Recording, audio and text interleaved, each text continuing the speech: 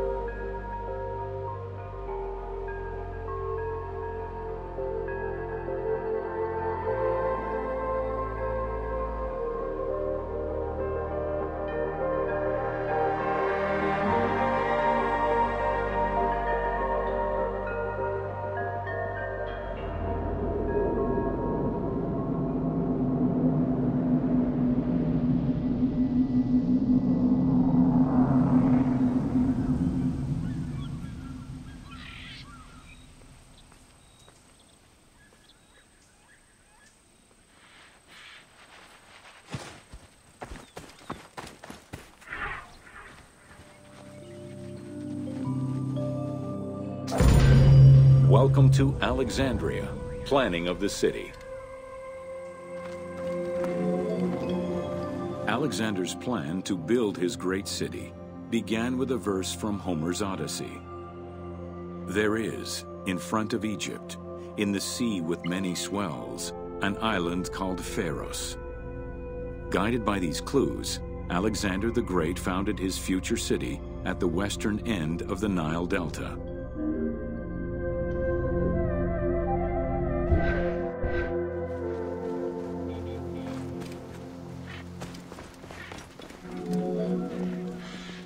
Alexander considered this location ideal for his great city, it presented considerable challenges. Too difficult to access during storms, the surrounding swamps threatened disease, and the limestone soil prevented the growth of healthy crops. However, due to the influence of his mentor Aristotle, Alexander the Great recognized that the true value was its strategic emplacement.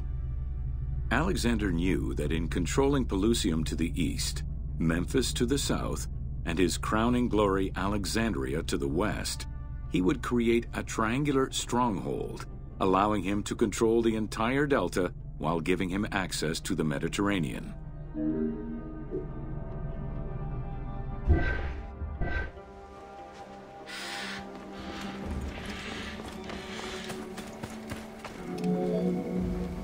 The Great Walls of Alexandria had a humble beginning. Lacking chalk to outline the future city's foundations, architects were forced to use flour instead. Clouds of migrating birds swept down and ate the flour, erasing the plans. This prompted Alexander to seek guidance from the oracles, who reassured him that his future city was destined to feed a large population.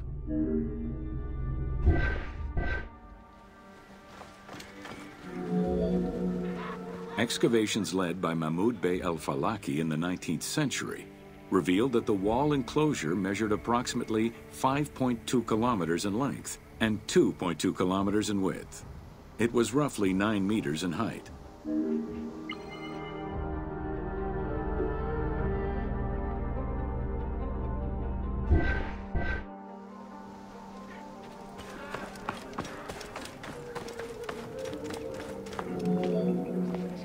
These formidable ancient walls would resist a number of attacks, including fending off the king of Syria in 169 BCE. It wasn't until 295 CE that they eventually fell to Roman Emperor Diocletian, and this only after eight months of relentless assault.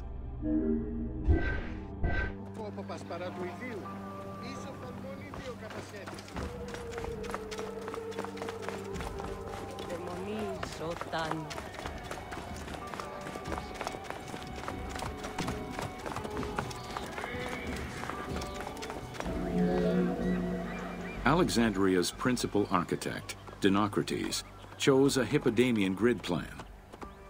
The grid maximized functionality with wide, straight roads and canals running beneath them, Alexander recognized the military value of the city's design.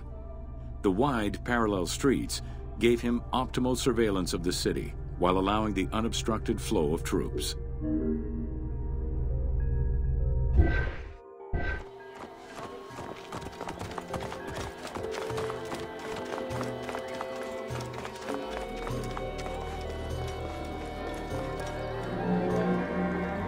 A central corridor ran from the Mediterranean's north port down to Lake Mareotis to the south.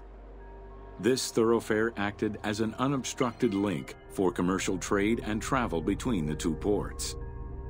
Many of the streets were bordered with grand buildings and parks, including Canopic Street, with its impressive gate bordering the eastern end.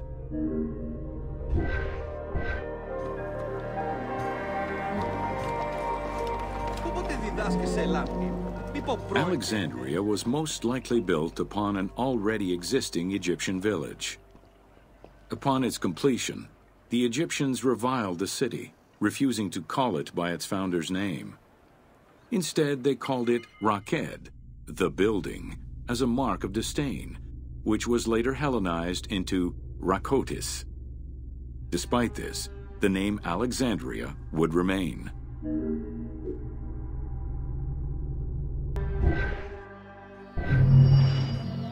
Deus echo bondan.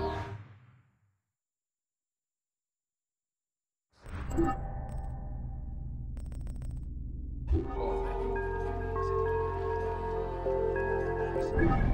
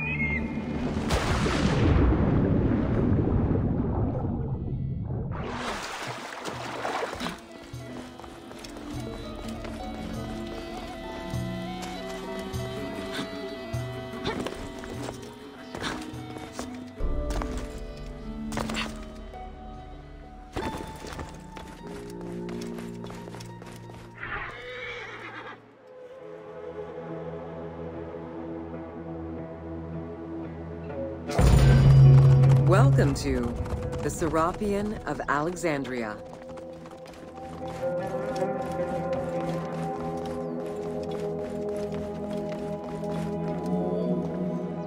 In a city of numerous magnificent attractions, the Serapeum was considered to be the most beautiful temple of Alexandria. Located southwest of the city on a small hill known as the Acropolis, the sanctuary was constructed during the reign of Ptolemy III upon foundations which had existed since the reign of Ptolemy I Soter.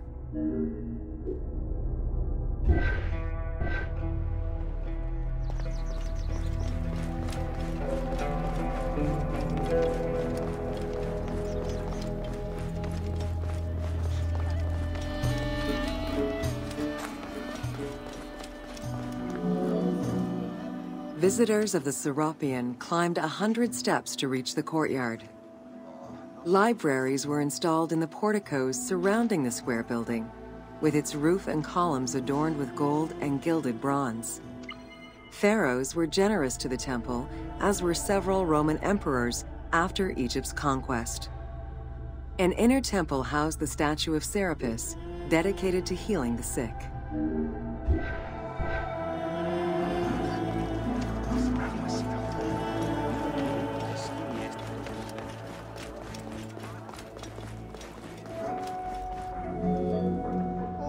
Since the 26th dynasty, Greeks in Egypt had gradually integrated the Egyptian cult of the Apis bull to their own rituals. With the establishment of the Ptolemaic dynasty, the cult of Apis was further integrated into Greek religion. During his rule, Ptolemy I chose to merge Egyptian and Hellenic gods into a syncretic divinity named Serapis. This name was the result of the amalgamation of Osiris and Apis. With this new deity, the Ptolemaic dynasty managed to accommodate similar belief sets for two different cultures, bringing about a new dynastic cult.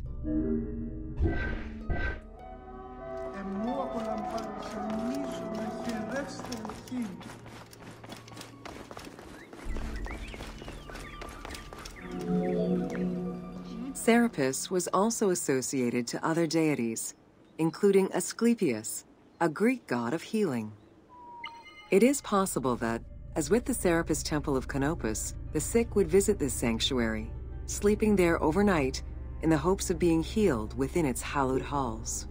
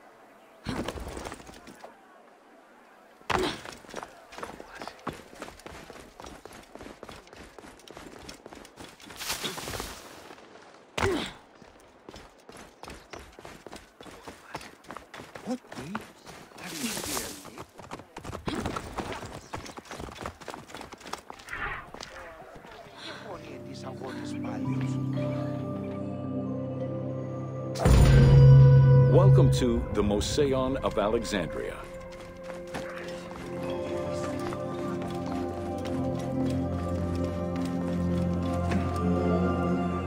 The Mouseion was a sector of the city commissioned by Ptolemy I to rival Athens Academy as an institute of intellectual pursuit.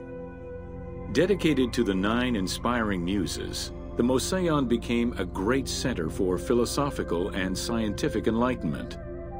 It welcomed scholars from many kingdoms, inviting them to share knowledge in literature, science, and geography.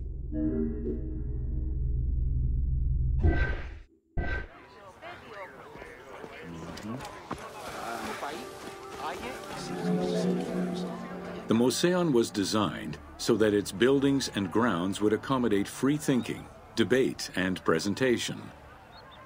Meeting spaces and theaters surrounded a main courtyard.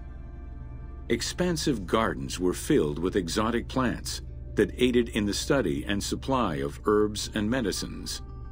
A zoo offered the study of animal behavior and physiology. Also among the Mouseion's many star attractions was its astronomical observatory.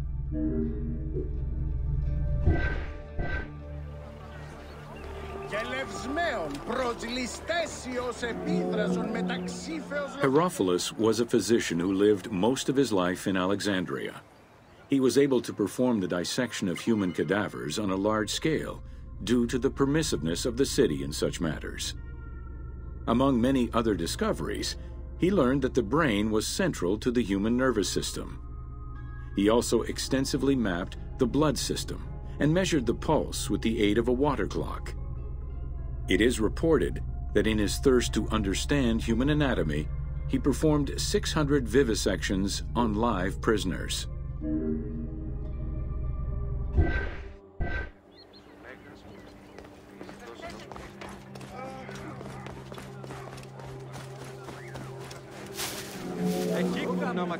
In order to be free to pursue their research, scholars were fed and housed at the Mouseion at the government's expense. This freedom provided Alexandria's scholars a meeting space for intellectual pursuits and a haven for spiritual peace. Though nothing remains of the original Mouseion, it lives on as the legacy of our modern museums.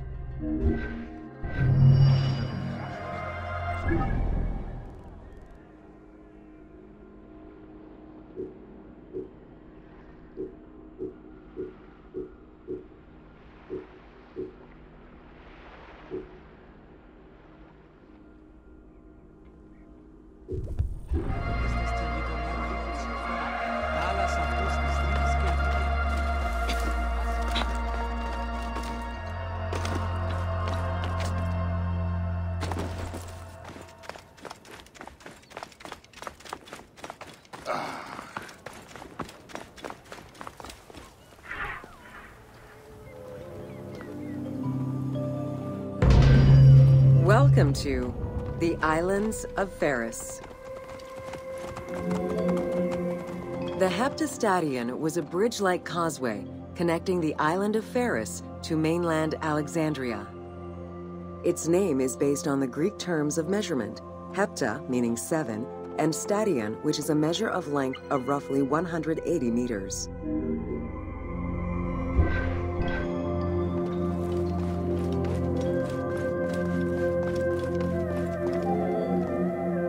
Since its construction would separate the Grand Port to the east and the port of Eunostos to the west, it was designed with channels at each end. These openings allowed passage from one port to the other.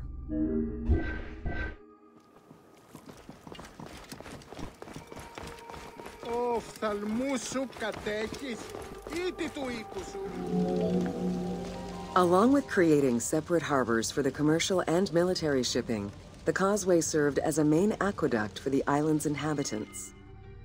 Its presence also helped protect the island and its ports from rough wind and sea currents. At the end of antiquity, the Heptastadion disappeared under layers of silt and soil, which formed an important sedimentary deposit.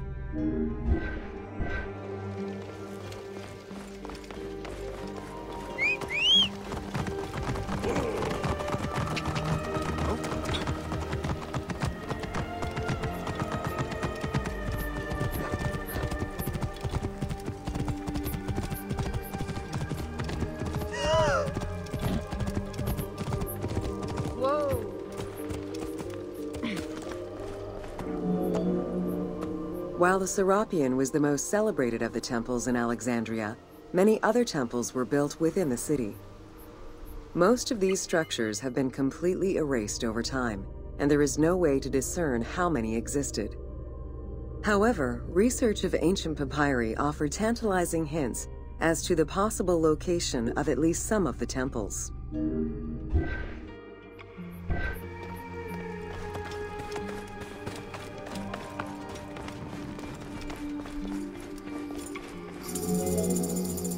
Both papyri and coins reveal evidence of many temples built for the gods. Poseidon, the god of the sea, likely had an edifice in his honor west of this island, as well as on the mainland. This temple next to you is dedicated to Isis Pharia, the divine protector of the lighthouse. This location hosted annual celebrations in the month of April, known as the Sacrum Feria in connection to the lighthouse. In her incarnation as Isis Fortuna, the goddess carries a rudder and a cornucopia, both symbols of good luck for navigators.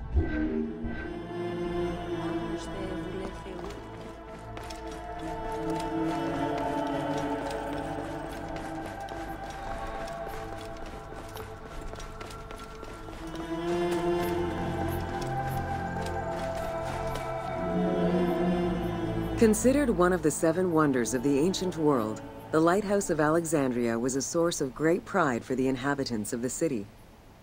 Construction began under Ptolemy I's reign and lasted 15 years. It was completed during his son's rule.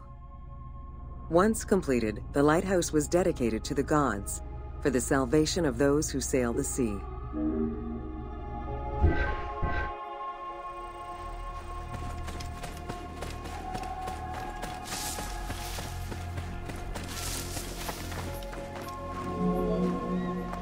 Built on the island of Pharos, the stone structure was three tiers set on top of one another in a step formation.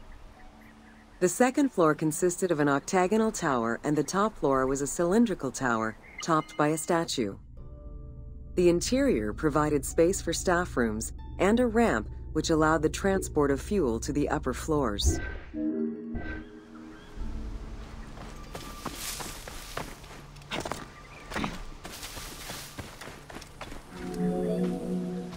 Essential to safe navigation through the rifts and shallow waters, the Pharos was a functioning lighthouse with a beam reportedly visible 50 kilometers away. It's unclear what kind of fuel was used or how much. Any other details of how the light worked remain a mystery.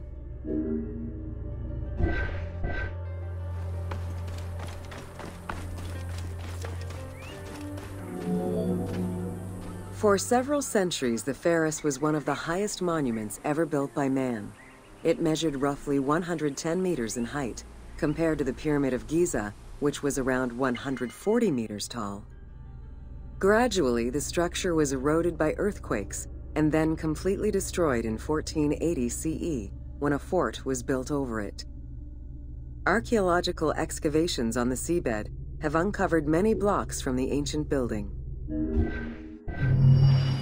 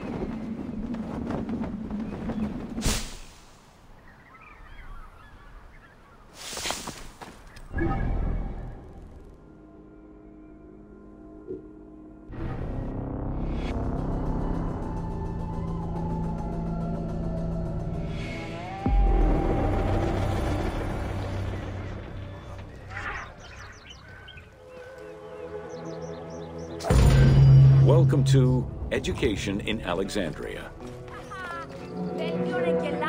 The education of young Alexandrians did not differ from the one generally dispensed elsewhere in ancient Greece.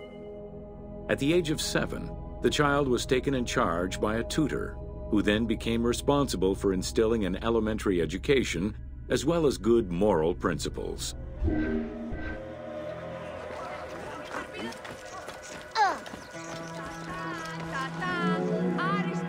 Teaching was generally done outside, in the open air.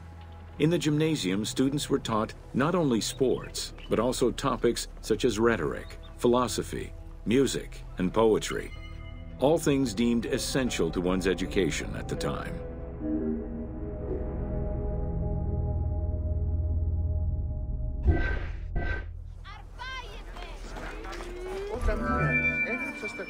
Here, both girls and boys are shown attending a class given by one of the rhetoricians of the era. The team made the choice to show both genders attending class within the context of the game world. Even though it is historically inaccurate, the team felt it was not necessary to prioritize historical sexism over inclusive gameplay.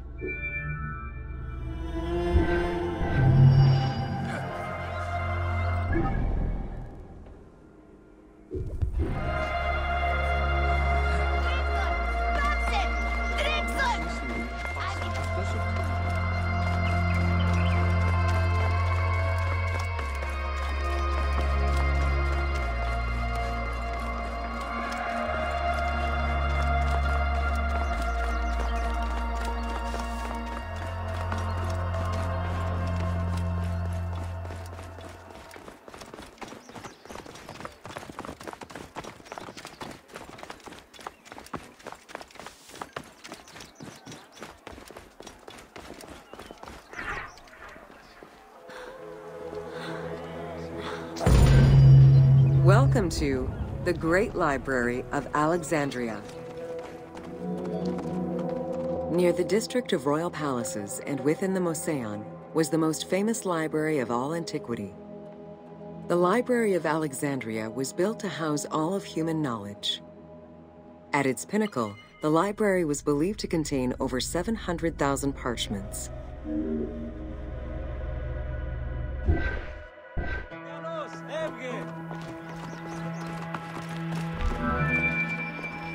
Throughout the centuries, fires and wars between Christianity and paganism destroyed the library, leaving nothing behind. The loss of the building, and more importantly, its vast collection, is immeasurable. As no descriptions are available, the team's rendition of the Library of Alexandria was inspired by the visuals of the Library of Celsus at Ephesus.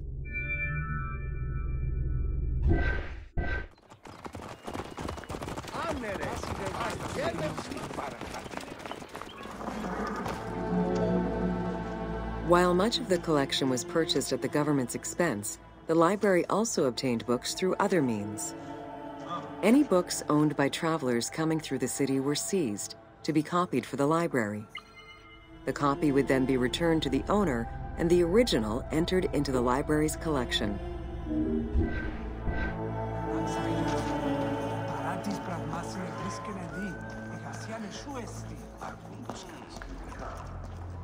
Άρτια τα. Δάκρυθε και πληγέδε το μέγα σφάλμα και πληνίμε. Alexandria offered unrivaled intellectual and cultural attractions. Eminent scholars from Athens, Rhodes, and other Greek centers traveled to the city to learn and engage with other free thinkers. Both the Mouseion and the library were at the center of groundbreaking ideas and creative expression.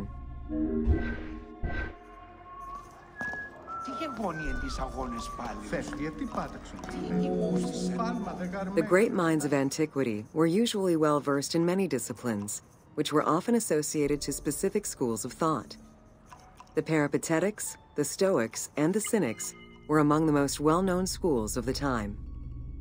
It is clear that Alexandria lived up to its fundamental role as a city for intellectuals, nurturing many great minds whose impact reverberates through our modern world.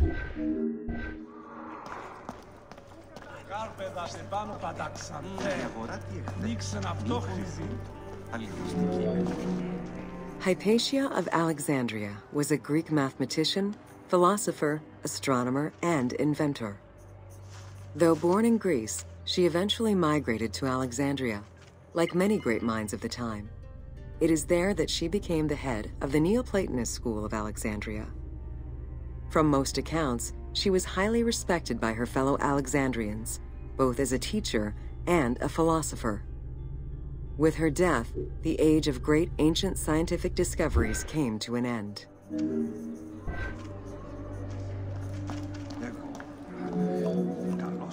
Callimachus was born in Cyrene and educated in Athens. After his studies, he moved to Alexandria to work in the Great Library. A poet and a critic, he strongly rejected the epic format of Homeric poems and instead fervently supported a shorter, more judiciously formulated style of poetry. His epigrams and elegiac poems were emulated by later poets. His work was extremely popular, second only to Homer's own works.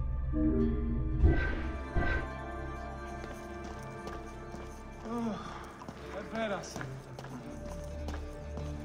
Ευχάριστος η μητά σου. Ευλογείται σε Θεή.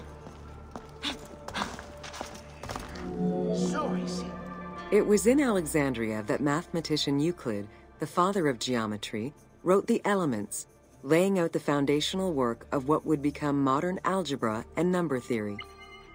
Euclidean geometry would become one of the most influential systems in the evolution of mathematics.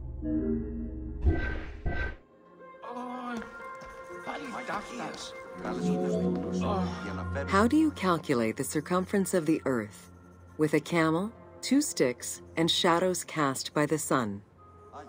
This is what Eratosthenes of Cyrene described in his principal work, Geography, while he was director of the Great Library of Alexandria.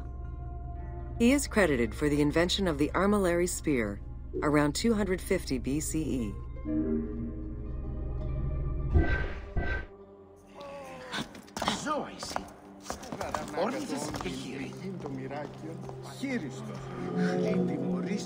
The earliest known and most complete armillary sphere of antiquity was the meteoroscopion of Alexandria, with an imposing nine rings compared to the three or four of most other astrolabes.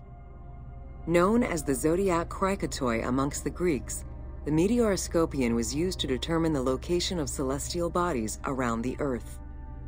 Every self respecting astronomer of antiquity would have sought to use this tool to better understand the celestial movements.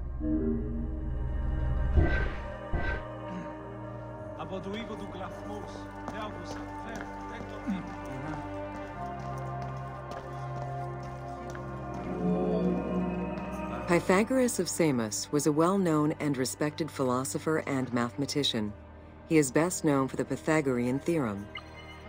However, there is proof that the theorem existed in Babylonia and India long before Pythagoras was born, casting some doubts as to who exactly originated the theorem.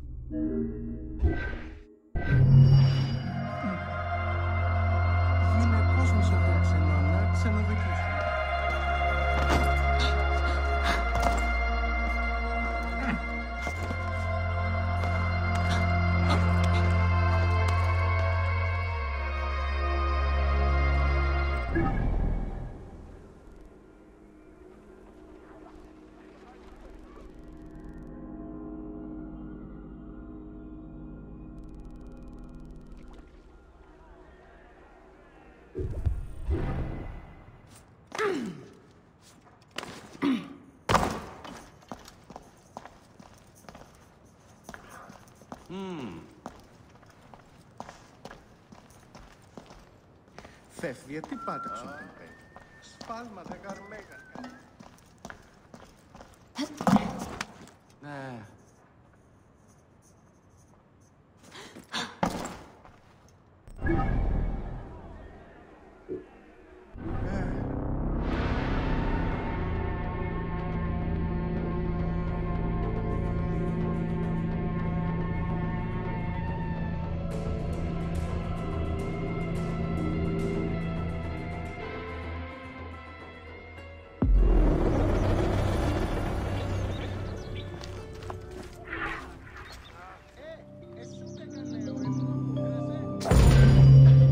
Welcome to The Siege of Alexandria.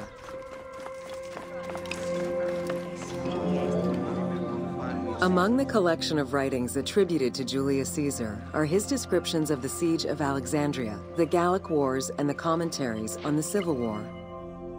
These archives contain information on different campaigns the Wars of Alexandria, Africa, and Spain. Each of them recounts Caesar's military activity from 58 BCE to 45 BCE. Though Caesar's documents remain a main source of information, it's important to note that the perspective is limited. It is necessary for other historical documents to be taken into consideration to provide a better understanding of events.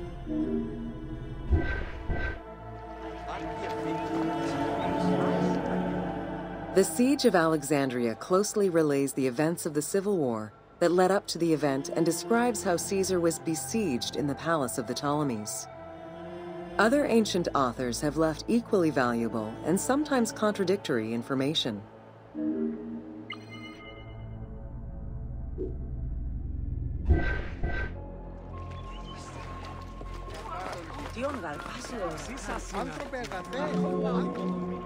In the events leading up to the siege of Alexandria, Cleopatra VII and her brother were fighting over control of Egypt.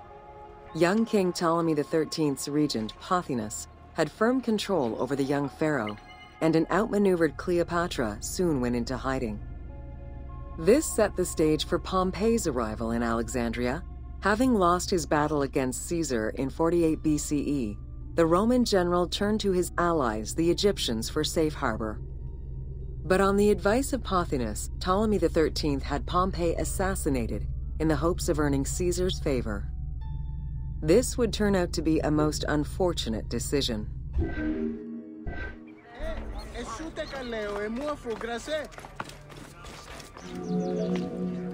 Upon his arrival in Alexandria, Caesar was presented with Pompey's head. The sight of a Roman murdered by Egyptians did not sit well with him, Caesar made his displeasure clear, ordering the return of Cleopatra and for the siblings to resolve their differences and resume their co rule of Egypt as per the will of their father. Neither Pothinus nor Ptolemy XIII wished to accede to this demand. While doing his best to aggravate Caesar, Pothinus secretly plotted against the Roman ruler and sent word for Egyptian general Achillas to bring his 20,000 men to fight on his behalf. While Pothinus plotted against Caesar, Cleopatra made a bold move.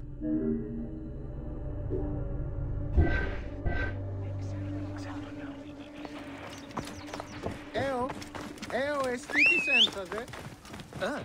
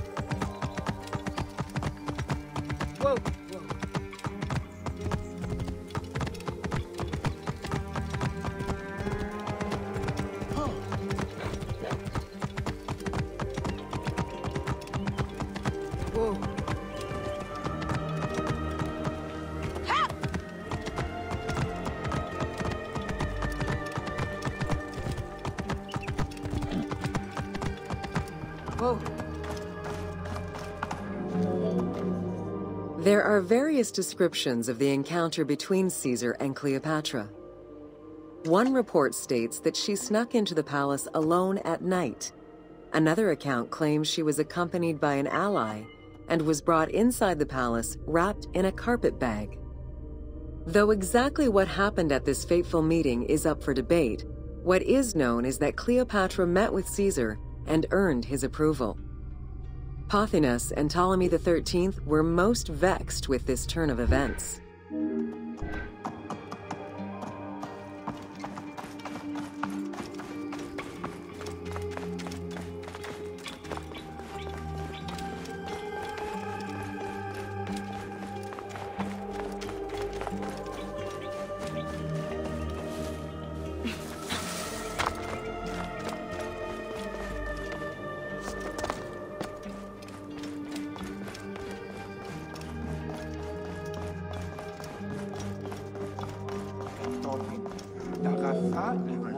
With Cleopatra finally present, Caesar chose to act as mediator between the siblings in the hopes of a peaceful resolution.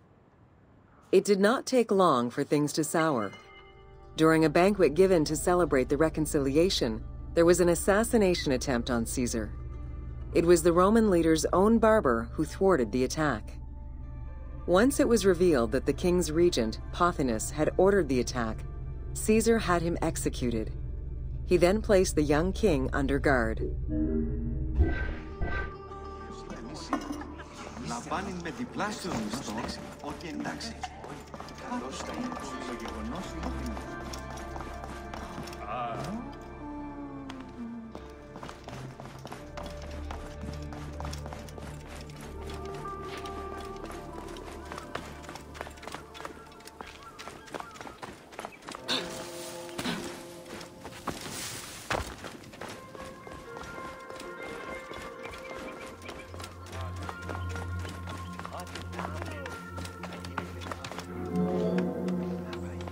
Within the palace with roughly 4,000 troops, and with the knowledge that the arrival of enemy forces was imminent, Caesar sent for help from Syria, Rhodes, and Cilicia.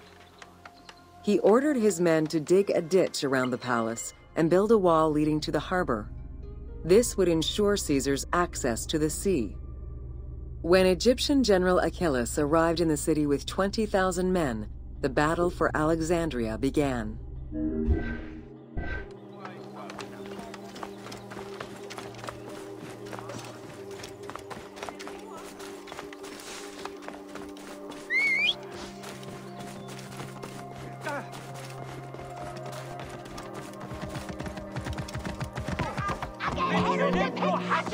With so few men at his disposal, Caesar could not risk a battle just yet. He sent ambassadors to Achillas in the name of Ptolemy to propose a truce. Knowing that the orders did not come from the young king, and angered by the pharaoh's imprisonment, Achillas had the messengers assassinated. With Caesar confined within the palace, Achillas positioned his troops around the city. Skirmishes broke out throughout the streets of Alexandria and went on for several days and nights. Though they were outnumbered, Caesar's men were able to hold the enemy back. This prompted Achillas' next move capture the Roman fleet stationed in the harbor.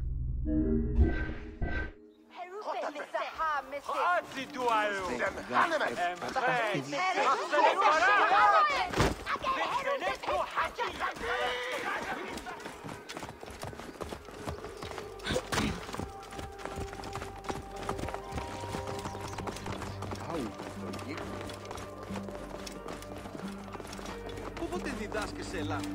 Wie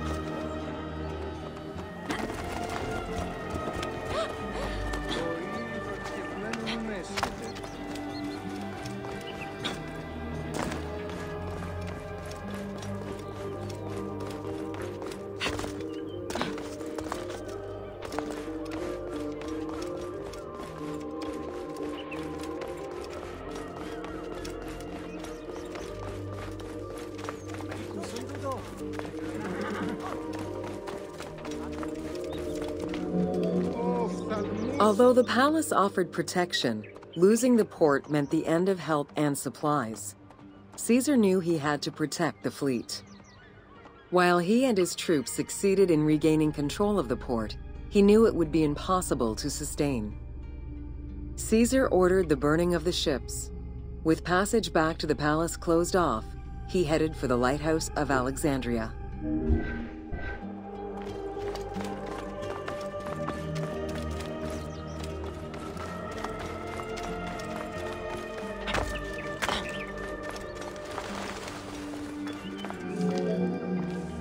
Fighting their way through the Egyptian troops, Caesar and his men eventually reached Pharos Island. There, they took refuge within the lighthouse.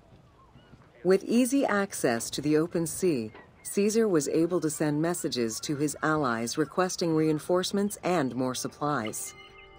The island fort also allowed him to control access to the harbor by relying on the chains used by the Egyptians to control ship traffic to and from Alexandria's docks.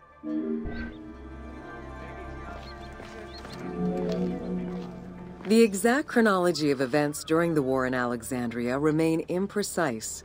Conflicting accounts raise questions as to when and even if the Great Library of Alexandria was burned down at all.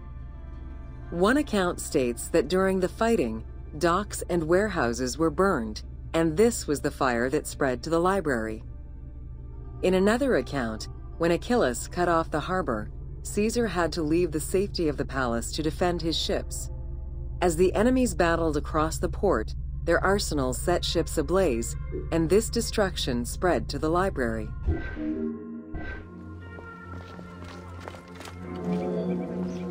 In either case, the Great Library was not completely destroyed.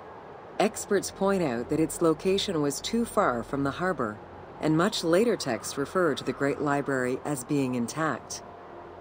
Warehouses near the harbor contained manuscript copies awaiting export, and it is more likely that these documents were destroyed than the Great Library itself.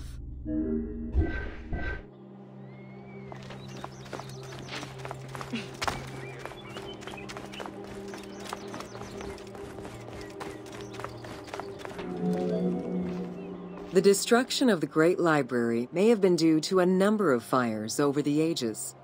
Its end was probably closer to the 4th century CE, when the Christian Emperor Theodosius I ordered the closure of all pagan temples. While some documents survived after being moved away, it remains unclear just what knowledge may have been lost.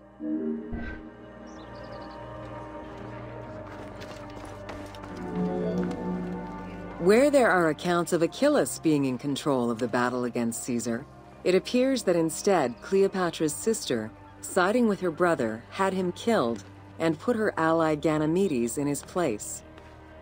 Ganymedes proved a valuable tactician for the Egyptian side. It was his idea to cut Caesar's access to the harbor, thus trapping Caesar at the palace.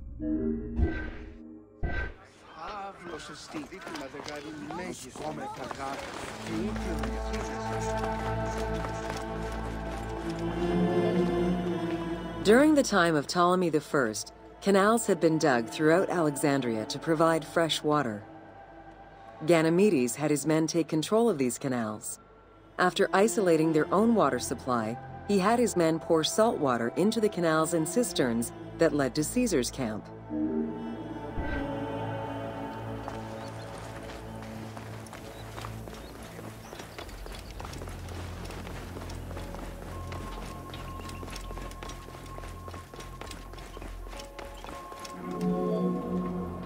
Panic erupted in Caesar's men. They wouldn't last long without fresh water. Recognizing that the porous limestone could help them, Caesar and his men dug wells to restore their water supply. Days later, the 37th Legion, comprised of Pompey's soldiers, arrived by ship. Unable to come ashore due to the winds, Caesar risked going out to meet them on the peninsula, Cape Chersonese. When the enemy learned Caesar's location, they rushed to intercept. Despite an obvious advantage for the Alexandrians, Caesar, with a Rhodian ship full of skillful sailors, emerged victorious.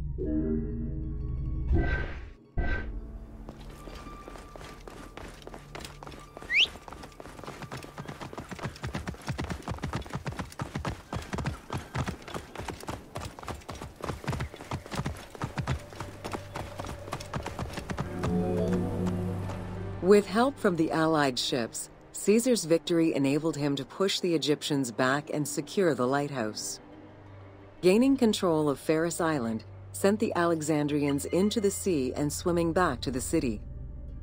However, Caesar's fortification of the island didn't last long. The enemy regrouped and were set to storm the island.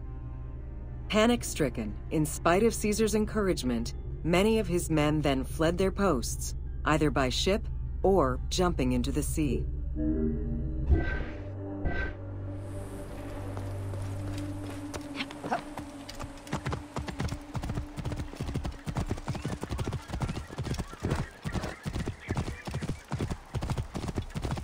Whoa! Caesar attempted to retreat, but Port Eunostos' harbor was overrun with enemy ships, preventing escape. Reportedly, Caesar gathered his papers and leapt overboard in an attempt to swim to an Allied ship farther out. Historian Cassius Dio claimed that Caesar would have drowned if he hadn't been able to remove his purple garment. Still, he managed to swim the distance and survive.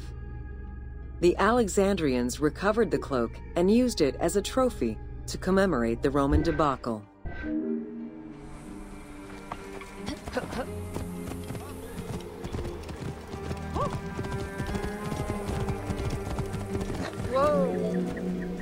Unhappy with Ganymedes and wanting their king restored, the Alexandrians approached Caesar with a compromise. Caesar agreed to release Ptolemy XIII after entreating him to spare the kingdom and remain loyal to Rome. Once freed, however, the king defied the agreement and continued the war.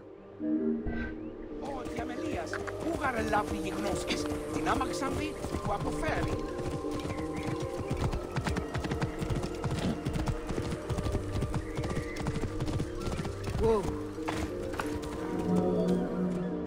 By this time, a faithful ally of Caesar's, Mithridates, arrived in Egypt, clashing with Ptolemy's troops at Pelusium. Outnumbering the enemy, Mithridates secured the region between Pelusium and Alexandria. Ptolemy, warned of Caesar's ally marching on Alexandria, sent his troops to prevent passage over the river.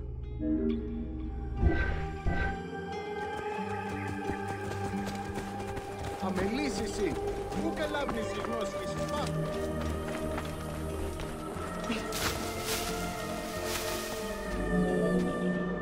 Mithridates warned Caesar in time, and the two groups confronted the armies of Ptolemy in the Delta. In the Battle of the Nile, the Romans gained the upper hand, sending the Egyptians fleeing. In the tumult and panic, King Ptolemy XIII drowned in the Nile.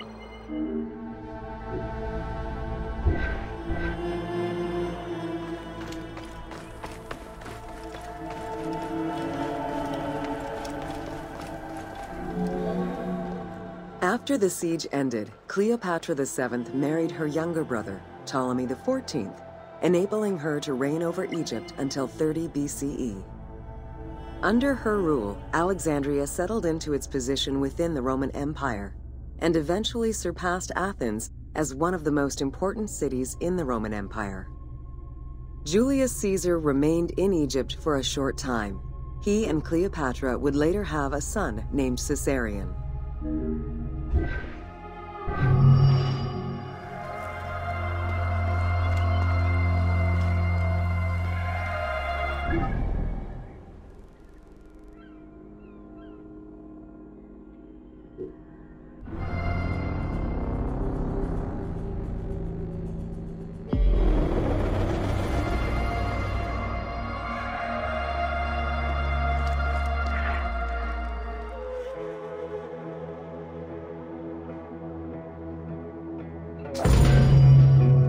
Welcome to Cleopatra, Queen of Egypt. Cleopatra VII Thea Philopator ascended the throne in 51 BCE at the age of 18. Though her early attempts to maintain power were often challenged, she eventually prevailed and became the sole ruler of Egypt. According to Plutarch, she was the only Ptolemaic pharaoh to speak the Egyptian language. Her intelligence, coupled with a good education and a great political mind, allowed her to make the alliances necessary to maintain the independence of Egypt while Rome was becoming a Mediterranean empire.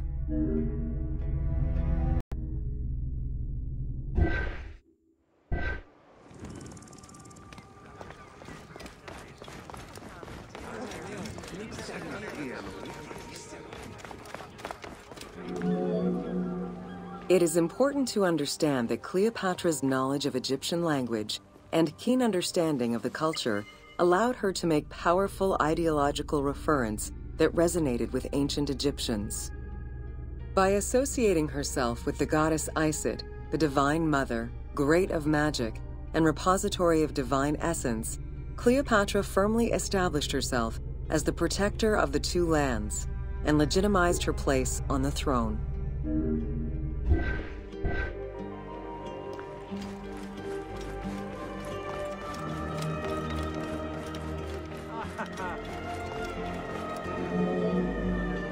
Upon his death in 51 BCE, Ptolemy XII Aulus bequeathed his kingdom to his daughter and eldest son, Cleopatra VII and Ptolemy XIII. As was custom, the siblings were married.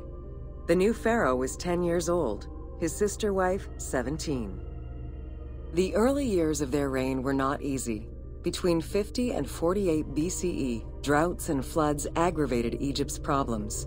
General Achillas and the royal advisor Pothinus kept intervening in the young ruler's political decisions and eventually colluded to turn Ptolemy XIII against Cleopatra.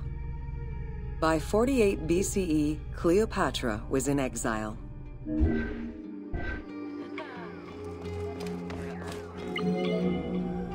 During Cleopatra's exile, the Roman Empire was not without its own internal conflict. Caesar and Pompey were at war with one another, and after his defeat in 48 BCE, Pompey fled to Alexandria in the hope of finding refuge. This turned out to be an unwise decision. Listening to his advisors, Ptolemy XIII elected to have Pompey assassinated, his head kept as a gift, in the hopes of acquiring Caesar's favor. This gambit backfired. Instead of earning approval, the murder of a Roman greatly angered Caesar.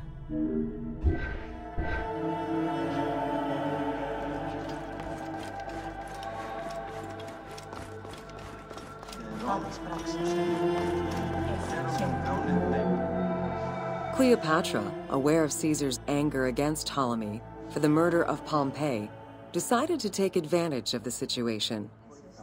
She returned to Egypt in secret, hoping to establish an alliance with one of the most powerful men of the time. Outside of the legend, where she had herself smuggled into his quarters in a carpet, what exactly happened during that fateful meeting remains a mystery. However, Caesar seemed to see a better ruler for Egypt in Cleopatra than in her young and too easily influenced brother. Invoking Ptolemy XII's will, Caesar attempted to mediate peace between the siblings.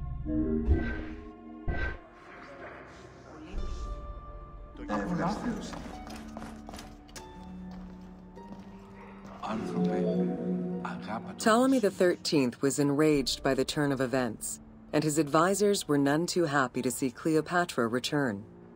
Urged on by General Achillas and Pothinus, the young pharaoh plotted against Caesar and Cleopatra, resulting in the siege of Alexandria in 47 BCE. It was in March 47 BCE that Caesar defeated Ptolemy XIII's forces. The young pharaoh drowned in the Nile after having fled the battlefield.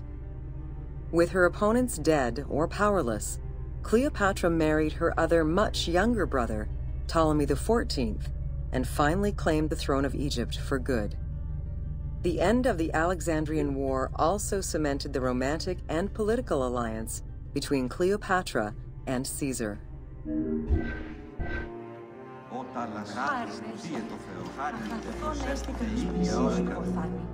In June of 47 BCE, Cleopatra gave birth to a son, whom she called Caesarion. Caesar did not accept the boy as his heir, choosing instead his nephew Octavian. Nonetheless, on his return to Rome, Caesar invited the queen and her brother husband to stay in the city. Her presence still drew much disapproval from the Senate. Always a strategist, Caesar left four legions in Egypt and a man he trusted to direct Egyptian affairs, giving him control of the wheat supplies essential to Rome. Cleopatra and her entourage remained in Rome until March 44 BCE, when Caesar was murdered.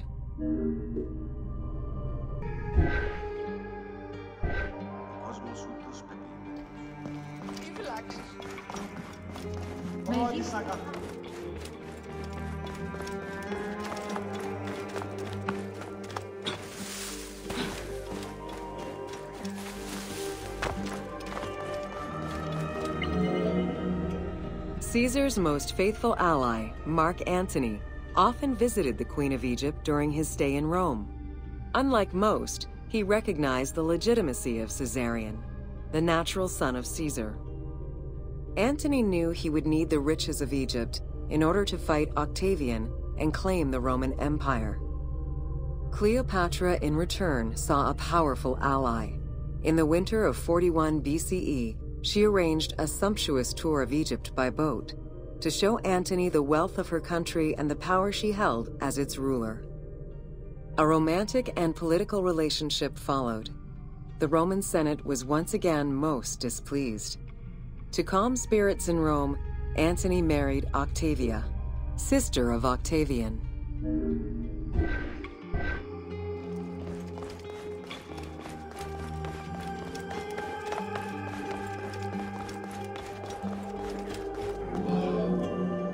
Despite his marriage to Octavia, Antony remained Cleopatra's lover, and she gave birth to their children.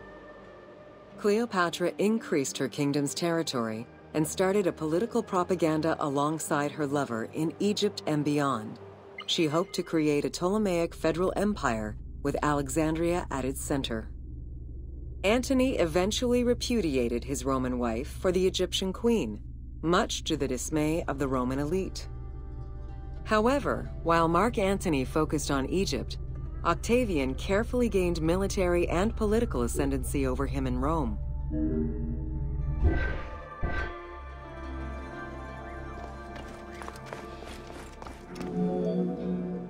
Octavian managed his own propaganda campaign and succeeded. The Roman people hated Mark Antony and Cleopatra. To avoid the censure still inherent in attacking a fellow Roman, Octavian simply declared war against Egypt. Rome's power still reigned supreme.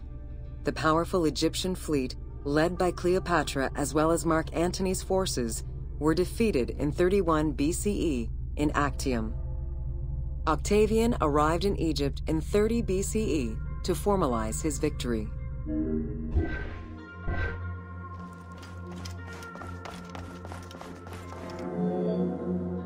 The following events remain difficult to confirm due to the many versions and legends around them.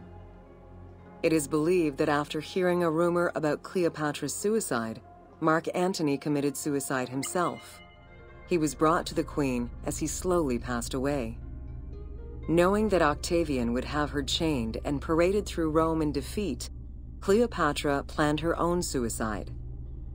She most likely killed herself with arsenic, though admittedly, the version where she uses an asp to deliver a fatal bite may be considered more dramatic. What happened to the body of Cleopatra is still a mystery.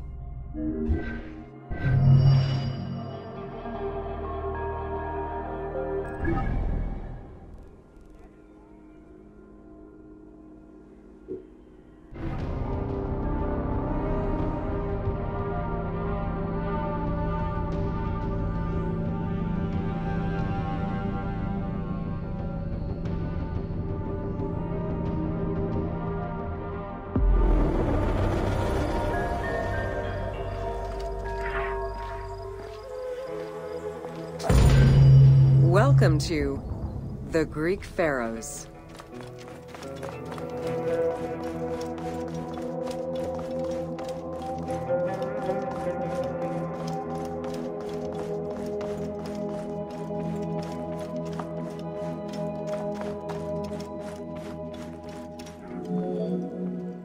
Pharaohs were considered divine incarnations of the gods.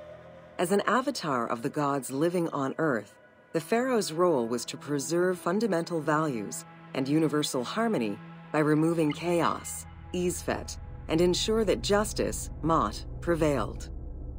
The pharaoh, by divine ancestry and through multiple offerings, was the bond that unites the world of men to the world of the gods and allows the maintenance of the cosmic order.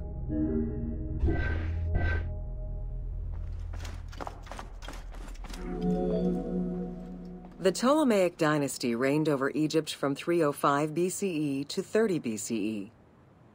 The dynasty was called the Ptolemies of the Lagids, in recognition of the founder of the dynasty, Ptolemy Lagos, a Greek general and close friend of Alexander the Great. While Macedonian, Ptolemy Lagos understood that to be accepted by the Egyptian people, he would have to adopt their traditions. Upon assuming the title of pharaoh, he changed his name to Ptolemy I Soter, meaning savior.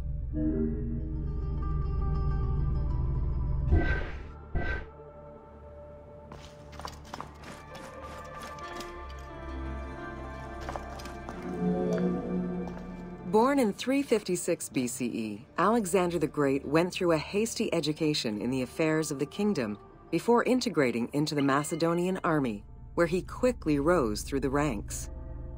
After his father's assassination in 336 BCE, which some believed was orchestrated by Alexander himself, he became king of Macedonia. Ruler of a unified kingdom and leader of a large army, Alexander set his sights on conquest. Eager to reclaim the Greek cities of Asia Minor, he took on the Persian forces, earning victory after victory.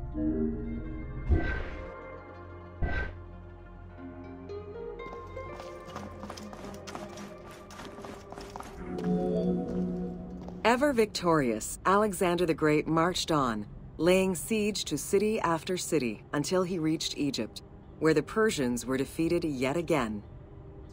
Viewed as a liberator by the Egyptian people, Alexander decided to become pharaoh in due form. He traveled to Thebes to make a sacrifice to Apis, then went to the oasis of Siwa, where he was proclaimed son of Amun. Officially Pharaoh of Egypt, Alexander spent much of the winter there and founded the city of Alexandria. Perhaps not coincidentally, being Pharaoh allowed Alexander to spread propaganda to prepare further conquests. He resumed his military campaigns in 331 BCE.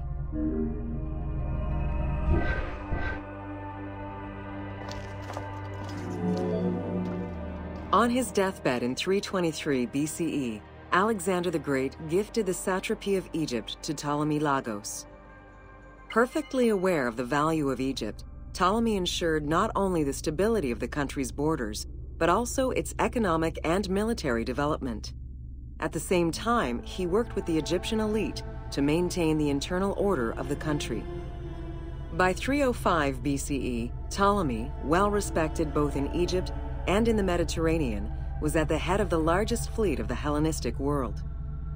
Ptolemy officially took the title of Pharaoh of Egypt in January 304 BCE, on the anniversary of Alexander the Great's death.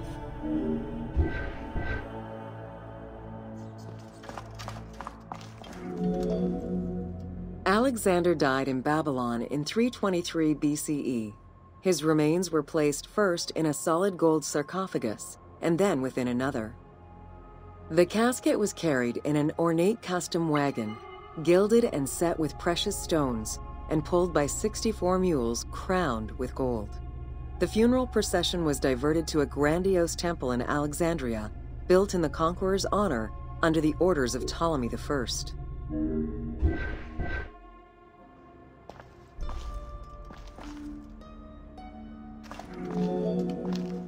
Julius Caesar visited Alexander's tomb at the capture of Alexandria, and the Roman Emperor Augustus reportedly placed flowers there. However, though many powerful leaders claim to have visited it, the tomb's location has gone missing from history. Some accounts do state that the golden coffin was replaced by a glass sarcophagus, probably by Ptolemy X. It is also implied that Cleopatra may have plundered the tomb in a time of financial crisis. Thank you.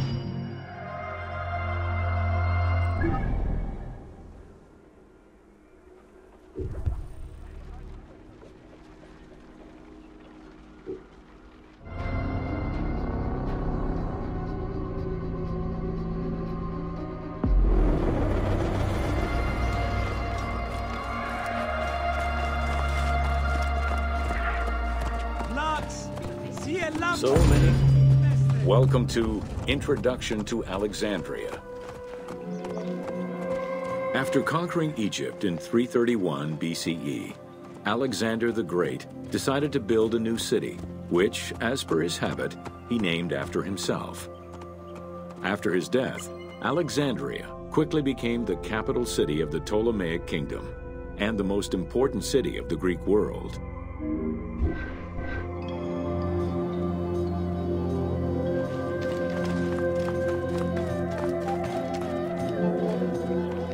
The city was built between the Mediterranean Sea and Lake Mareotis, which resulted in Alexandria becoming a crucial cultural hub and trading center.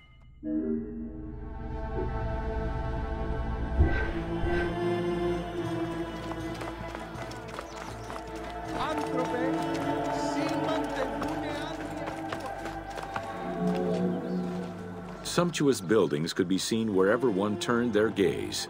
The royal palaces, the many temples, the gymnasium, lush public gardens, and large avenues.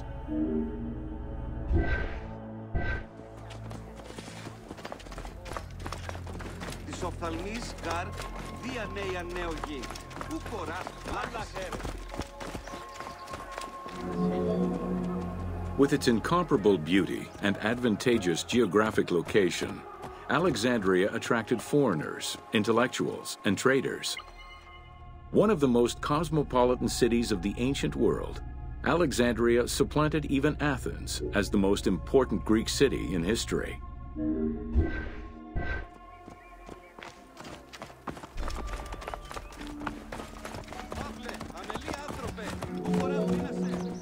Egyptian obelisks were highly prized by Roman architects. While Roman design previously favored the use of a single monument, Egyptian obelisks tended to come in pairs and were generally located at the entrance of temples. Several ancient Egyptian obelisks are still in existence today, though many are spread out across the world in locations such as Paris, Rome, New York, and London. All of this shows that Alexandria was significantly influenced by the rich past of Egypt.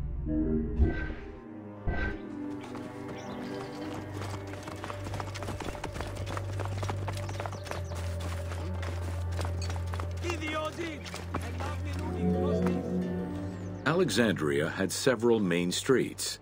Its most famous artery was the Canopic Way. It was lined with sumptuous buildings, houses, and temples, and was roughly 8 kilometers in length.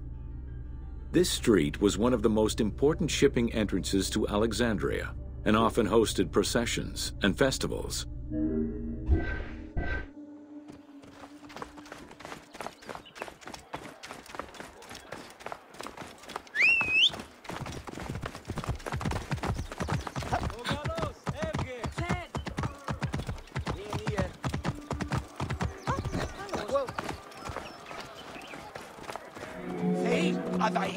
The width of the street, 30 meters, was abnormally large even by Greek standards.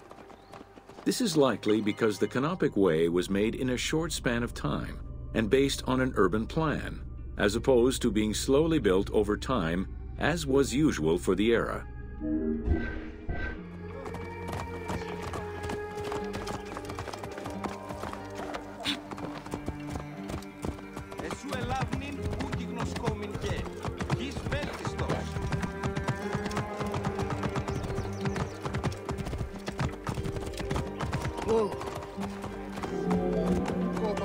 Canopic Way originated in the western cemeteries, skirted the gymnasium, and then exited the city to head east through massive doorways towards Canopus.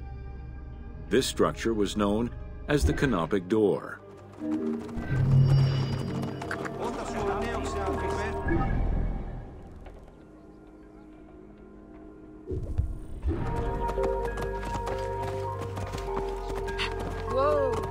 Welcome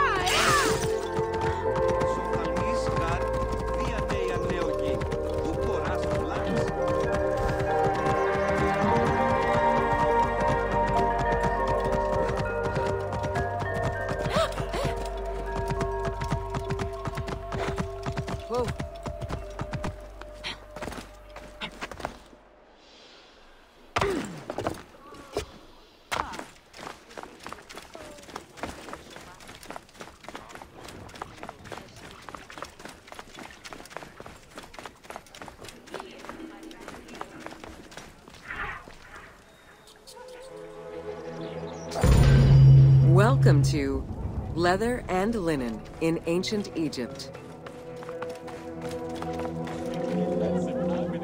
Tanning, a process which dates from prehistoric times, was present although not highly valued in Egypt due to the heat. Leather was reserved mainly for things such as sandals, leather bags, dagger sheaths, quivers, and other similar items. Leopard hides, unlike regular leather, were highly valued and usually worn by priests.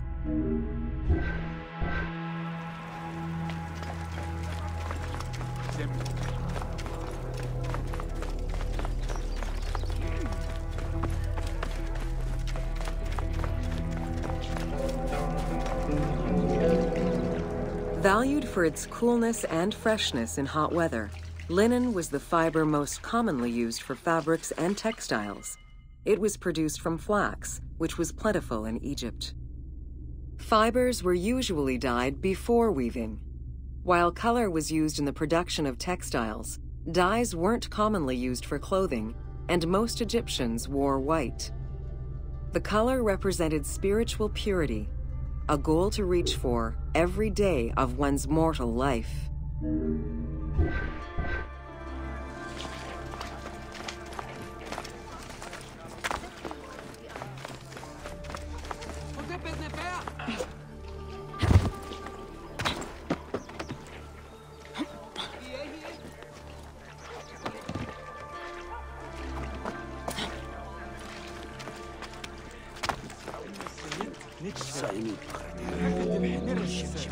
Various shades were achieved using woad, a dye produced from the leaves of Isatis tinctoria.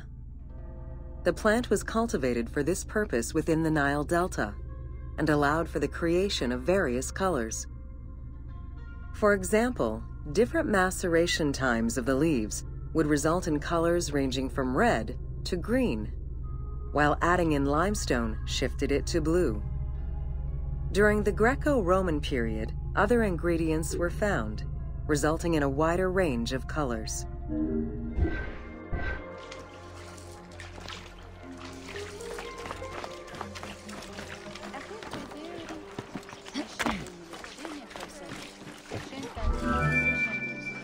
This area's style is strongly influenced by the dye baths and tanneries of modern-day Fes in Morocco. This helped Ubisoft envision what such locations might have been like in ancient Egypt. While this tannery is within the city walls, back then they were often found outside the city boundaries. The tanner's trade was considered off-putting by the Greeks, as all these operations resulted in noxious smells.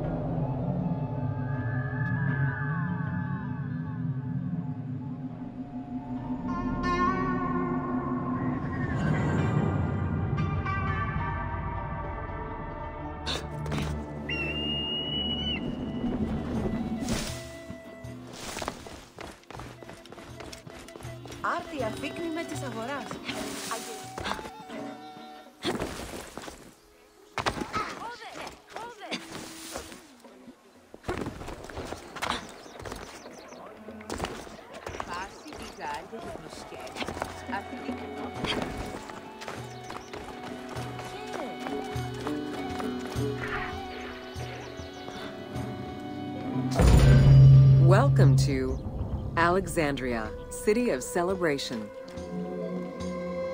Like most Greek cities, Alexandria offered multiple forms of entertainment.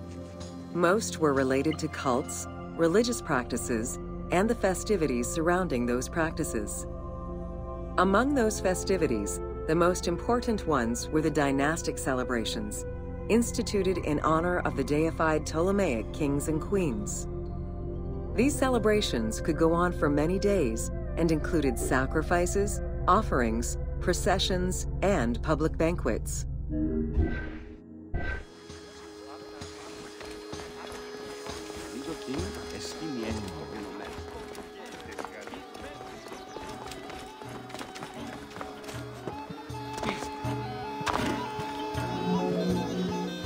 Games and competitions were organized whenever possible in locations such as the stadium, the hippodrome, and the gymnasium. The residents of Alexandria favored such events where athletes, poets, and musicians from Egypt and other cities of the Greek world competed.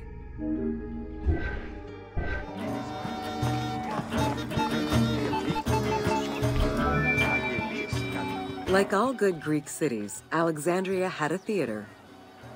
The architecture of this structure is Roman in style.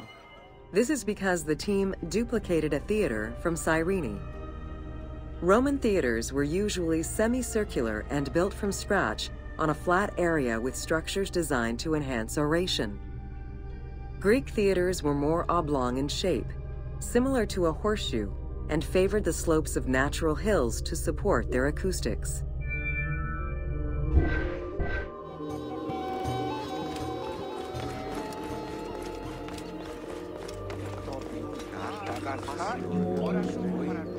At the theater, one could witness the plays of contemporary comic and tragic authors. The play you are witnessing below is Menander's Dyskolos, more commonly known as The Grouch, a late and popular entry in the Greek comedies.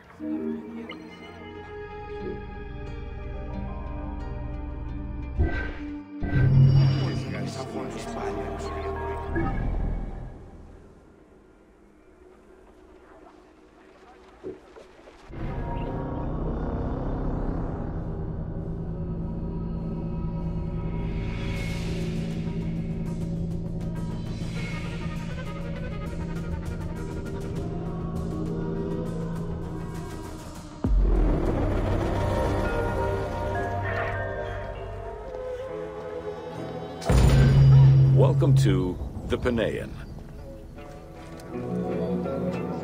The Panean was a temple built in honor of the god Pan, divinity of nature.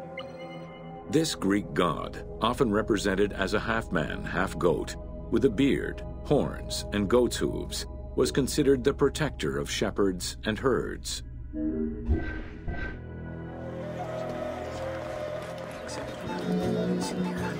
Pan's attribute was his namesake musical instrument, the pan flute. His temples were usually located in caves and on high mountains, and were frequented by shepherds. It is likely that Mediterranean cults adopted the imagery of Pan to symbolize the Christian devil.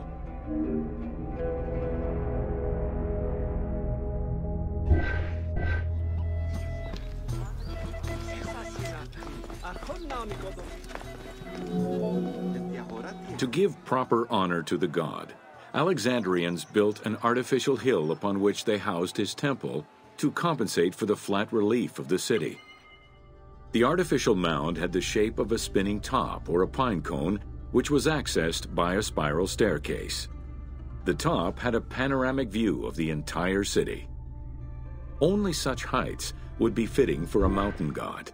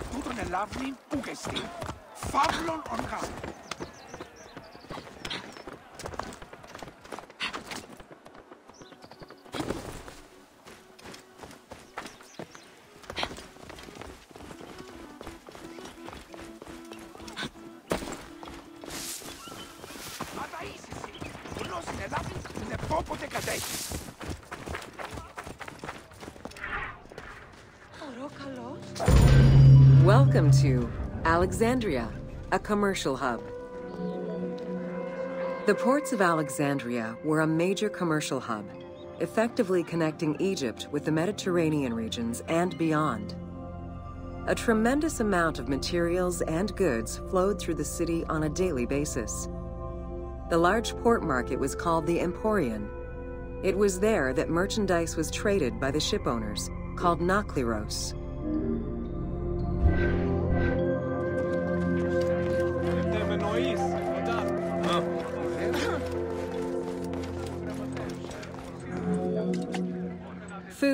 Other artisan work streamed out of Egypt.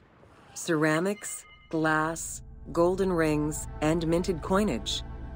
The local potters, using traditional Egyptian techniques, competed with those from abroad, and the textile industry flourished. What Egypt did not produce itself was acquired through trade, using local resources such as wheat and papyrus. Most sought after was pine wood from Syria, iron and marble from the Greek islands, gold from Spain, and exotic fruits from Europe. All this commercial activity contributed to the already decadent wealth of the city.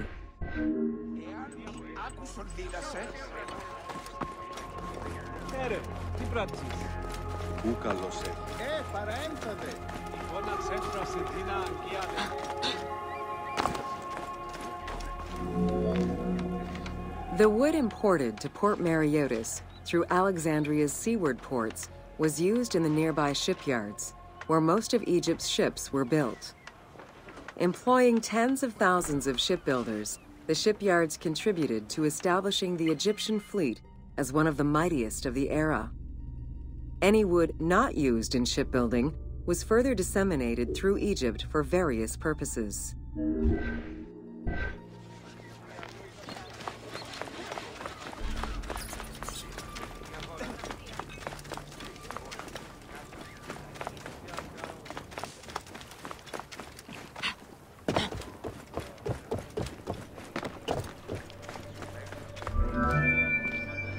The southern port of Lake Mareotis was the biggest in Alexandria.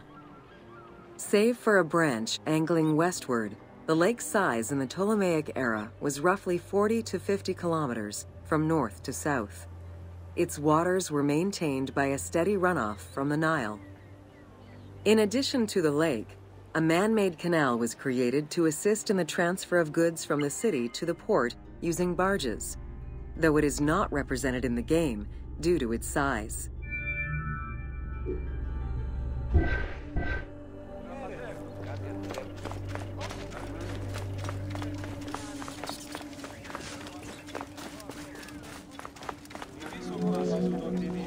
Banking was one of the most distinctive innovations brought by the Greeks to Egypt. The centerpiece of Alexandria's wealth was the royal systematization of taxes on almost everything.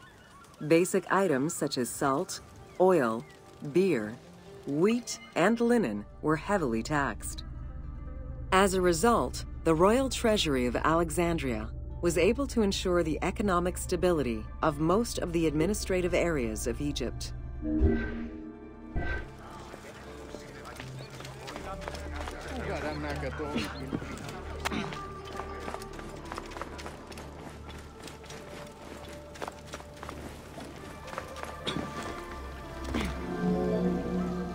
By the late 12th century, the channel feeding the lake from the Nile silted up. Lake Mareotis lost its connection to the Mediterranean, as well as most of its water, as the lake slowly evaporated to a fraction of its former size. In modern times, Lake Mareotis is being kept alive through irrigation. However, only about 17% of its original size remains.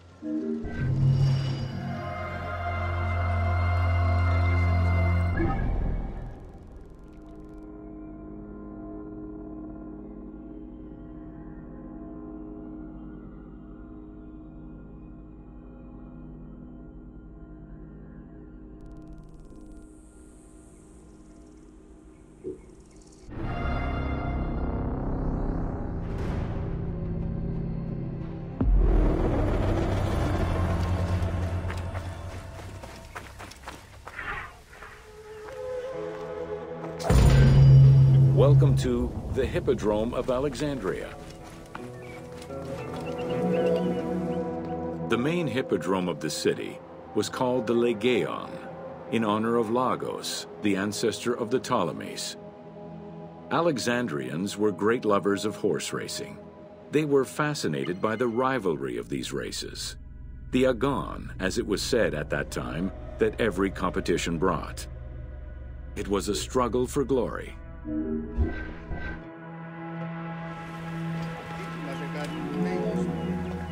The most important chariot race was the Tethrippon. Using four horses with the quickest harness to the front right, the charioteer would race for 12 laps, with sharp turns at either end of the hippodrome. The victors were crowned with garlands of olive and received prize money, but the most sought after reward was to be acclaimed by the works of poets such as Callimachus and Pindar.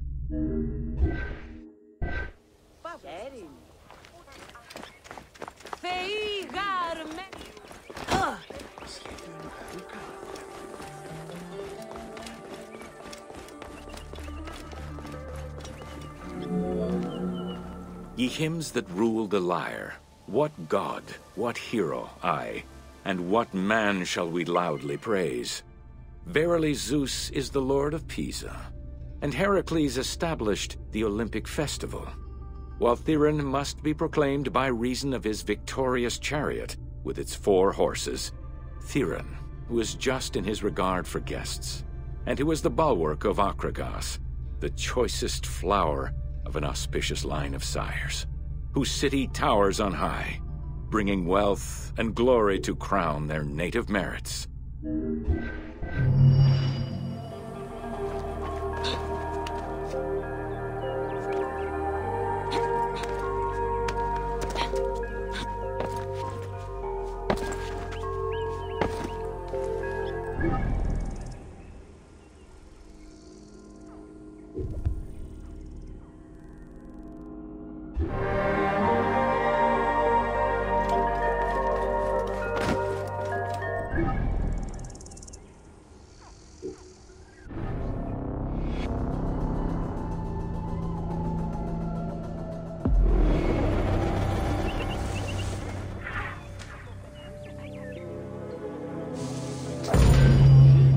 To Wine in Ancient Egypt. When the god Horus lost his eye in a war with Seth, the ancient Egyptians believed the eye turned into a vine, and the vine's tears became wine. Early texts, dating back to 3150 BCE, contain the hieroglyph for vine. Regarded as extremely valuable, wine was highly sought after by the elite. It was also an essential part of many religious ceremonies.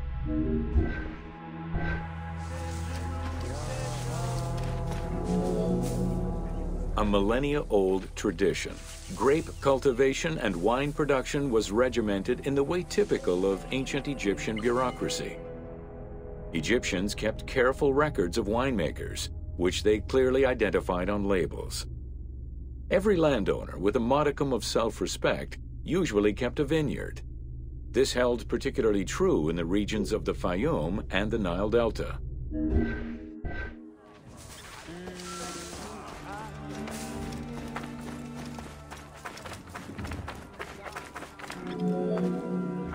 Documentation shows that only certain craftsfolk were allowed to provide the containers required to store and transport wine. That and rigorous quality control checks established for every step of wine production shows that ancient Egyptians knew that the quality and longevity of wine could easily be affected by any number of variables, which they paid careful attention to.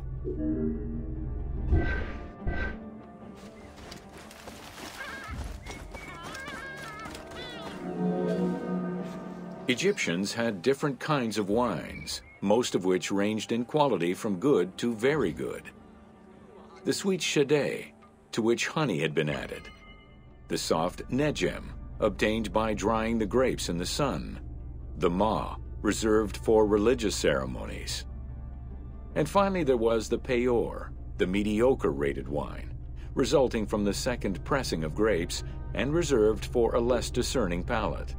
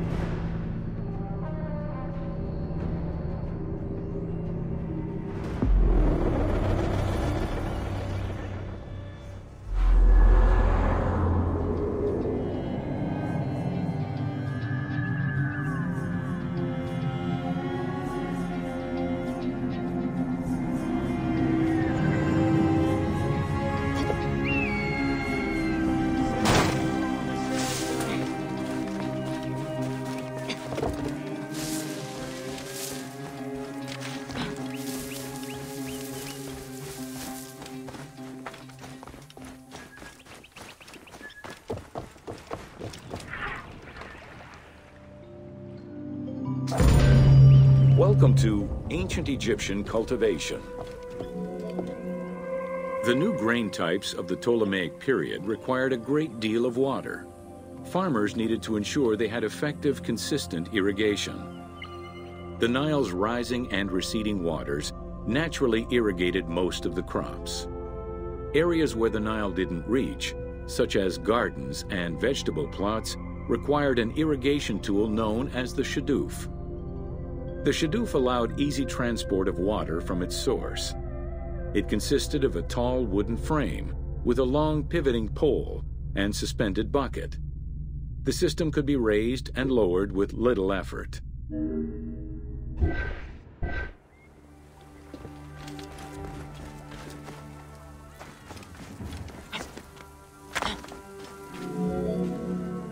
Later, a sakya, or water wheel, was invented.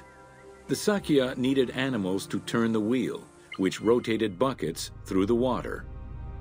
It drew the water to an elevation of 3.5 meters and enabled a great deal of control over the irrigation process. This improvement supplied larger areas and thus resulted in larger harvests.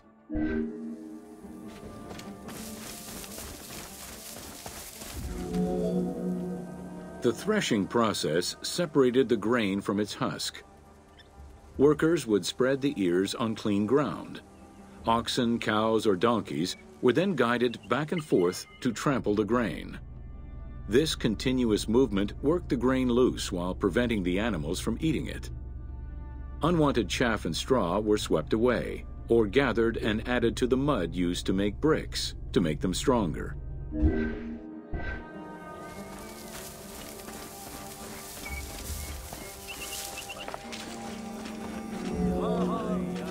Winnowing was the stage where workers used wooden scoops to throw ears in the air. The wind carried off the chaff, leaving the heavier seeds to fall to the ground. This action was repeated until the undesired materials were sifted out. Grain waste was mixed with manure or other organic substances to produce brick-shaped dung loaves that could be easily burned. A standardized brick size enabled Egyptians to mass produce this byproduct and use it as a commodity.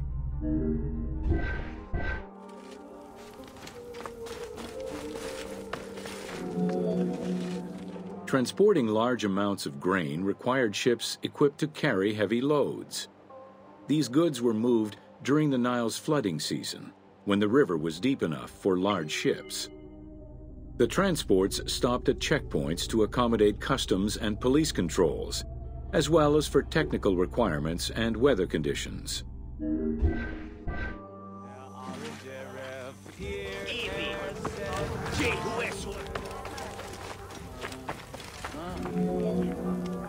Having reached Alexandria's inner harbor, the wheat was unloaded under the supervision of a civil servant in charge of wheat management. Portions were distributed to Alexandria's city market, and the remaining stockpile was either exported or stored in warehouses.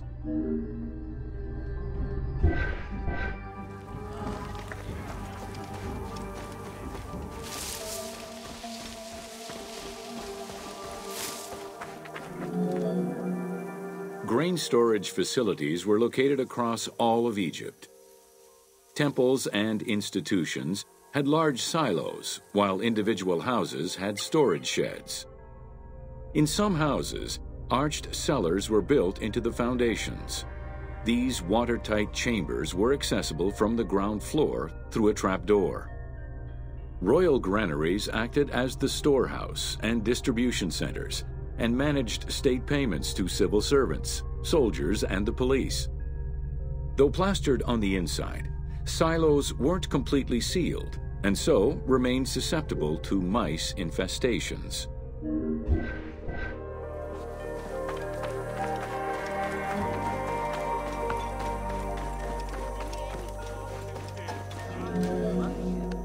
When the grain was ready for processing, it was poured into bowls and pounded into a coarse flour.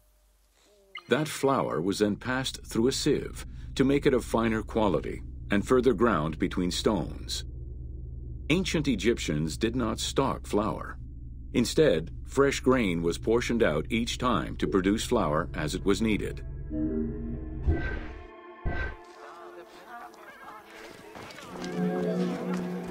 The sieves used by ancient Egyptians were unable to filter out sand and stones. Grit often passed into the flour, causing long-term tooth abrasions among all classes of Egyptians. Thank you.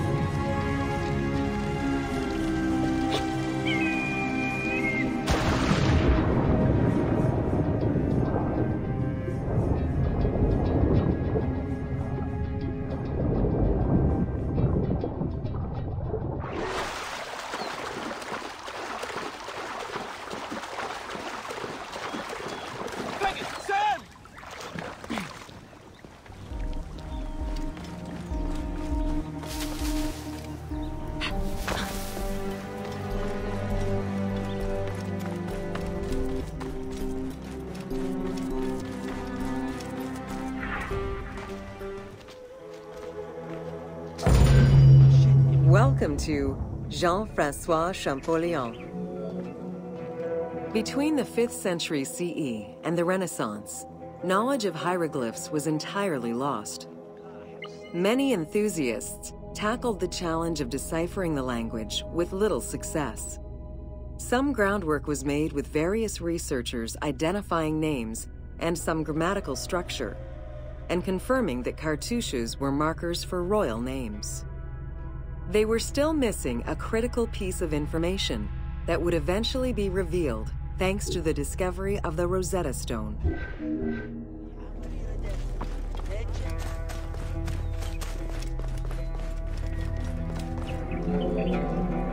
The Rosetta Stone was found in 1799 by Bouchard, a soldier in Napoleon's army.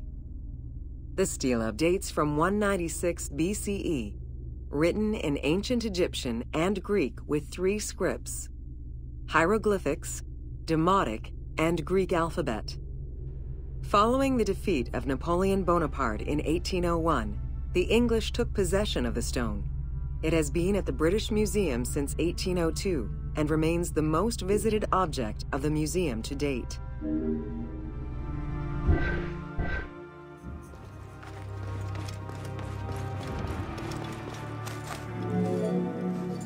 The first translation was of the Greek section only in 1803.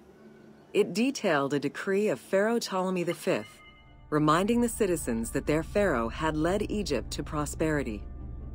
It was fully translated 20 years after by Jean-Francois Champollion, who was working with a facsimile.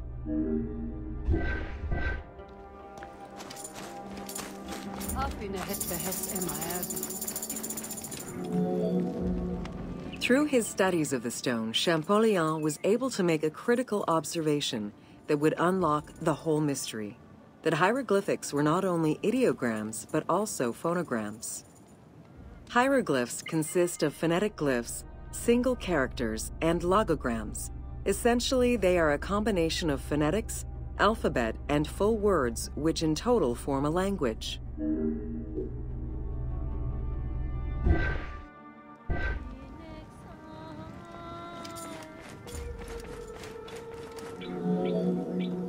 While studying the stone, Champollion realized that there was a difference in the number of hieroglyphic characters in relation to the number of Greek characters for the same word. This led him to believe that hieroglyphs must have phonetic characteristics. This was the first step to unlocking the Rosetta Stone's secrets.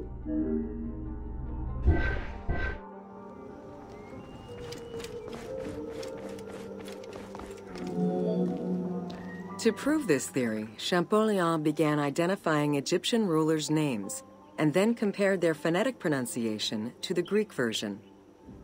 For example, Cheops had been the Greek name given by ancient chroniclers to the owner of the Great Pyramid, Khufu.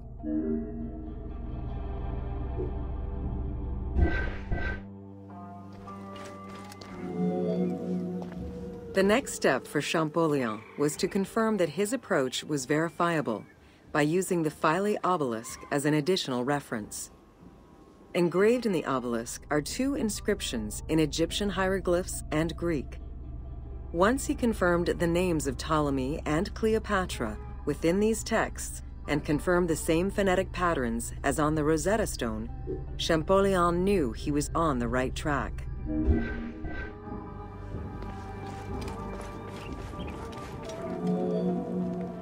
Champollion had already mastered several ancient languages when he took on deciphering the Rosetta Stone. He used his knowledge of Coptic to identify the solar disk hieroglyph on the obelisk as the phonetic translation of Ra. Further translation only strengthened his conclusion. Egyptian hieroglyphs encompass the alphabet in both phonetics and determinative ways, which means that the symbol represents the word itself. Whoa.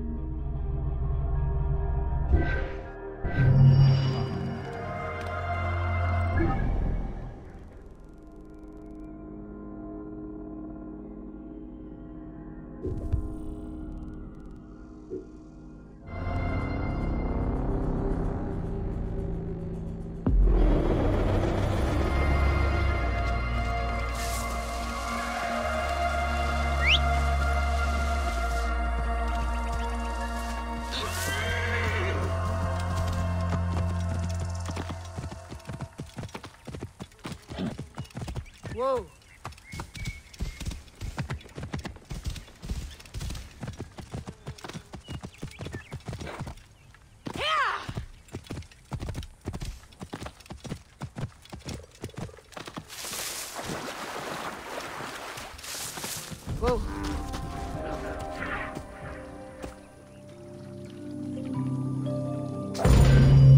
Welcome to Flora of Ancient Egypt.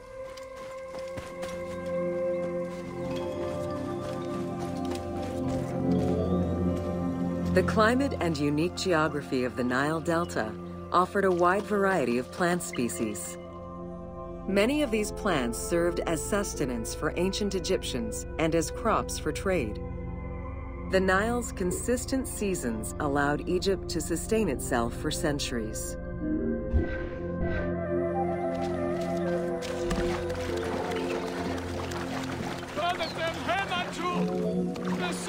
Possibly the most useful of the plants was the papyrus. This tall sedge plant grew in abundance along the water's edge of the Nile. Commonly known for its use as paper, the ancient Egyptians found many other functions for it, including rope, sandals, and mats. Papyriform boats made from the plant are seen in paintings and reliefs, and were used in ritualistic ceremonies.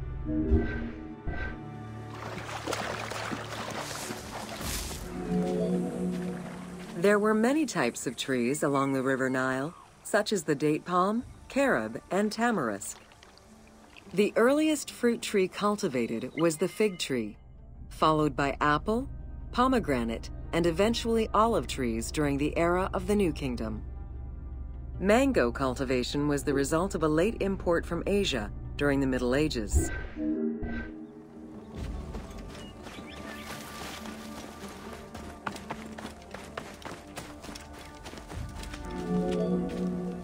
Some trees were associated with gods, such as the acacia with Horus.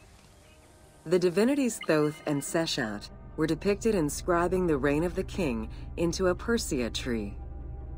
The sycamore was connected with the goddess Iset, patron of the ritual of life.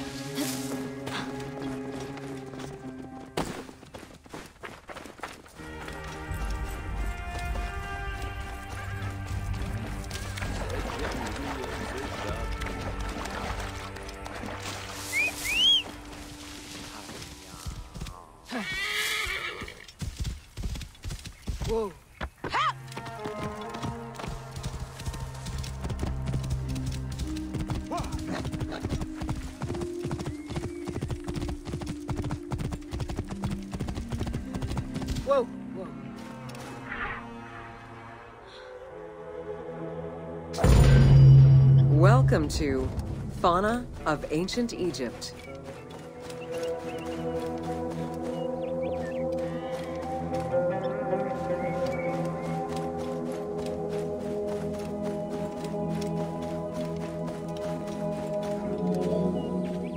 Both domesticated and wild animals were features in ancient Egyptian bas reliefs as early as the First Dynasty. While the variety of wildlife served as a reliable food source, it also influenced both culture and mythology.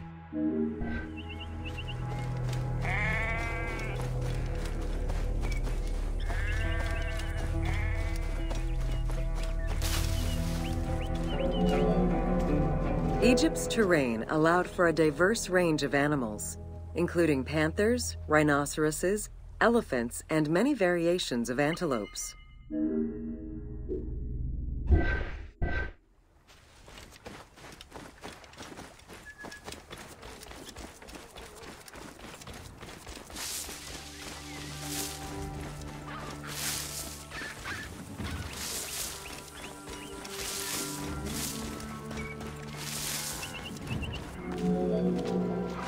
Nile was home to many species of fish, along with hippopotami and crocodiles. The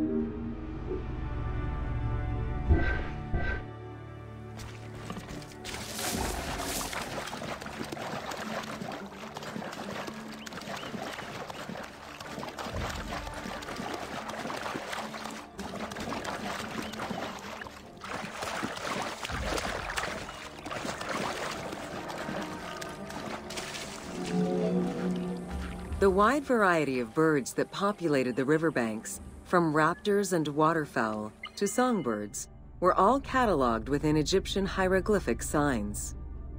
Encounters with reptiles and insects, such as cobras, scorpions, and scarabs, influenced hieroglyphs and art.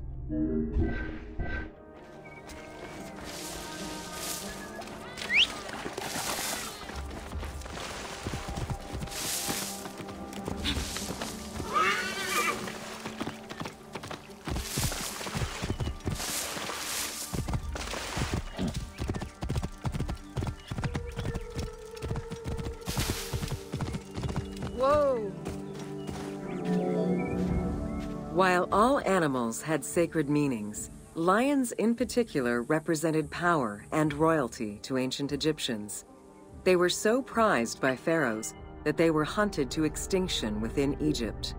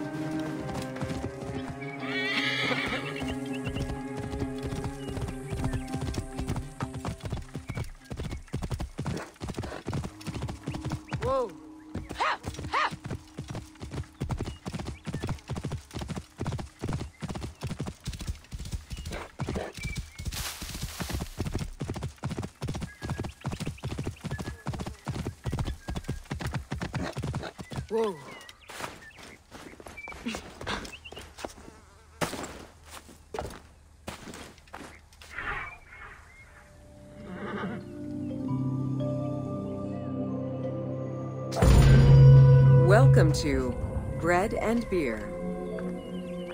While the Mesopotamians invented beer, including using a straw to avoid the sediments and herbs, ancient Egyptians perfected the brewing method.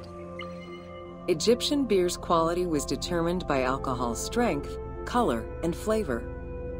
During the Pharaonic era, beer was the most commonly used and important alcoholic beverage. The state and temples used it, along with bread, as payment to workers, and it was included on the lists of food offerings to the gods and the deceased.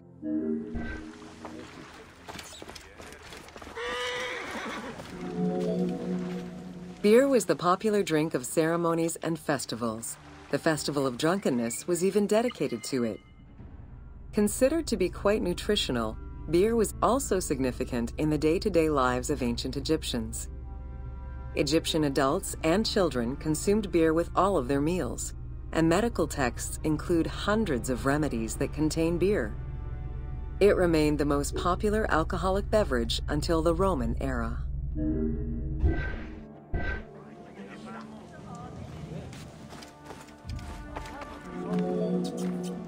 Recipes for beer varied over time and depended on the quality of the materials.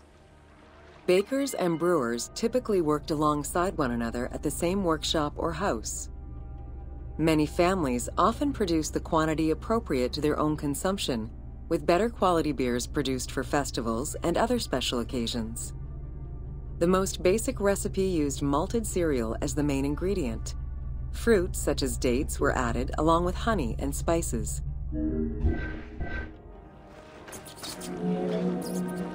Once baked, bread would be crumbled into the brew to start the fermentation process. Adding grain enzymes would break down the starches, turning them into sugar and creating a thick mash.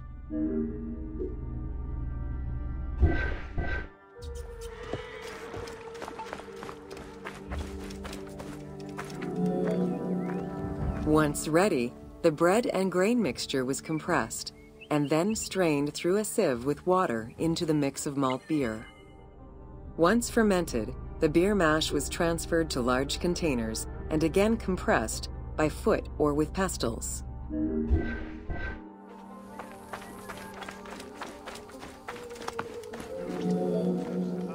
Once smooth, the beer was stored in pottery jars and sealed with a clay stopper. It probably couldn't be kept for long and likely had a thick, pasty appearance and texture. Very little was wasted. Leftover grains were reused to make sourdough bread or combined with the next batch of beer.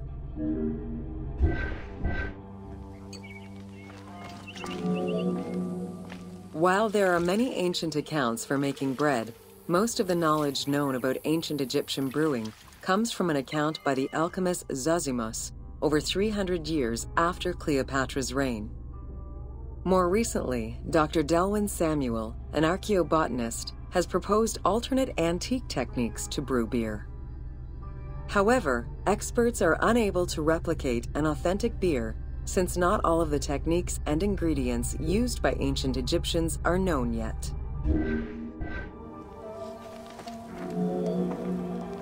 Food was prepared on the floor until the Middle Kingdom, when cooking benches were introduced.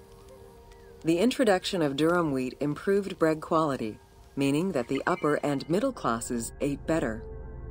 The poor, however, still made do with a diet consisting of a gruel made of vegetables, softened bread, or barley.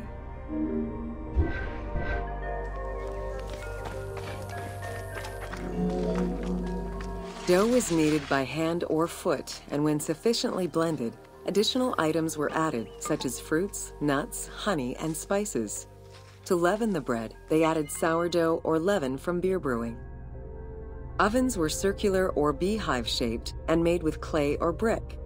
If there was no oven at all, a bread maker used the hot sand to bake flatbread, a technique still in use by some Berbers today.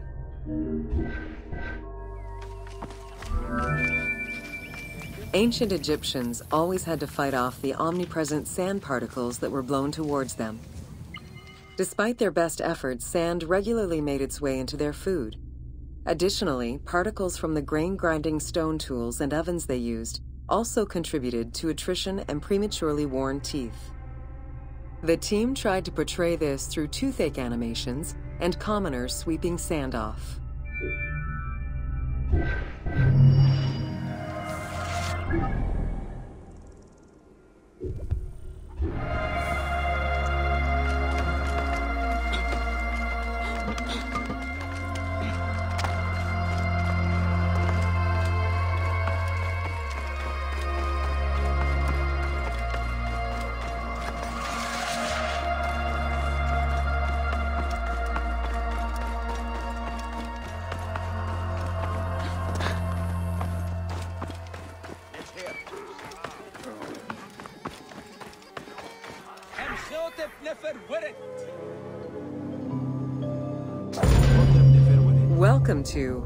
the Egyptian household.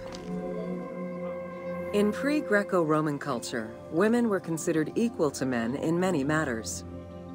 They owned property, testified in court, could divorce, and inherit. Until the Greeks and Romans restricted their rights, Egyptian women could take over their deceased husband's trade. Marriage contracts included mentions of allowances and items of value brought to the marriage by the woman, which would forever belong to her.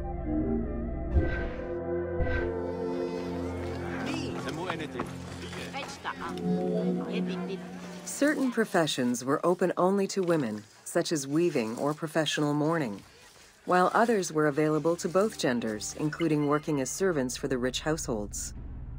Social status did have an impact, though. The higher in status, the easier it was to obtain education and access different professions.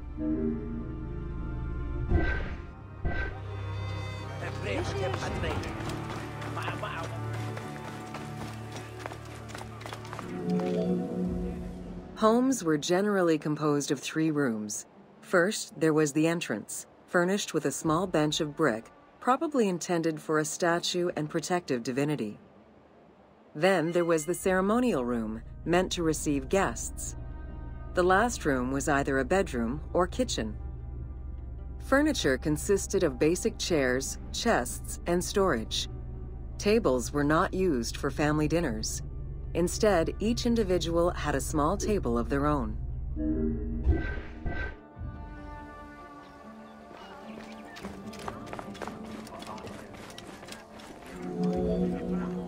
Marriages were a social contract rather than a religious construct. Family was vitally important to ancient Egyptians, and children were considered a blessing from the gods. The father, mother, and their children were the nucleus of the family, and cohabitation sometimes extended to mothers in law, sisters, aunts, and sisters in law.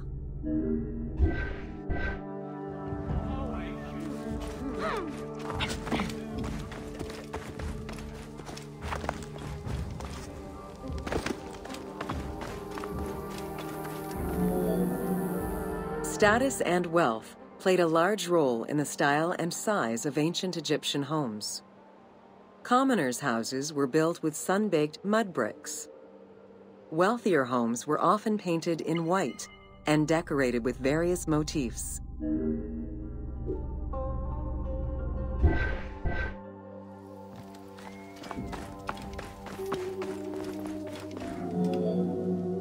Town officials and the rich lived in mansions with numerous rooms that were luxuriously decorated. Only temples and tombs meant to last for all eternity were built with stone.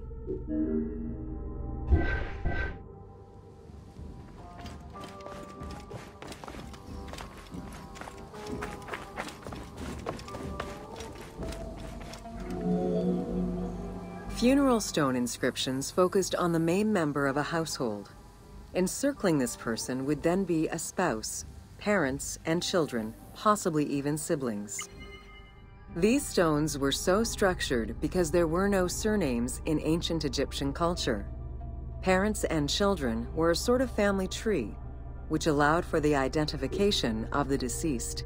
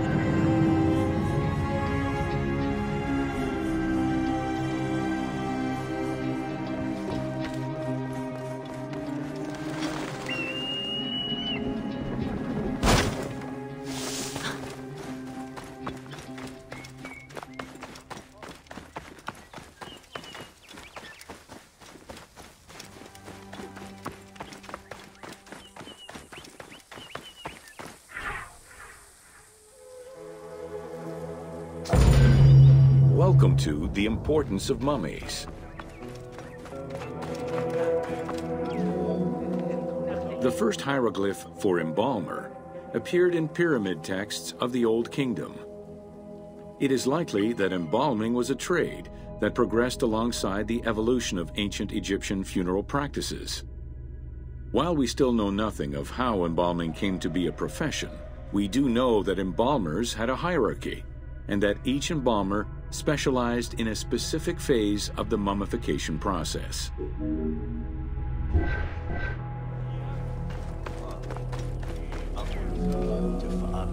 The mummification techniques were jealously guarded by embalmers from generation to generation.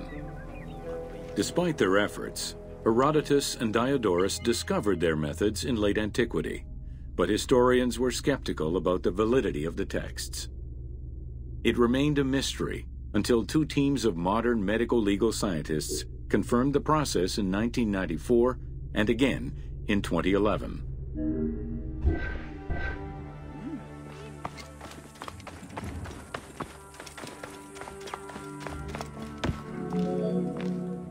The Uabet, meaning the pure place, was where the embalmers mummified the bodies of the deceased. Until the end of the Middle Kingdom, it was located in tents at the edges of the city due to the smell of decomposition. In the New Kingdom, however, the Uabet was located within the city limits, though still in open-air spaces. In the same way that the practices and techniques of mummification evolved, so possibly did consideration towards embalmers within ancient Egyptian society.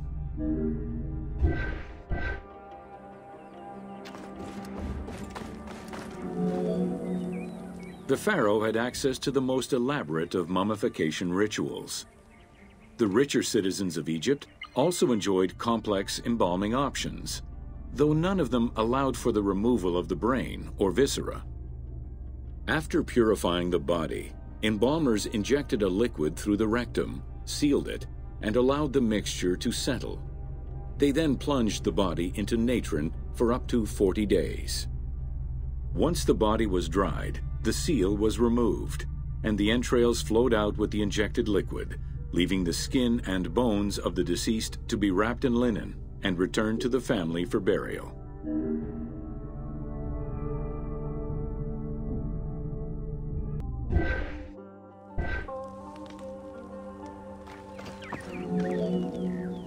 The least costly embalming option was for the embalmers to simply inject a product called syrmaia and immerse the body in the natron for up to 40 days before handing it over to the family. For all those who could not afford any embalming process, desert burials offered a pauper's alternative to preserve the bodies of the dead.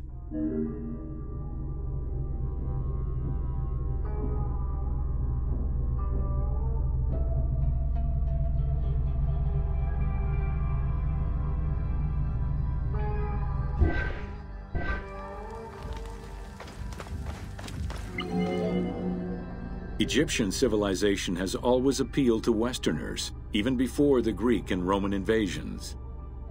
As early as the Middle Ages, mummies discovered by travelers were often sent back to Europe. Curio cabinets, dating from the 16th and 17th centuries, usually included pharaonic artifacts in their collections.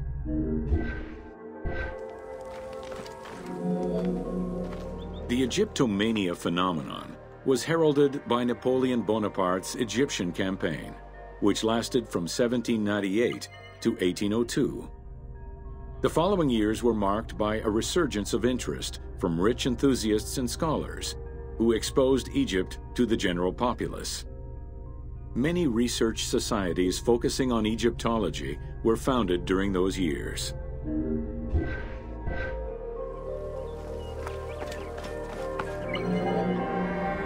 By 1868, mass tourism began in Egypt under the aegis of the Cook Agency. The rich would indulge in leisure trips to Egypt and bring back mummies. Upon their return, they would organize evenings that consisted of unpacking mummies and removing strips of linen and amulets layer by layer. These were considered the shining cultural events of the season. The Egyptian collections of many a museum were founded as a consequence of this mass pillaging.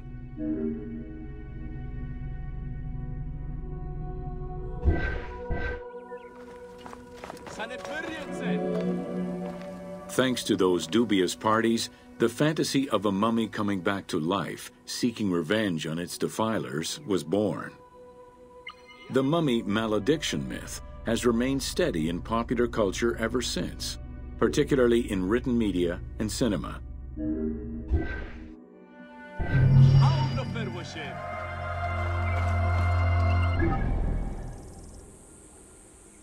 Thank you.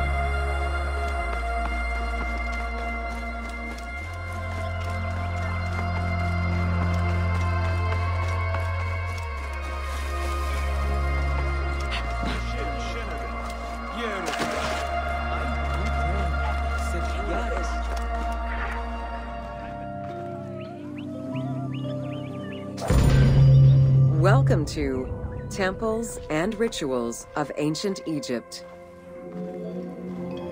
During rituals and festivals, the god was carried on a solar barge between the areas of a temple or the temples of different cities.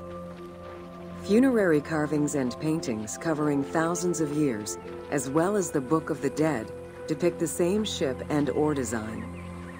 Solar barges have been uncovered near or within several pharaohs' tombs. They were intended to carry the pharaoh into the afterlife.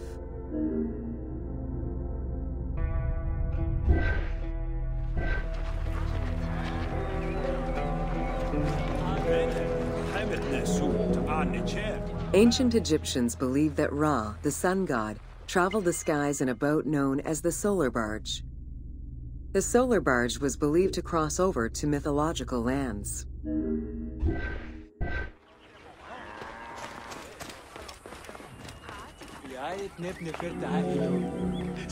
The god Ra believed mankind was conspiring against him. He ordered Sekhmet, the lion-headed war goddess, to kill all humans. To his chagrin, Ra quickly realized that with all humans gone, there would be no one left to worship him. In order to stop the rampaging Sekhmet, beer was brewed and dyed red with pomegranate juice to resemble blood. Sekhmet drank every drop of the brew she could find, eventually passing out drunk. When she awoke, she was calmer, and her lion visage had changed into Bastet. The Festival of Drunkenness was celebrated in honor of that myth.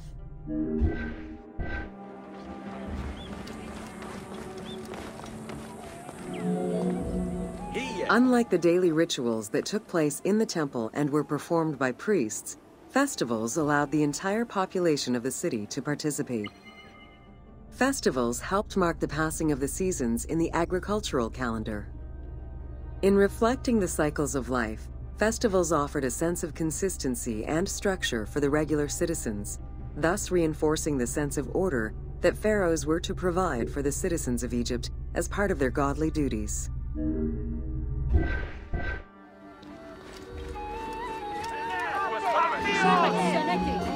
The importance of these festivals is demonstrated by their longevity. Records show that Osiris festivals occurred for more than 2,000 years. Some festivals serve to reinforce state control and promote the king's reign. Both the Opet and Sed Jubilee festivals were specifically intended to celebrate the renewal of the king's power.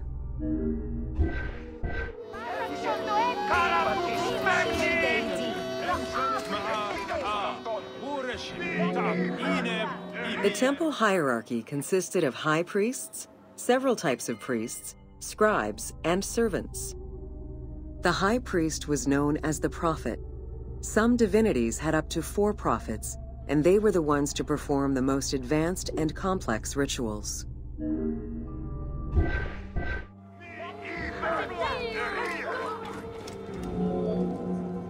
Egyptian priests were not confined to solely religious tasks, and in fact had crucial roles in Egypt's administration, most of which served to reaffirm the pharaoh as the proper vessel for the gods. Their focus within the temple was centered on the proper conduct of daily divine rituals. Rather than as custodians of dogma, or the indoctrination of individuals.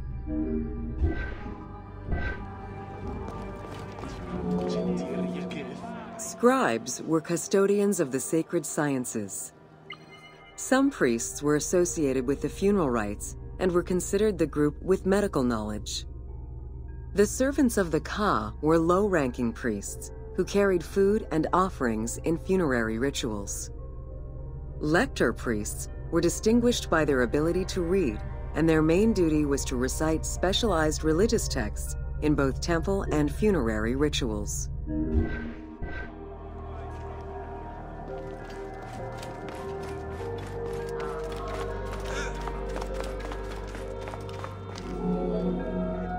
Priests and all the officials who served the temple worked only three months a year, with each period separated by a quarter of inactivity, at least within the temple compound.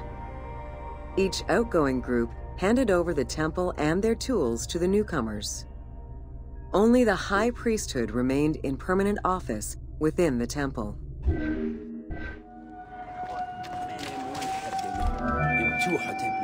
The most sacred part of the temple was referred to as Djeser Djeseru, the Holy of Holies.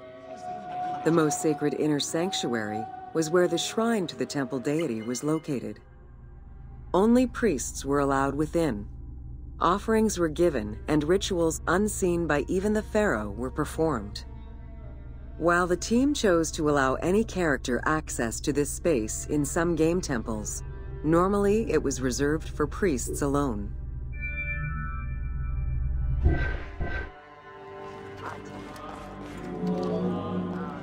Pharaohs and their priests often chose the site of these sacred temples because of some mythological connection or an alignment with the cardinal points and certain stars. Once selected, a foundation ritual was performed. The pharaoh was required to complete 10 steps in the ritual, which required a mix of offerings as well as specific construction techniques. Once the temple was complete, construction of the chamber containing the shrine, or naos, began.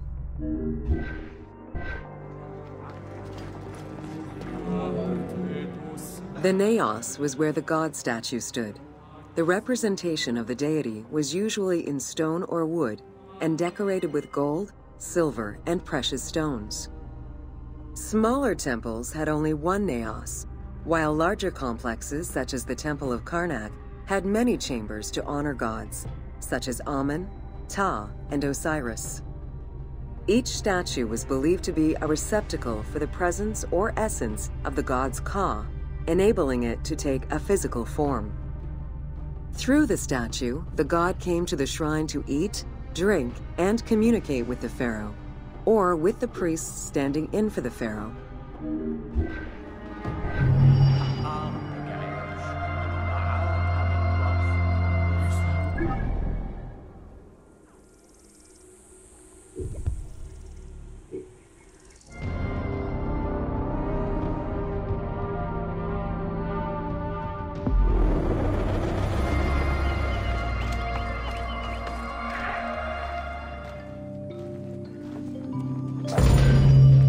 Welcome to Ancient Egyptian Fashions.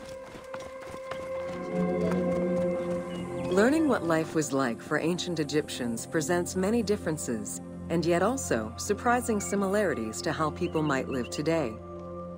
Understanding the daily lives of regular citizens so many thousands of years ago is ultimately what connects us as human beings.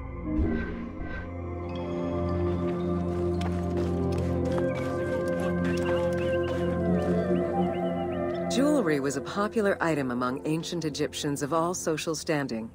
Both men and women wore earrings, rings, and bracelets. Status determined how much jewelry a person wore and what it was made of. Common folk wore pearl necklaces, simple bracelets, and leather bangles.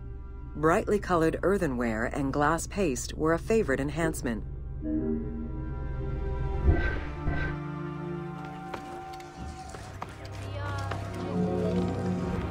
The jewelry of the elite was made from gold, silver, and other precious stones. Because gold never lost its shine, it was considered akin to the flesh of the gods. Wide jeweled collars were a favorite. Made with rows of beads formed into patterns of animals or flowers, the soft chiming sounds they made were thought to appease the gods.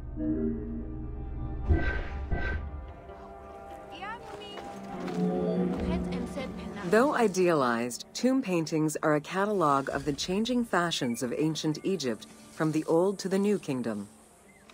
Egyptians took appearance and cleanliness very seriously and were diligent about their fashion, hair, and jewelry as well as their grooming habits.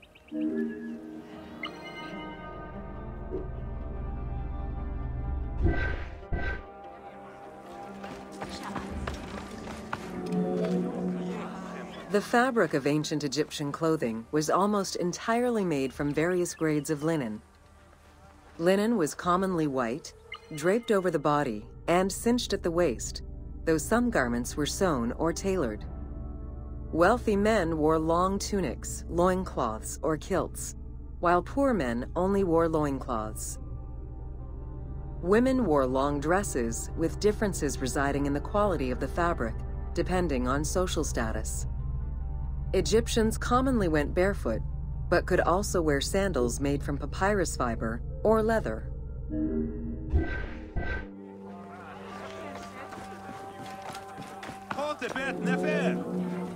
Cosmetics, including concoctions to prevent body odor and bad breath, were an integral part of everyday life for Egyptians.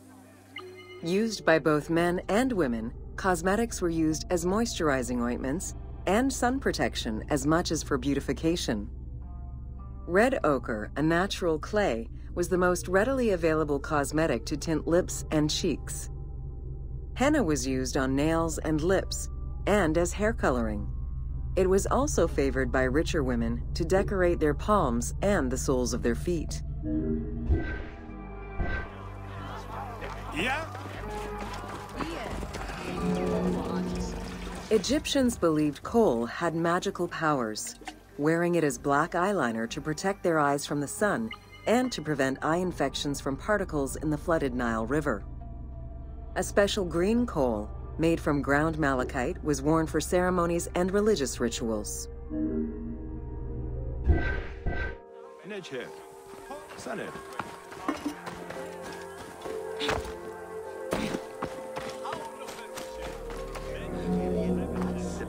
Women and teenage girls wore their hair long and often braided. Wealthier women included carved combs or hairpins. The length of men's hair rarely dropped past the shoulders. They were mostly clean shaven during the dynastic period, a trend began by the elite and soon adopted by the general populace. Queen Hatshepsut donned an artificial beard when she became pharaoh.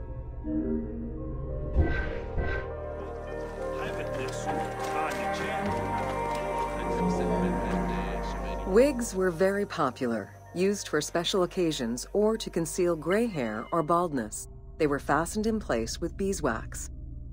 The most expensive wigs were made from human hair and reserved for royalty.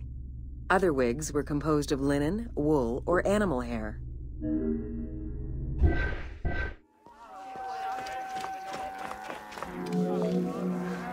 Prepubescent children generally had their heads shaved. Young girls kept some strands intact, while young boys had a braid worn on the side.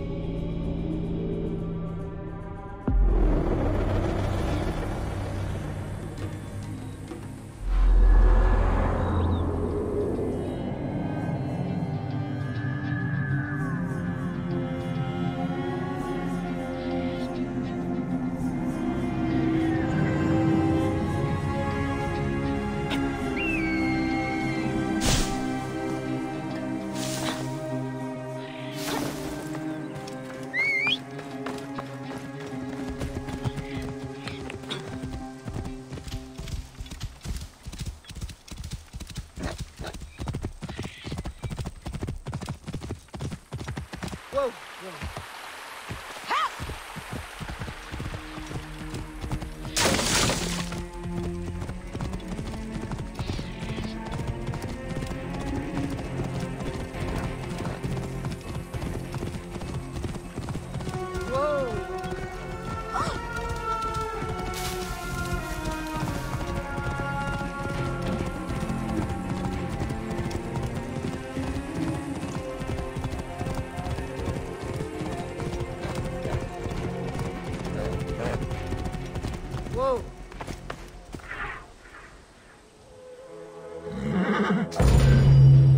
Welcome to Roman forts.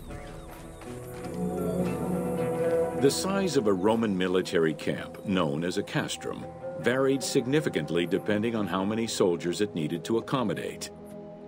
However, they all shared common characteristics in design and construction, such as this fort before you, located in Cape Chersonesos.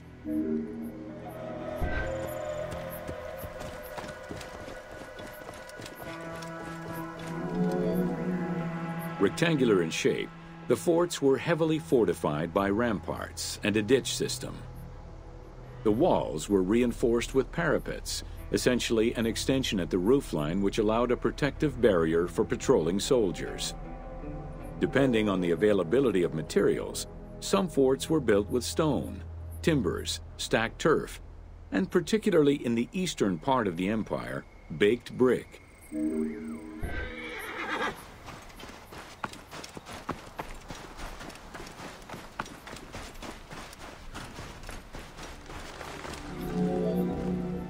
Access doors on all four sides were each flanked by guard towers. The commanding officer was positioned in the middle of the camp, giving him a clear view of the troops and the main gate.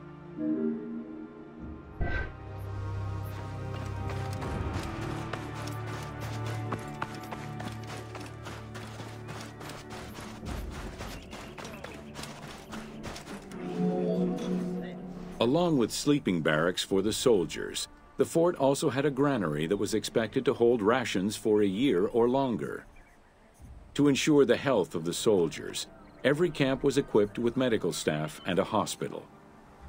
A clean water supply with conduits for a bathhouse and latrines was included in the construction of every fort.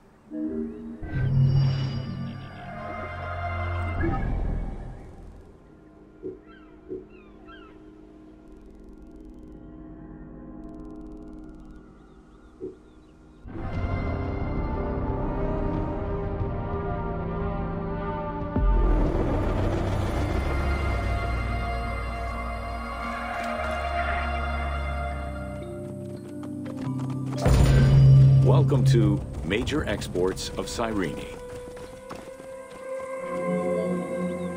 Cyrene's main source of economic wealth was in the cultivation and export of poppies and silphium.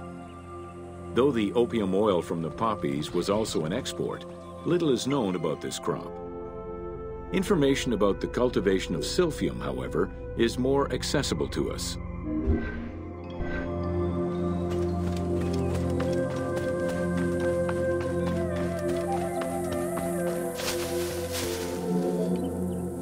Silphium, with its yellow flower, was considered a gift from the sun god. Grown solely in this region near the Mediterranean Sea, silphium extract was exported at high prices and was so crucial to the wealth of Cyrenaica that it was depicted on their coins.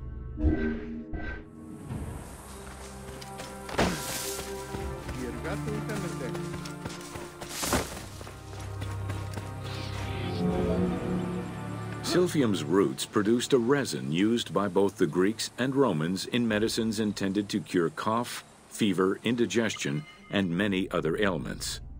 It was also used as a contraceptive. In a compilation of culinary recipes from the 4th century BCE, the herb is mentioned in various recipes, including a flamingo dish.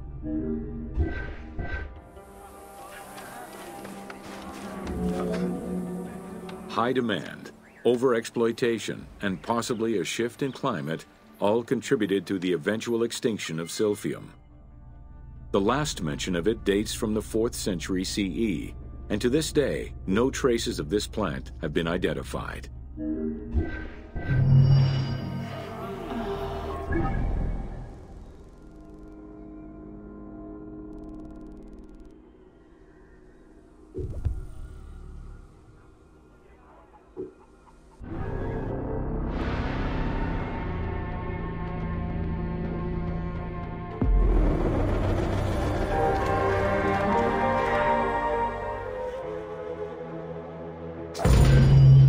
Welcome to Cyrene.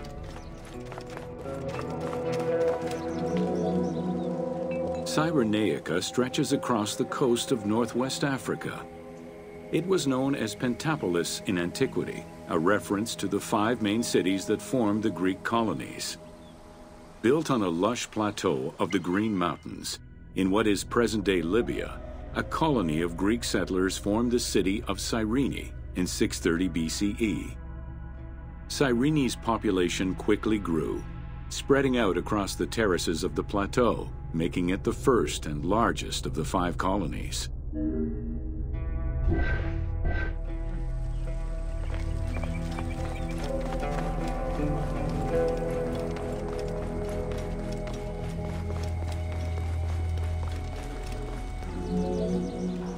The city of Cyrene was founded by Batos Aristotle, guided by the Oracle of Delphi.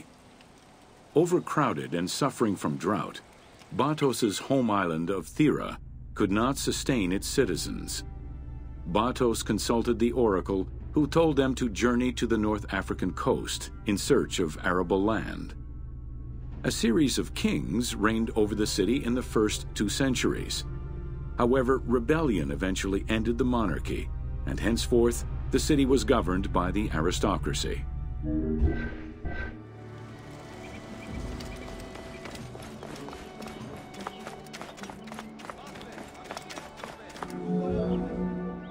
The key features of Cyrene were temples dedicated to gods, Apollo, Demeter, and Zeus, alongside Ptolemaic gods such as Isis and Serapis. A large agora defined the city's center, and on the western edge, the famed Acropolis was built. A fortification wall was added around the harbor at the end of the 2nd century CE. As the city grew, more buildings were constructed beyond the walls.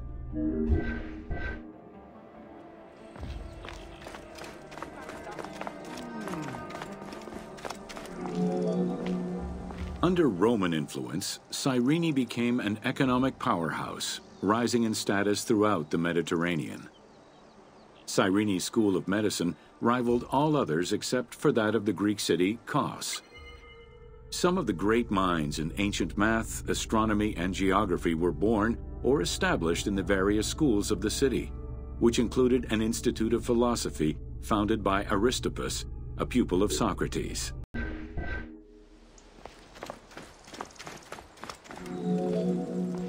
From 115 to 117 CE, there was a revolt in the Jewish quarter that greatly damaged the city of Cyrene. Over time, a succession of battles, poor management of its silphium crop, and earthquakes eventually took their toll on the city. It was completely abandoned in 365 CE.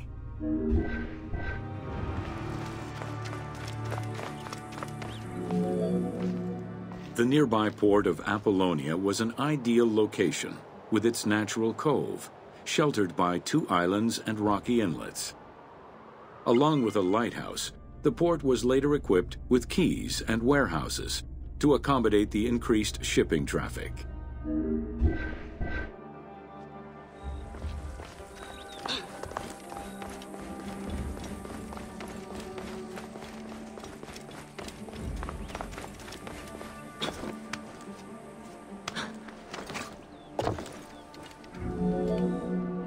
With its success as a commercial trading port, Apollonia surpassed Cyrene to eventually become the capital of the Pentapolis.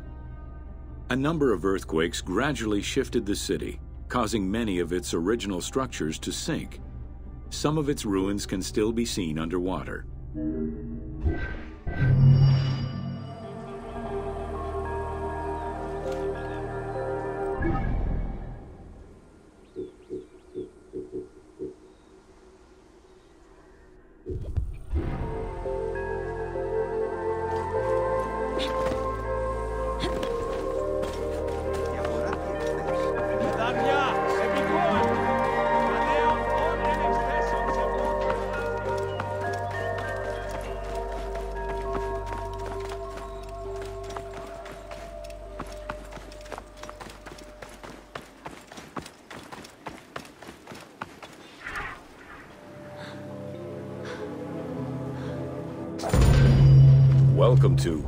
Important Monuments of Cyrene. The sanctuary of Apollo sits on a prominent edge of the plateau of Cyrene, overlooking the Mediterranean Sea. It could be accessed either by the road from Apollonia via the necropolis or by the sacred way coming from the agora of the city.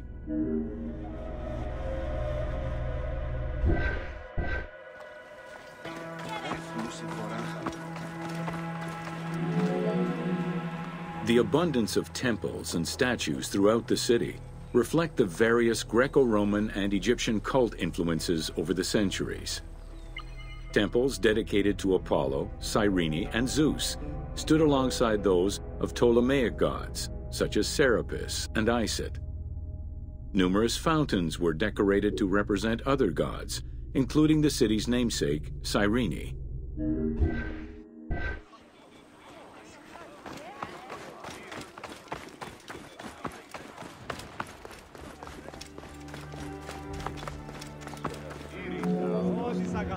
A vestibule known as a propylaeum marked its entrance and highlighted the fountain of Apollo. God of the sun and of protection, Apollo was an important deity to both Greeks and Romans. The sanctuary built in his honor was considered to be sacred.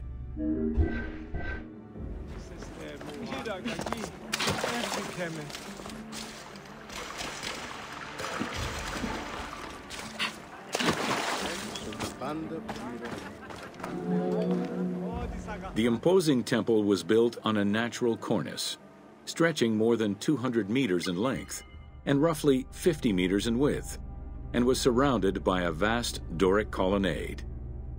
Sections uncovered by archaeologists indicate restorations to the columns were made between 115 and 116 CE.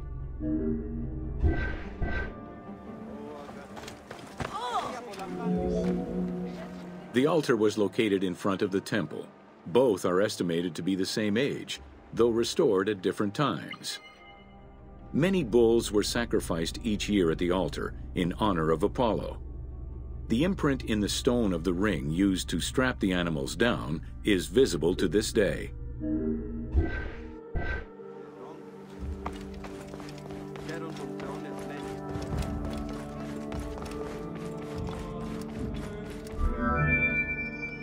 Carved during the Roman era, the Apollo Cytharide was discovered near the temple. It is considered an important archaeological find. The statue of Apollo was in pieces when it was uncovered. Remarkably, most fragments were found, and the restored statue is currently at the British Museum.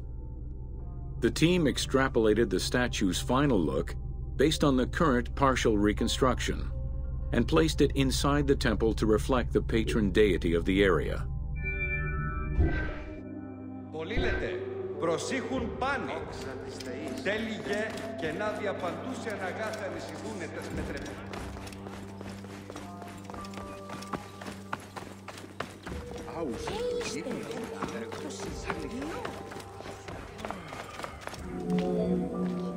The amphitheater of Cyrene is located on what is known as the Terrace of Myrtosa, next to the sanctuary of Apollo.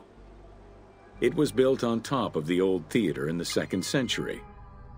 Originally used as a stage, the theater became an amphitheater once the taste for Roman gladiatorial entertainment reached the city.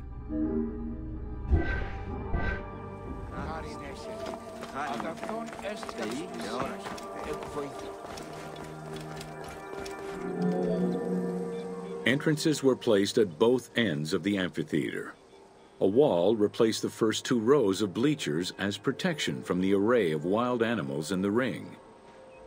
The tunnel used for the parade of beasts and gladiators circled the arena, unlike the Roman Colosseum's tunnel, which was beneath the amphitheater. The basement and corridors accommodated both the gladiators and the animals, and included lifts that raised the traps into the arena's center.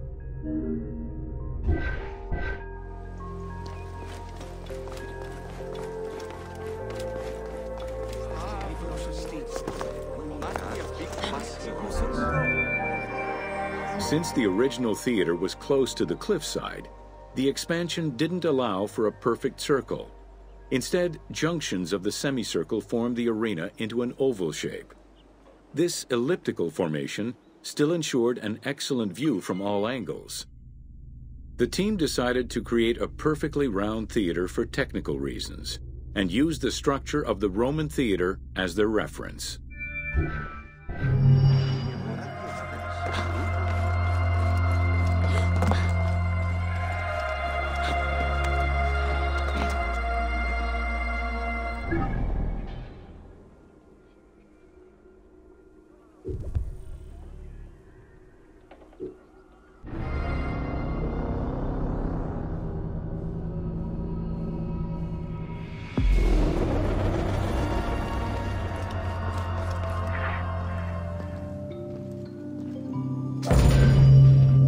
Welcome to the Acropolis of Cyrene.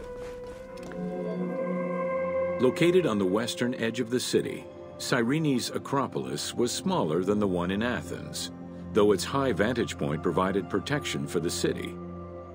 At its entrance was a single door, flanked by two towers. An inscription, legible to this day, states that the walls and the citadel were restored in the time of Augustus.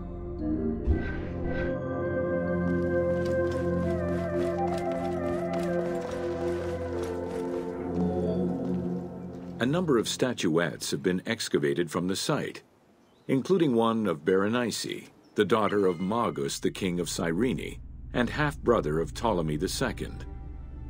At the northeast tower, there is a sanctuary consisting of two small temples with a vestibule and an altar believed to be that of Serapis and Isis. When the temples were excavated, archaeologists found traces of fire damage. However, there are no indications as to when this fire occurred.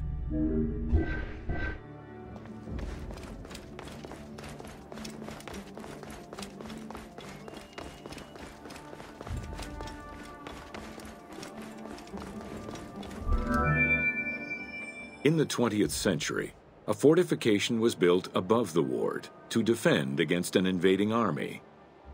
It covered the ancient remains of nearby Roman houses entirely, and archaeologists have yet to fully excavate them.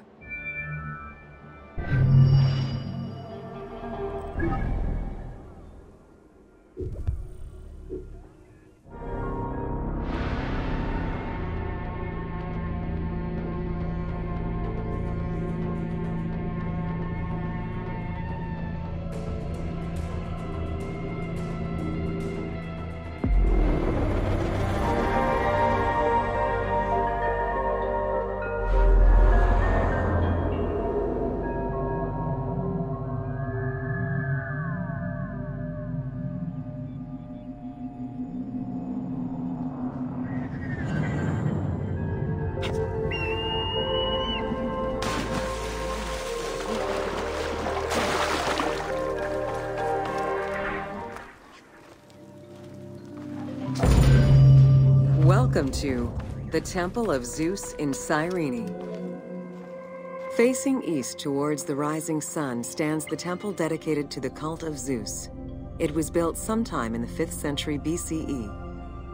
70 meters long with 46 Doric-style columns, the imposing structure was the largest Greek temple erected in Africa. It was only slightly larger than the Parthenon and the Temple of Zeus in Olympia.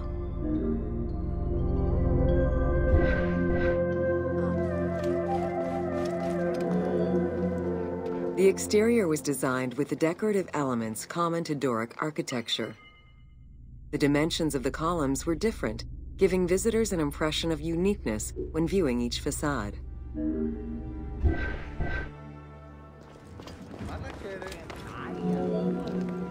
After the temple was destroyed during the Jewish rebellion, Emperor Hadrian had it reconstructed. He chose not to rebuild the outer portico, but did restore the new Corinthian columns in marble. The temple was later completed under Marcus Aurelius. In the time of Augustus, a faithful but smaller imitation of the Olympian Zeus was used to be worshipped. Hadrian then installed a new 12 meter high statue matching the Zeus in Olympia. It was made of chiseled marble with the head, arms, and feet carved in the round.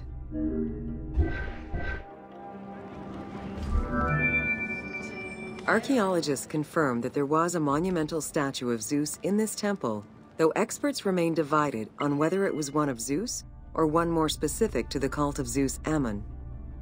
The team elected to place a statue of Zeus Ammon in this location, knowing that Cyrene was central to the spread of this cult in the Greek Mediterranean area.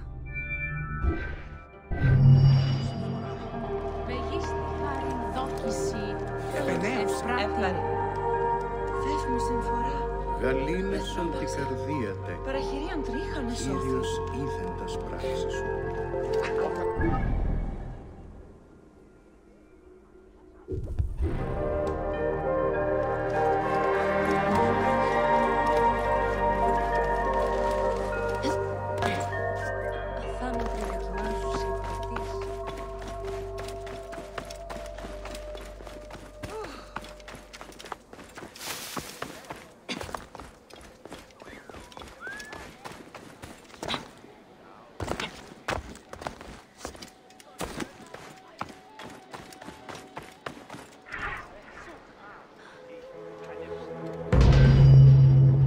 to the Agora and Thermal Baths.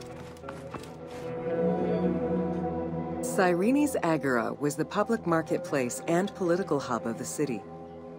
Its central courtyard was open to the sky, while market stalls and shops ran along the sides, some neatly tucked away under long roofed colonnades.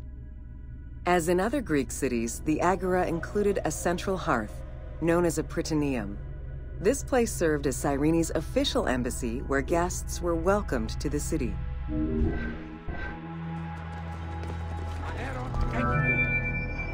An unnamed statue representing naval victories was the centerpiece of the Agora.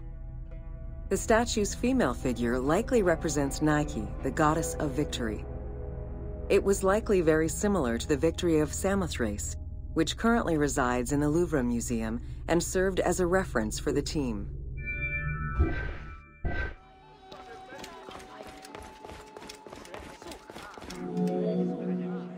The Cyrene Agora also displayed many temples and monuments celebrating its founding king, Batos, and the city gods.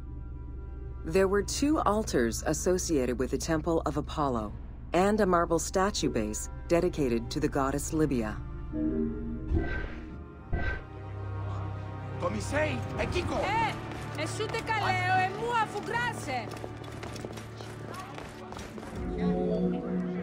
The civic buildings included a law court complete with an archive library that would have housed legal documents and other papers essential to the city's governance. Traces of fire damage to the building's remains indicate that it was possibly destroyed during the rebellion of the Jewish community in 115 CE.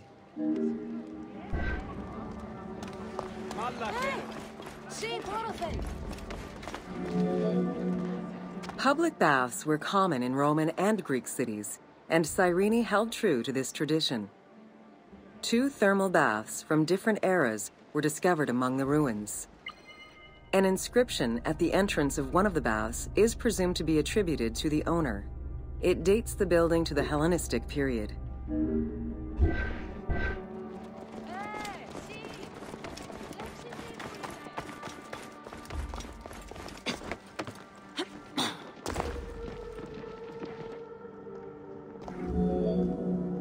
Mosaics were originally created for practical reasons the need to waterproof floors. Imported by Greeks in Egypt and Cyrenaica, the designs represented either scenes from daily life, marine fauna, or mythological figures. In addition to traditional Greek motifs, they also integrated concepts specific to Egyptian culture, such as the Nelumbo. The best examples of mosaics recovered to date, however, come from Alexandria.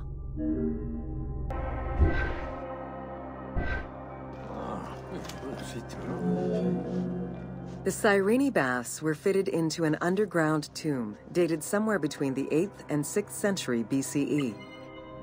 Bath seats were carved directly in the rock, allowing for more comfortable ablutions. As with many of the public buildings, The thermal baths were elaborately decorated. Statues such as Aphrodite and Eros the Archer were discovered within.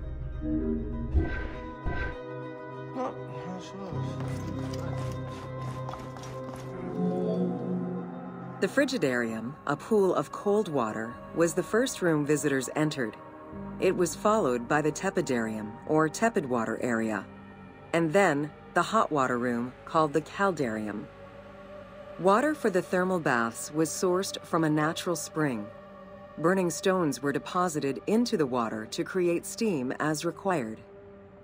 The flowing water of the spring ended in a cistern and fountain referred to as the Aqua Augusta.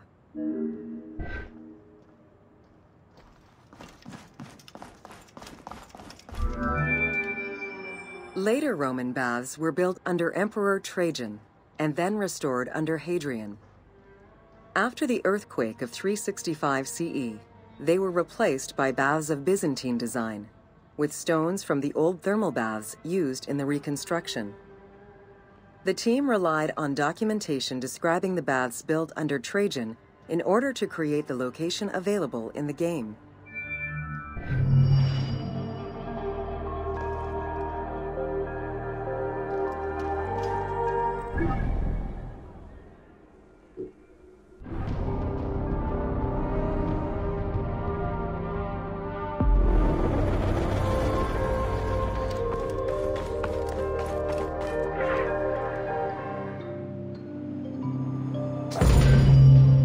To the Gladiator Arena.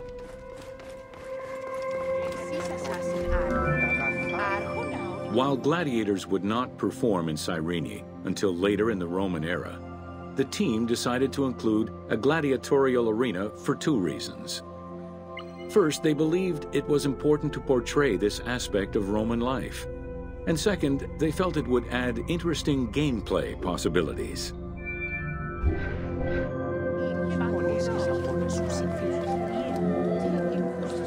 The first gladiators to enter the arena were prisoners of war. It was a spectacle of violent clashes between men and against wild beasts that lasted nearly a thousand years.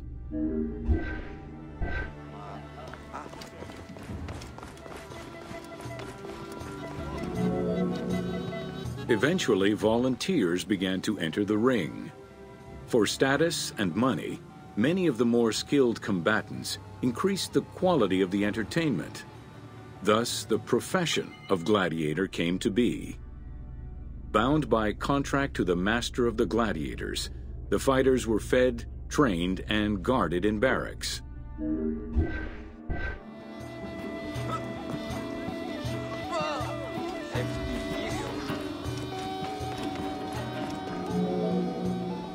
Gladiators were separated into heavy and light armored fighters, each with their own set of specific armor and weapons. Organizers often had two audience favored factions face each other in combat.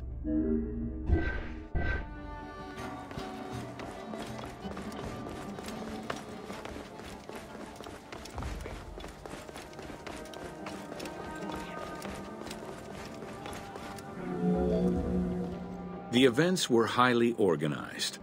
Fights were held with a background of music and supervised by a referee. Death, either in the course of combat or by decision, was not always the only way out for the loser. Several were released due to their performance and gained great notoriety as celebrities.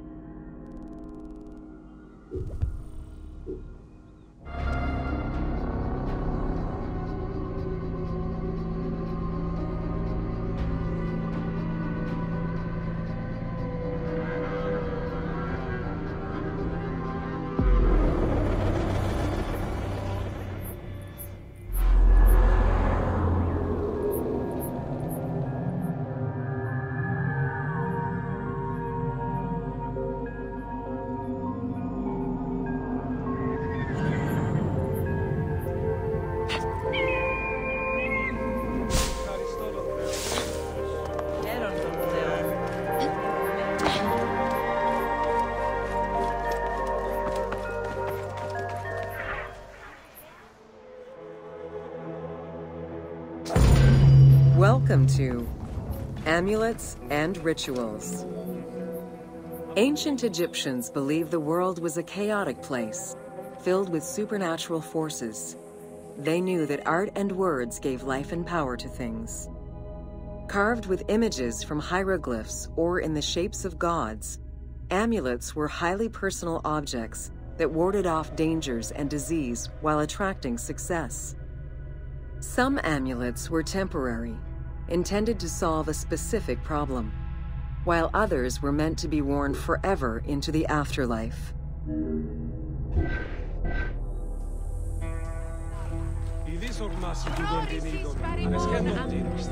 Priests would infuse amulets with magical energy during religious ceremonies, imbuing them with protective magic to safeguard against supernatural powers.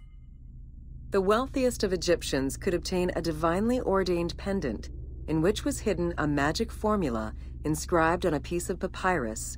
It would act as a unique spell tailored to the owner.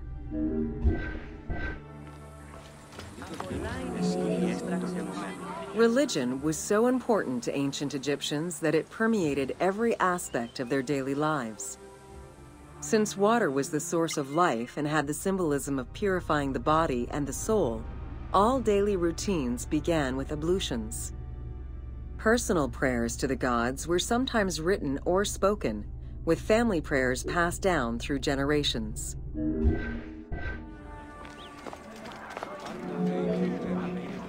There was a complete calendar of each of the religious days, both good and bad, illustrating the appropriate daily rituals. Along with wine, milk, and ointments, offerings to the gods consisted of small amulets to life-size statues and family shrines. During the Greco-Roman period, offerings to the gods consisted of mummified animals, cats for Bastet, dogs for Anubis, and birds for Thoth.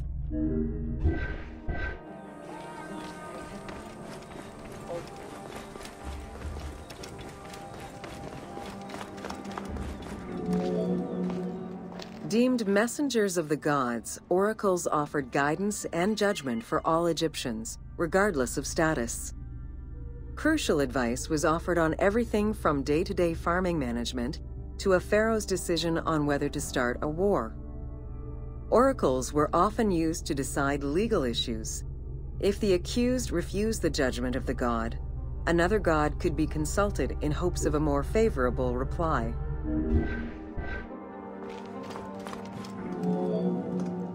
It was oracles that guided the Greek sailor Batos to the coast of Libya, where he founded a colony known as Cyrene.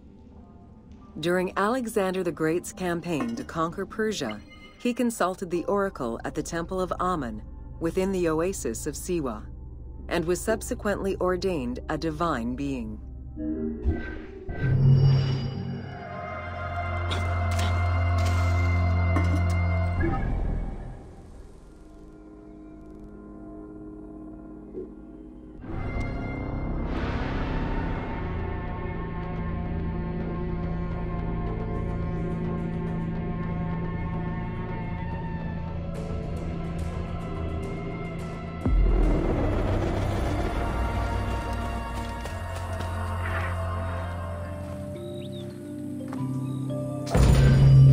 Welcome to Crucifixion. In terms of the severity of Roman justice, crucifixion was at the top of the list of corporal punishment, followed by death by fire and decapitation. The upper class considered crucifixion unworthy of their position. Those lucky enough to have Roman citizenship were also exempt from such treatment.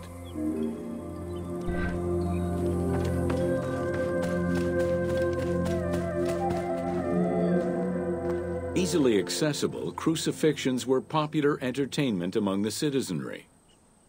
Unlike throwing victims to wild animals, which required an arena, crucifixions did not require any particular setting.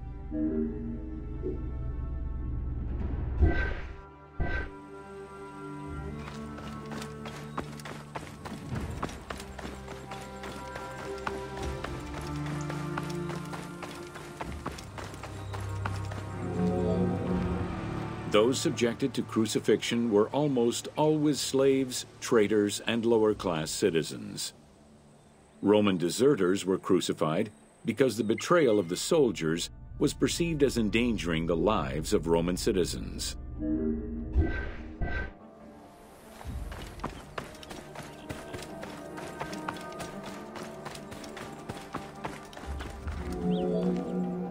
In 71 BCE, a major slave uprising in Italia was repressed by the Roman army. This resulted in the crucifixion of 6,000 men, including their leader, a slave and former gladiator known as Spartacus.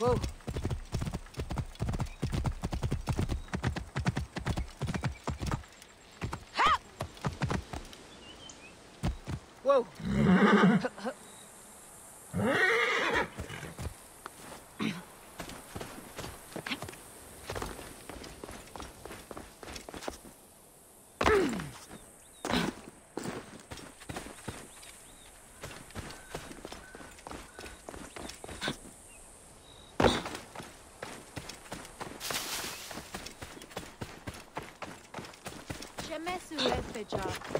Jen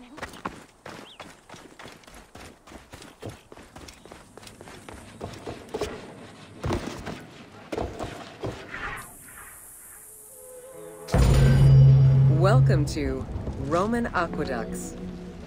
Water management was taken seriously by the Romans. Cyrenaica benefited greatly from Roman administration with the construction of aqueducts and canals. The source of water varied depending on the location.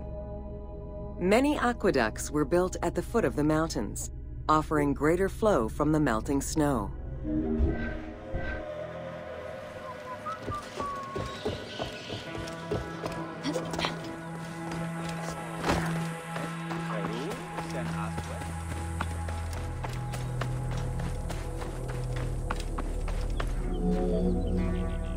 Ability to transport water over a greater distance increased agricultural production.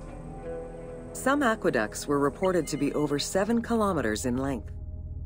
Where the Greeks of Libya originally focused mainly on olive trees and figs, which required less water, the advent of Roman aqueducts allowed for a far greater crop diversity. Every farm's water use was carefully scheduled.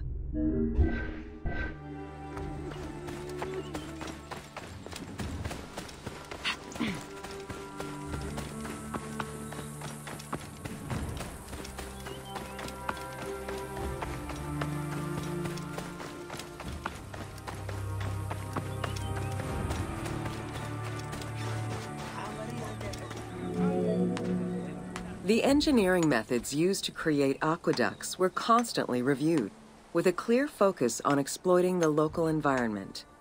Materials, water usage, cleaning regulations, and a deep understanding of how to exploit gravity itself were all important concerns. Several fortresses were built to protect the aqueducts, basins, and cisterns.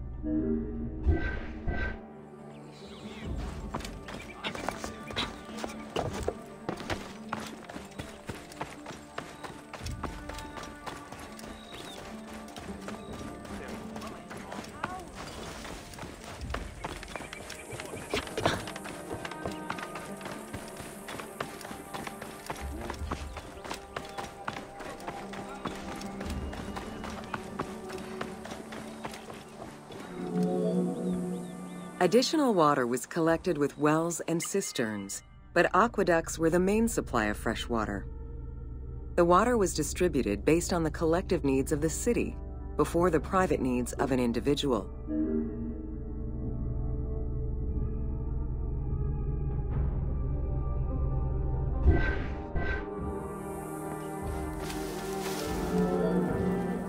Almost all aqueducts ended in a fountain where the water circulated to clean the streets and supply bathhouses and latrines, thus improving the cleanliness of Cyrenaica's cities.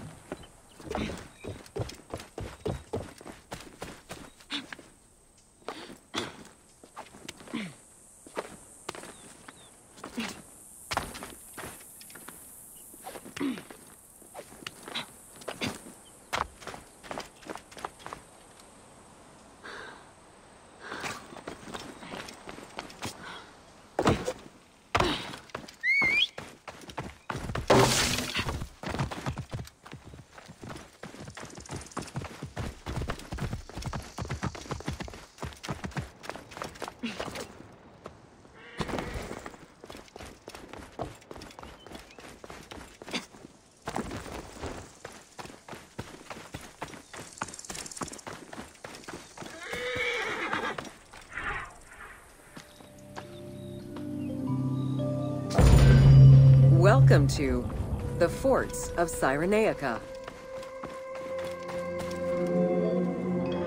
Cyrenaica was a Libyan region under Roman control, gifted to Rome by one of Cleopatra's ancestors.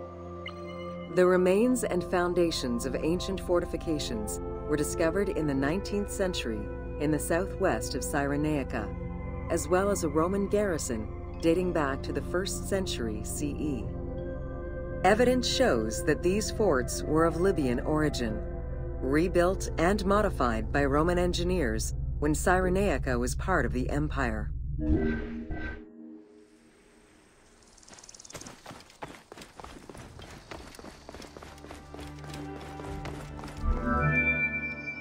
Stone was the most commonly used material to build forts in Egypt and Cyrenaica.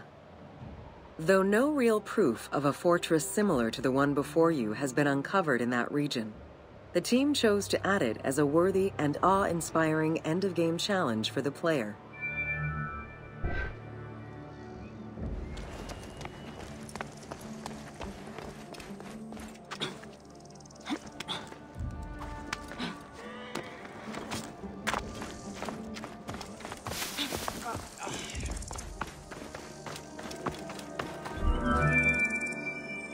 Forts of Cyrenaica were intended to prevent invaders from gaining access to the main route that led to the country's five most important cities. These forts were built close to coastal plains and deserts for added defense. Three of these cities were recreated by the team Balagrae, Apollonia, and Cyrene. Had it existed, the fort before you would have protected the road leading to Balagrae.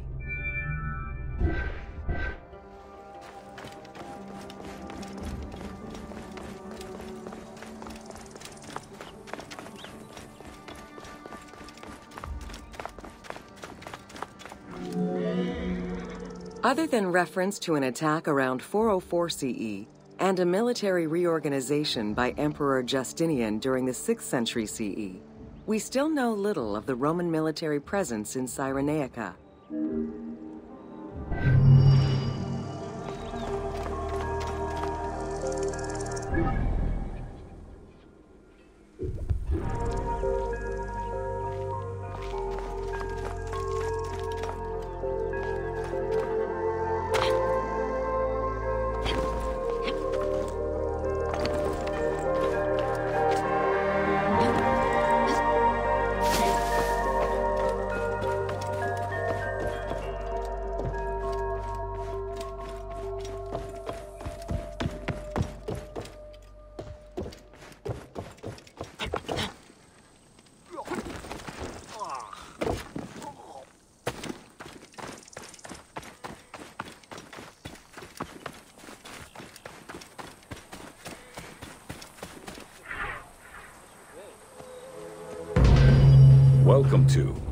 Roman military equipment. The strength of Rome was directly dependent on its military supremacy and fundamentally militaristic society. Regular citizens, comprised mostly of farmers and herders, joined to protect their land and families.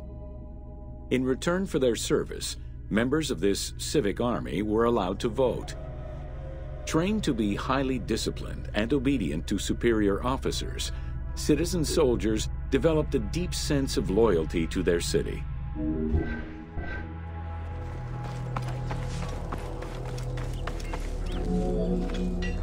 The quality of the armor of a Roman foot soldier was intrinsically linked to his social status and wealth. Chainmail was the most commonly used type of armor.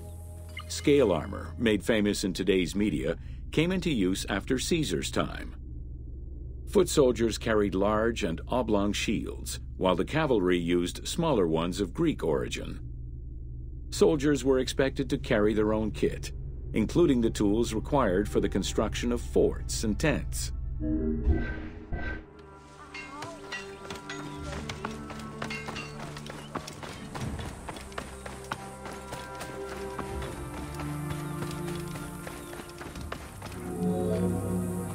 Roman soldiers used the same types of weapons.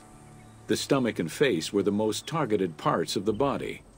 As such, a legionary was equipped with two close combat weapons, a dagger and a short sword, known as a gladius. One of the most ingenious Roman weapons was the javelin. Its pyramid-shaped tip pierced the body, while its iron shank was designed to break upon impact, stopping the enemy from throwing it back. During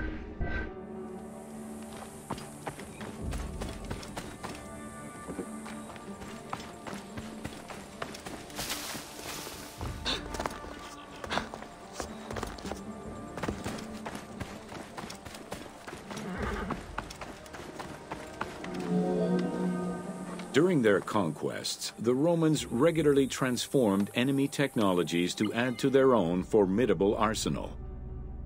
After capturing a Carthaginian vessel, the Romans adopted its better features and constructed a superior fleet of ships.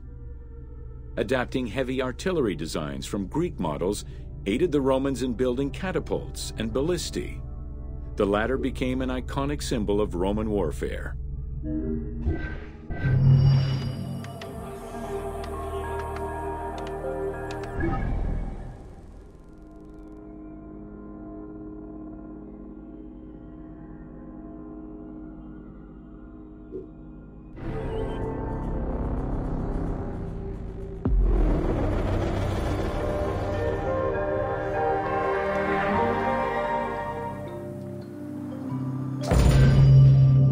Welcome to the Qattara Depression. The Qattara Depression is located in the northwest part of Egypt. Reaching 18,000 square kilometers, the basin is 133 meters below sea level and covered with salt. It is the second lowest point in Africa, after the Afar Depression.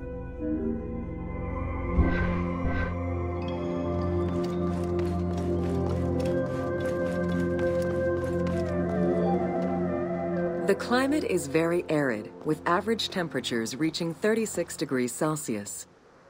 The famous Siwa Oasis is located on the protected southwestern region. Today, the Qattara Depression is utilized for oil exploration.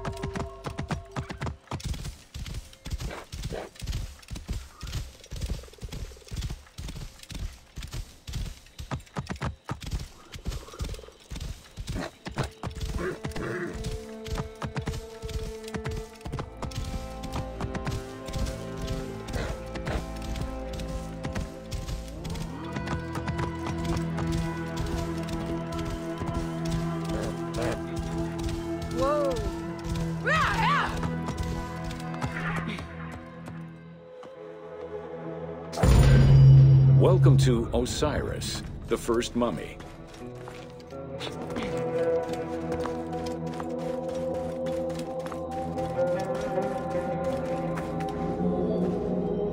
The oldest mummies recovered date from the Old Kingdom, though Egyptologists believe that mummification was in use much earlier than that. At first, the body was mummified through environmental desiccation by leveraging the dryness of the environment and the heat of the climate. Early experimentations in mummification were conducted with the use of resin made from tree sap. Strips of linen were only used on some superficial parts of the epidermis of the hands or jaw.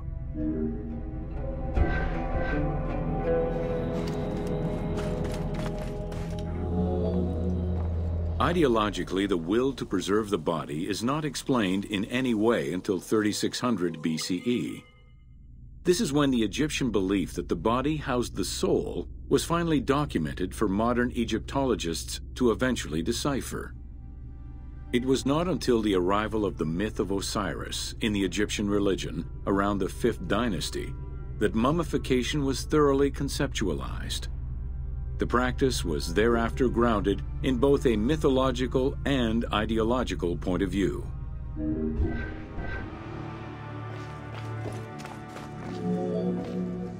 Osiris was mainly known as the god of the dead and the god of resurrection. The most well-known Genesis myth concerning Osiris is that of his dismemberment. It is Plutarch who gives the most simplified and complete summary of the story.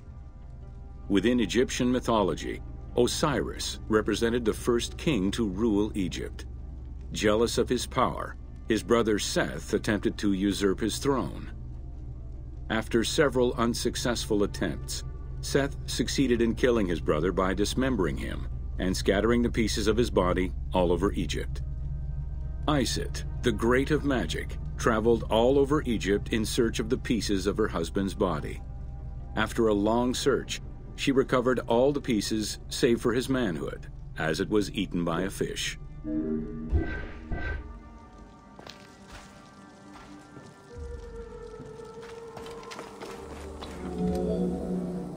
Iset then reassembled the body of her husband by binding it together with strips of linen. Aided by her sister Nephthys, another powerful magician, they gave Osiris the breath of life. This not only brought him back from the dead, but also allowed him to recover his virility long enough to impregnate Iset, thus ensuring his succession before, once more, dying. Thus Horus was born.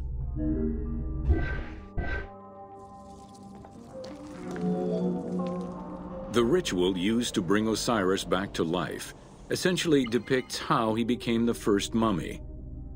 It is why, on the sarcophagi of kings, we often find Iset and Nephthys represented as the magicians who restore life to the deceased. Thank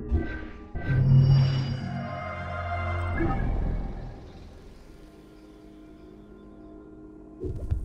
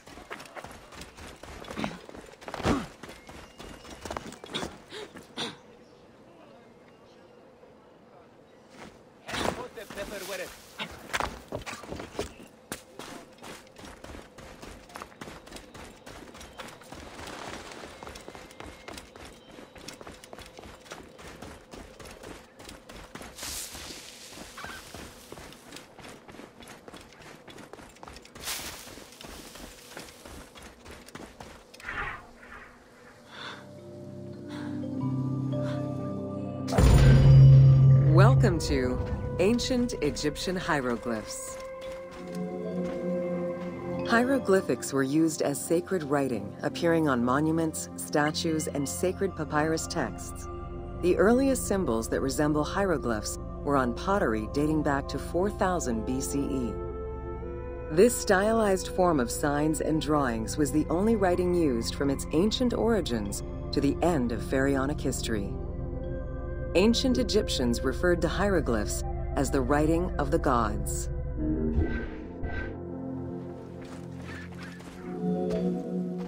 Considered a difficult language, it was intended for pharaohs, nobility, and priests, and meant to be used in ceremonies, within tombs, and for government records.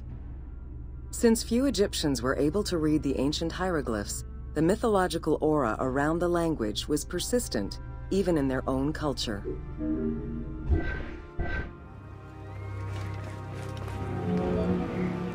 The structure of hieroglyphs offers insight into Egyptian culture, not just in what the translations say, but in the structure of the symbols themselves. They were found on tomb walls, on sarcophagi, on statues, and on pottery, and were meticulously recorded in countless ancient papyri.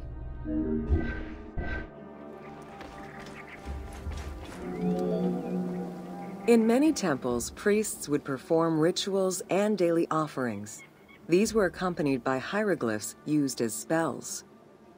In tomb paintings, the hieroglyphs are represented with formulas to recite. These spoken words were meant to be spells which would allow the deceased to benefit from the offerings for all eternity. Spells and offerings were also written for the living to enhance medicines and cure illnesses.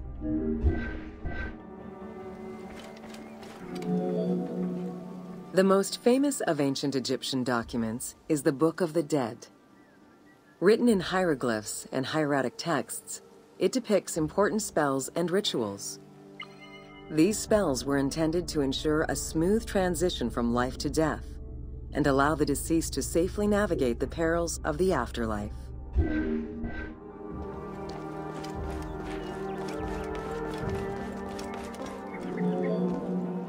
Even after it was deciphered, the reading of hieroglyphs remained difficult at times due to the many directions in which they can be read. Depending on the orientation of the signs, hieroglyphs can be read left to right, right to left, horizontally or vertically, though never bottom to top.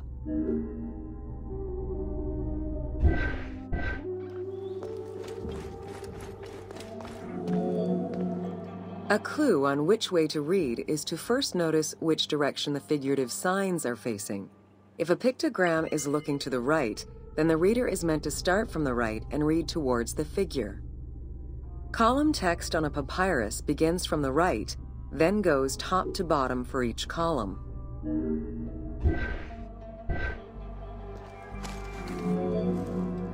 Text written on tomb walls resembles the structure of a page from a comic book. The text can be placed in front, behind, or above the character, and its symbols look in the same direction as the character. Another clue is that the name of a god or hieroglyphs meaning gods or kings are always written before the descriptive text.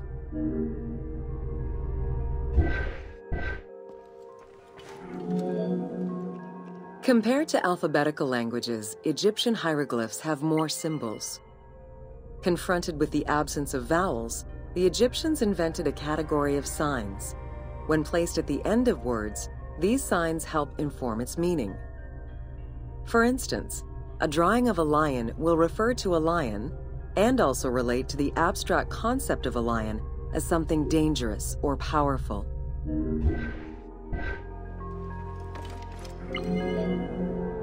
Middle Egyptian hieroglyphs contained a little more than 700 signs.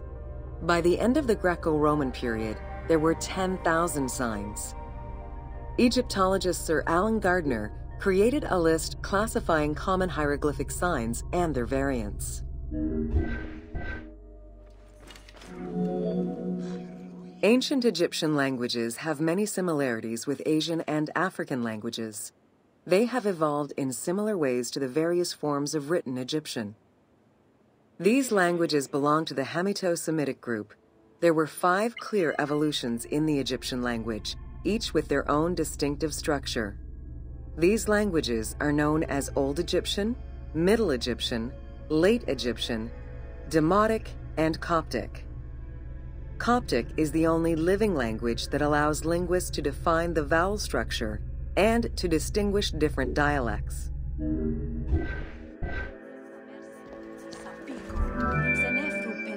While hieroglyphs and hieratic script give us an idea as to how the ancient Egyptian language was structured and written, the way it was spoken is still up for debate. The team opted for English as the spoken language, with the characters using ancient Egyptian and Greek words and accents. The language that is spoken in the background by the crowds is largely based on Sir Alan Gardiner's Egyptian grammar. To help resurrect a dead language, we consulted Egyptologists and dialogue coaches to establish our target sound and cast actors with Arabic, Hebraic, and African backgrounds to bring the game to life.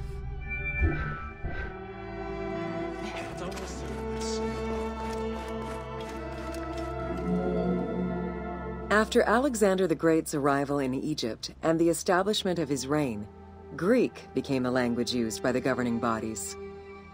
The inability to read hieroglyphs caused resentment among the Greek population. It's from this tension that the Rosetta Stone was created.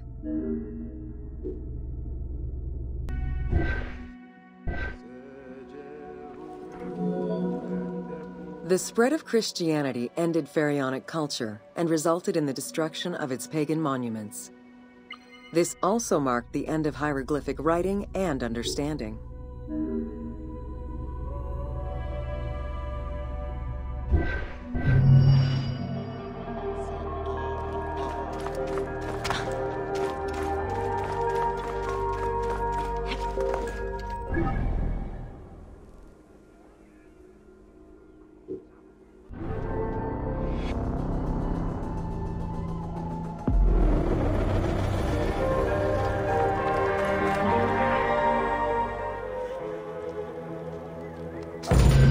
Welcome to Ancient Egyptian Medicine.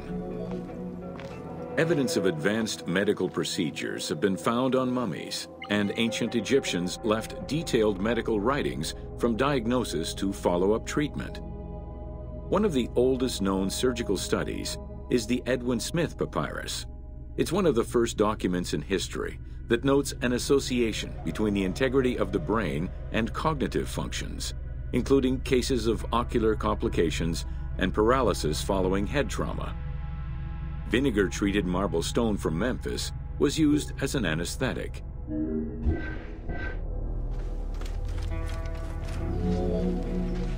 Another similar document, the Ebers Medical Papyrus, is over 20 meters long and 30 centimeters wide.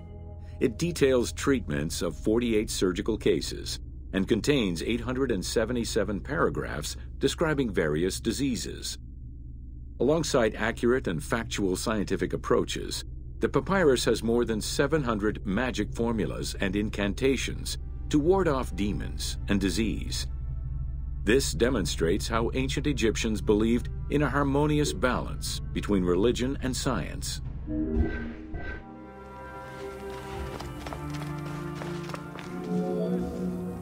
Remedies were considered as medicine and carried by doctors and priests. Village doctors often had another job alongside their medical duties and the preparation of medicines.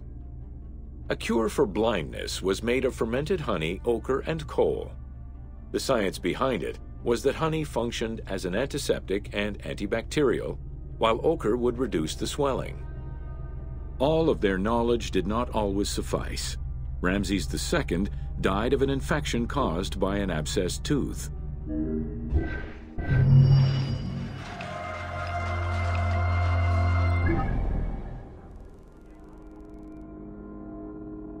you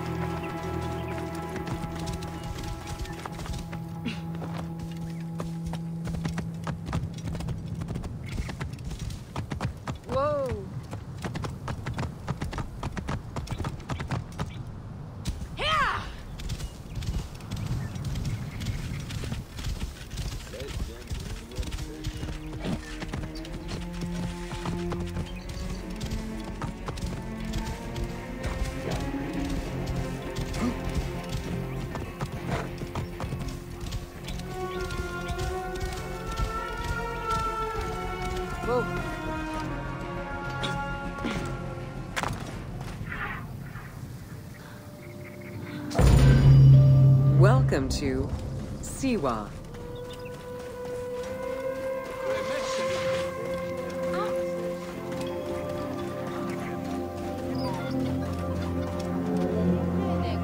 The Siwa Oasis is in the western desert of Egypt. Geographically, the Siwan Oasis is located in a depression 20 meters below sea level. Its natural springs and warm climate aided in the bountiful production of date trees. Though clearly influenced to some degree by Egyptian and African culture, the area's isolation resulted in a unique society and language. While they worshipped the same deities, Siwan temple architecture differed from traditional Egyptian temples.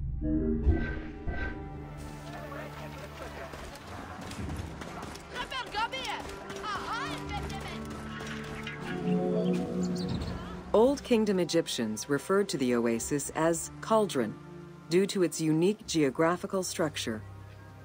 Oases were crucial for nomadic tribes and caravans. Without them, there was no chance of survival in an otherwise harsh landscape. As such, oases quickly became hubs for trade, as well as areas of political control.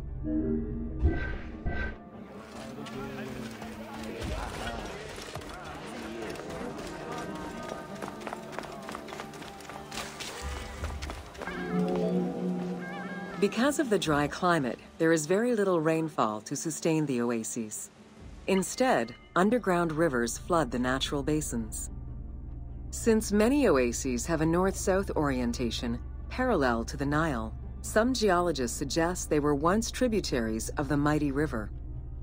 There is evidence that ancient Egyptians attempted to create some oases.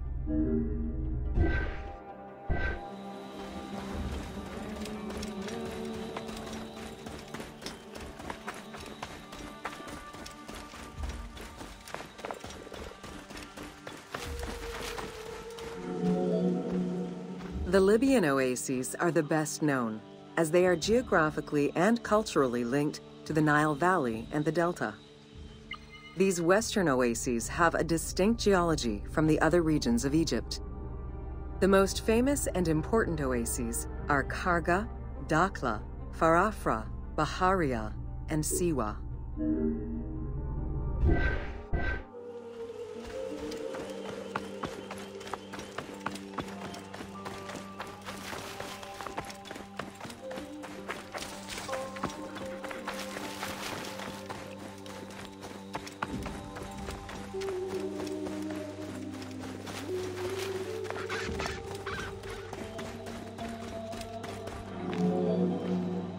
The Spring of the Sun is one of many thermal sources in Siwa, with the particularity that Cleopatra would have bathed in this one, giving it its name.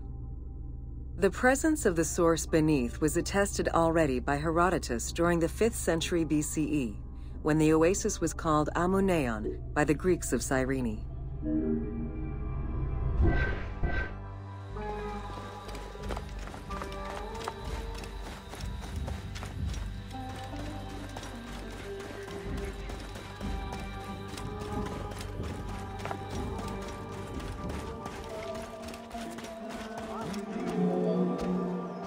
Oracles predicted the future, delivered omens that could be more or less obscure, and offered divine guidance. The Siwan Oracle was considered one of the three greatest of the ancient world, alongside the oracles of Delphi and Dodona. Because of the Greek colonies in Cyrenaica, the temple associated Zeus with the worship of Amun.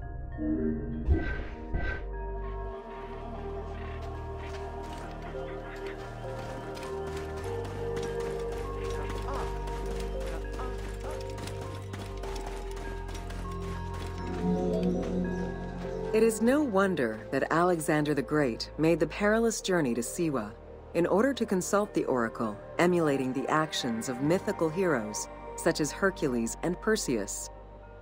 This action earned the approval of the oracle, who validated his claim as Pharaoh of Egypt. He was confirmed as the son of Amun, conferring upon him the most legitimate claim to date of all Egypt's foreign invaders.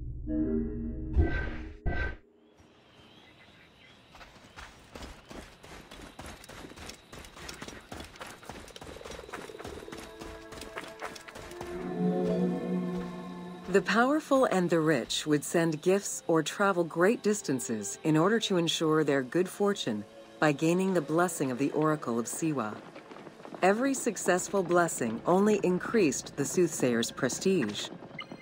Runner Eubotus, a famous citizen of Cyrene, consulted the oracle in order to know if he would win the 93rd Olympic Games race in 408 BCE. He did enhancing the standing of the Siwan Oracle in the process.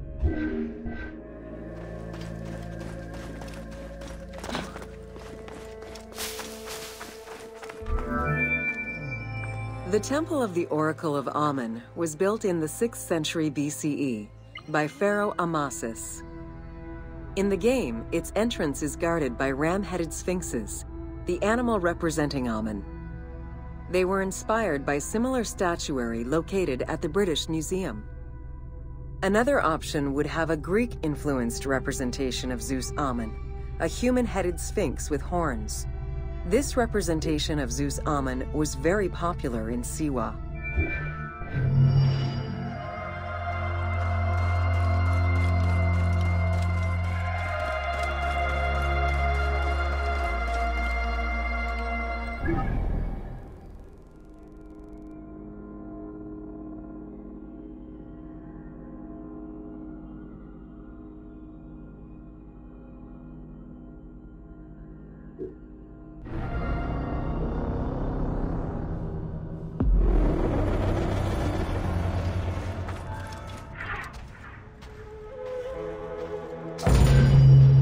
To Deserts of Egypt.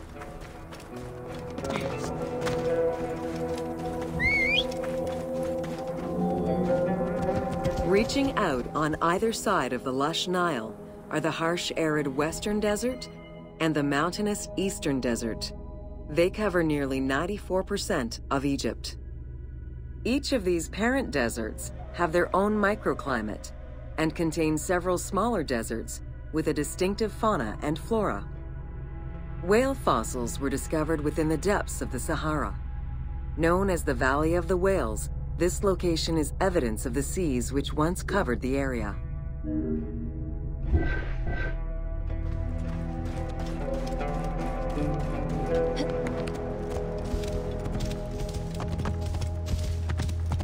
Whoa!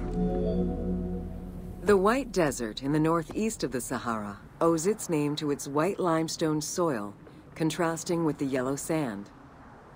The wind has eroded the rocks of the White Desert into stone mushrooms, the most famous of which is referred to as the Finger of God.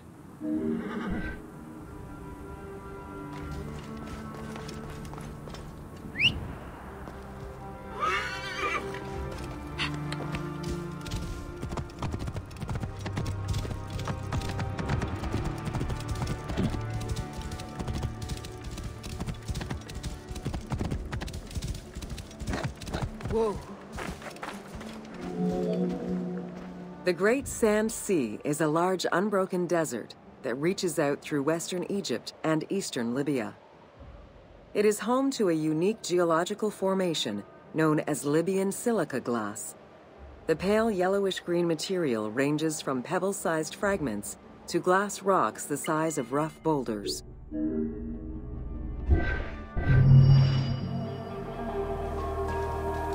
Nia,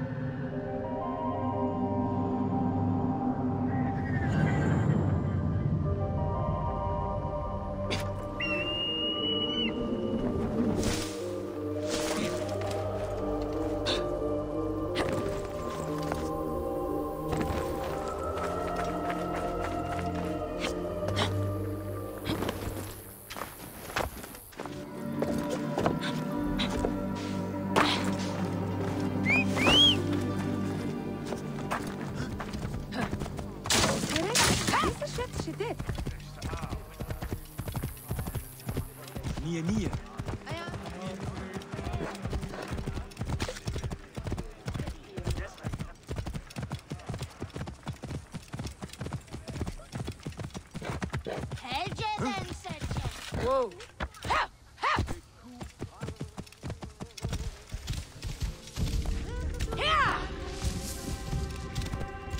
Whoa!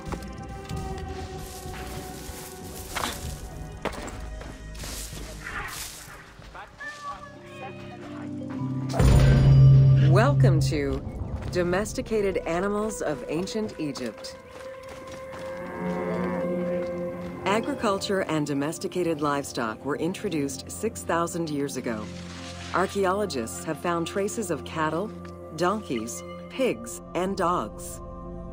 Dromedary are thought to have been introduced during the Persian invasion.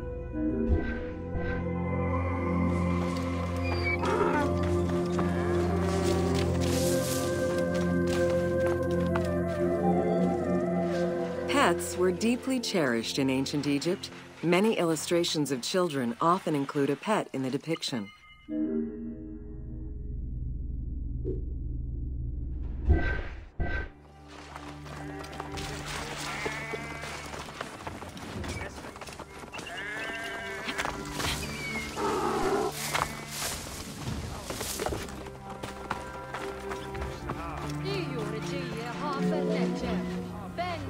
Ancient Egypt's most iconic animals, the cat, wasn't adopted into their daily life until the Middle Kingdom. Since they were so highly capable of killing snakes and rodents, cats were present throughout every period. However, they only became pets sometime during the Middle Kingdom. Prince Thutmose, son of Amenhotep III, had his cat Tamu laid to rest in its own sarcophagi.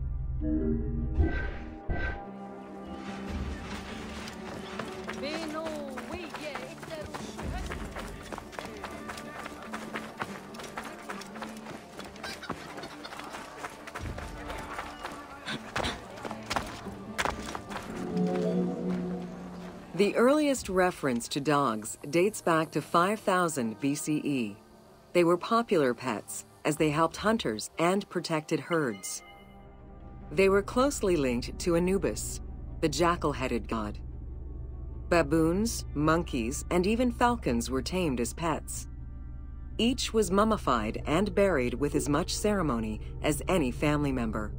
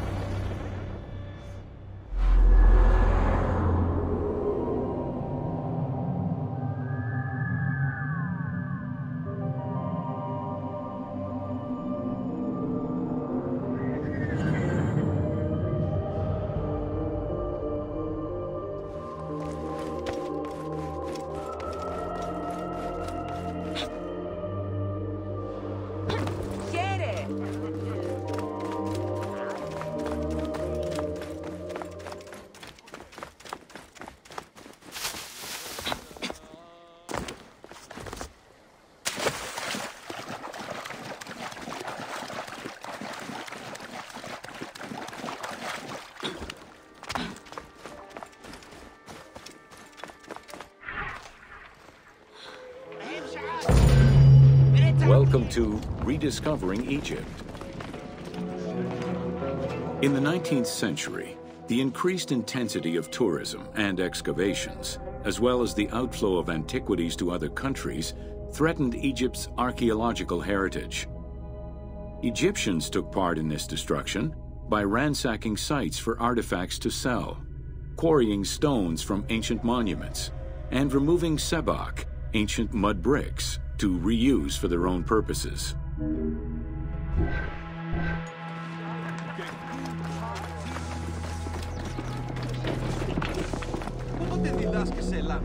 A major step in conserving Egypt's heritage was taken in 1858, when the Viceroy of Egypt created the Antiquities Service. Supported by a team of foreign scholars, Auguste Mariette exerted an iron grip on the service. He carried out his work across Egypt and into Nubia, intervening on almost every major site. Aware of the necessity of keeping unearthed artifacts in Egypt, Mariette requested a museum be created for that purpose in 1858. This museum was the ancestor of the Egyptian Museum.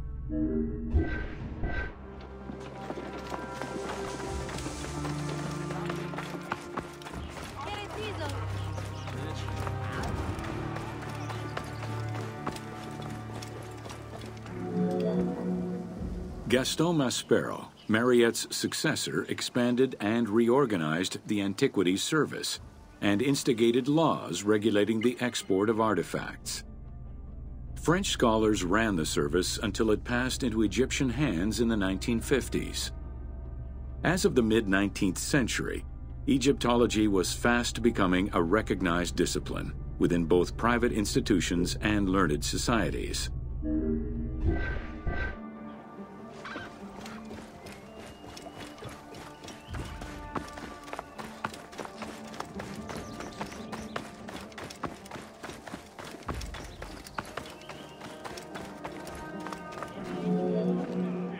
A French architect, archaeologist, and former researcher, Jean Claude Golvin, now specializes in the artistic reconstruction of ancient cities and monuments.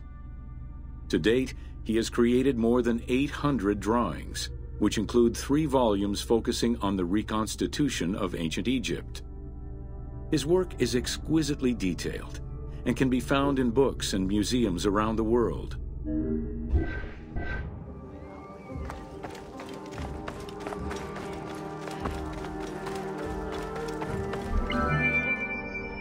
The team was thrilled to collaborate with Jean Claude Golvin in order to recreate Egypt for the game.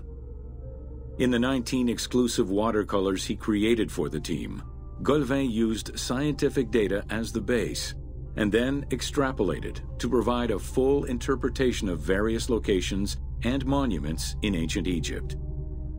Both early sketches and fully rendered images were then used by the team as references while building the world of Assassin's Creed Origins.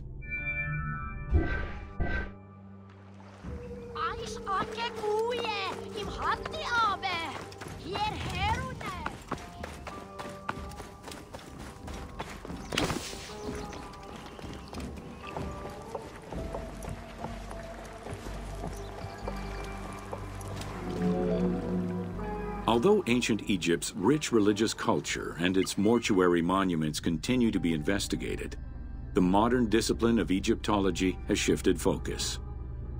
Rather than single mindedly retrieving impressive artifacts, Egyptologists today focus instead on increasing the body of knowledge. In the past, excavations took place in the field, and while that is still the case today, much of the work on Egyptology now takes place in libraries and archives.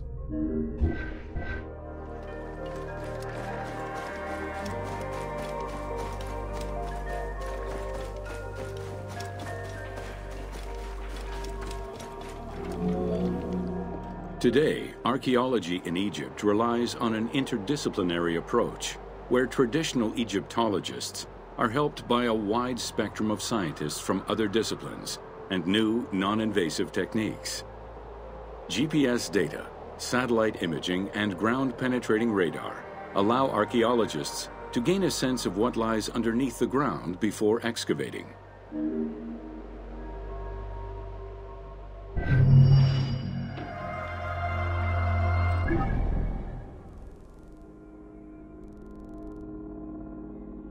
Whoa. My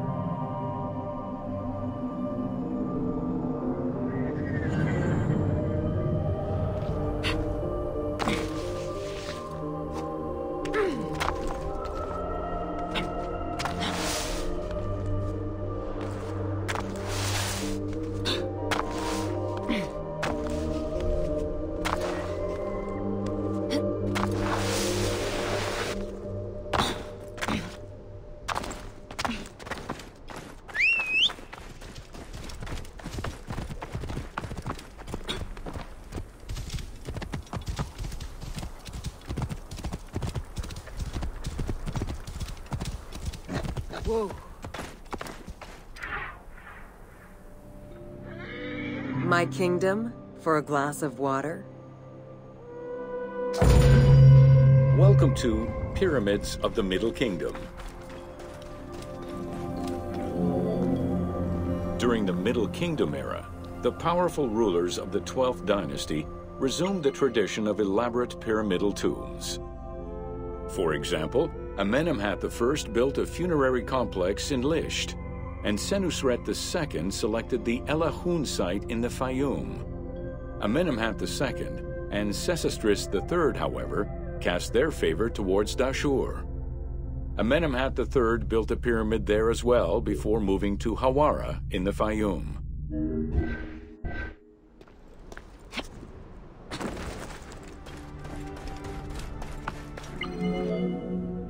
The plundering of tombs in troubled times prompted the architects of the Middle Kingdom to devise increasingly complicated means of security during construction.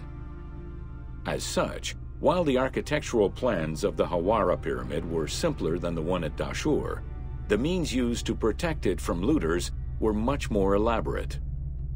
Beyond the use of blind passages and concealed trapdoors, the architects relied on a system of stone slabs, which were slid into place at the end of construction.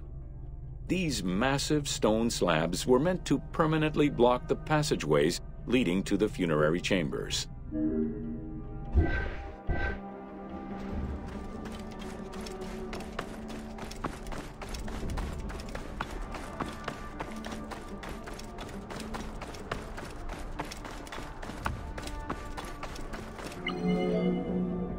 The kings of the 13th dynasty began building their pyramids at Mazghuna, south of Dashur, then moved on to Fayum and Abydos.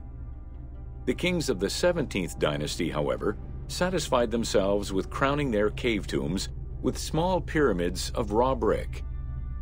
The kings of the 18th dynasty gave up the shape of the pyramid as a royal tomb entirely they chose a mountain with a pyramidal shape in the Valley of Kings and dug their graves there.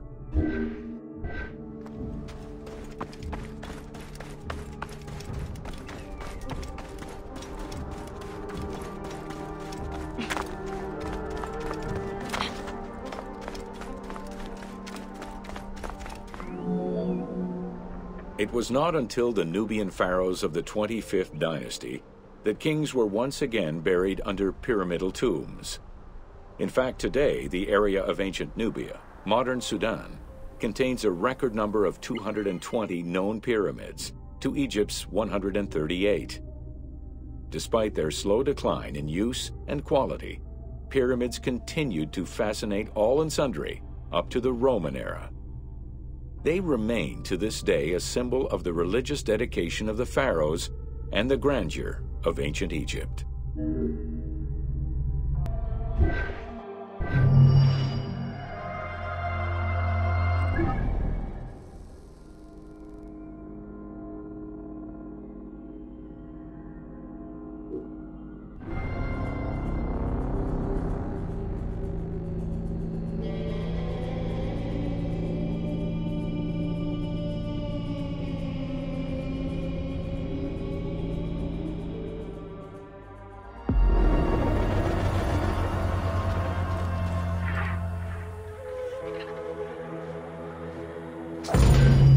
Welcome to Oil in Ancient Egypt. Castor, sesame, and moringa were the source of the most common oils in ancient Egypt. Oil was used for various purposes cosmetics, medical treatments, nutrition, perfume, athletics, and rituals, to name a few the team decided to use oil as an explosive to add more gameplay opportunities for the player.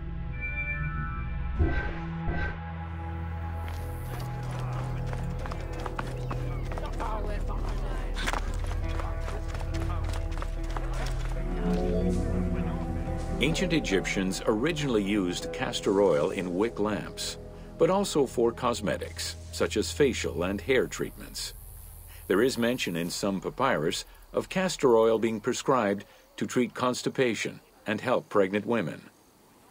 Castor beans were found in ancient Egyptian tombs as early as 4000 BCE.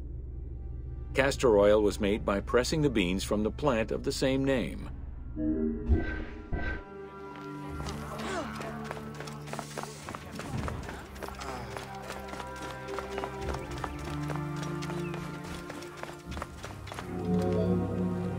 Olive trees were present, though scarce, in ancient Egypt's early history, and olives were mostly imported from Syria and Palestine. Their use and cultivation remained uncommon until the mass arrival of Greek settlers during the reign of the Ptolemies, when demand increased sharply. Olive trees were normally found in the region of the Fayum and the lands surrounding Alexandria.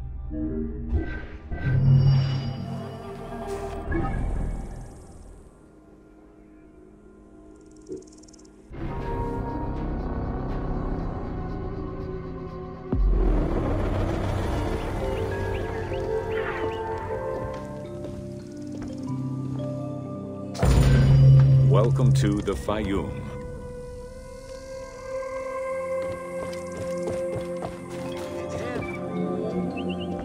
The Fayum Oasis is an enormous basin in the western desert that formed from the Nile's overflow.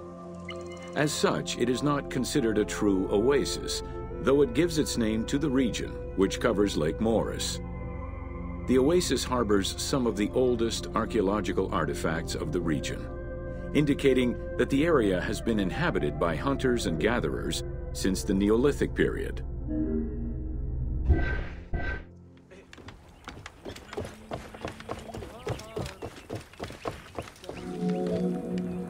The Fayum Oasis drains into Lake Moeris, which was a large freshwater lake, but at some time became a saltwater lake.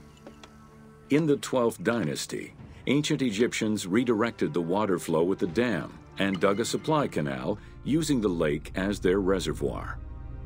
Irrigation enabled them to continue growing crops of figs, grapes, and olives year-round.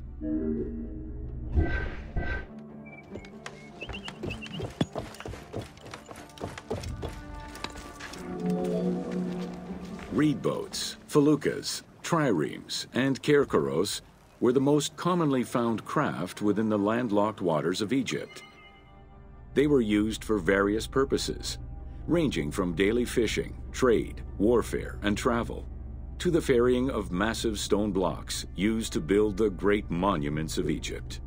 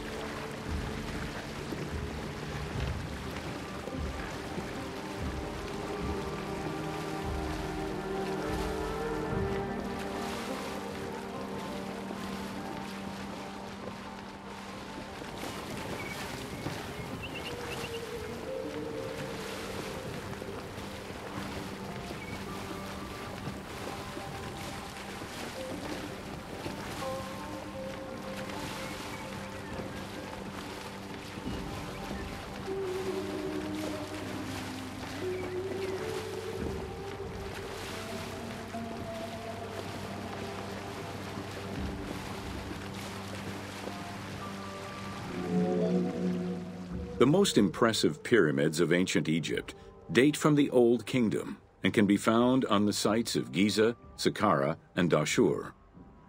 However, one particularly famous pyramid of the time is located elsewhere. During the Middle Kingdom, some pharaohs chose the Fayum as their final resting place. One such ruler was Amenemhat III. His pyramid left a mark on the imagination of antique chroniclers. They referred to it as the Labyrinth, mostly due to the vast mortuary temple complex at the foot of the pyramid.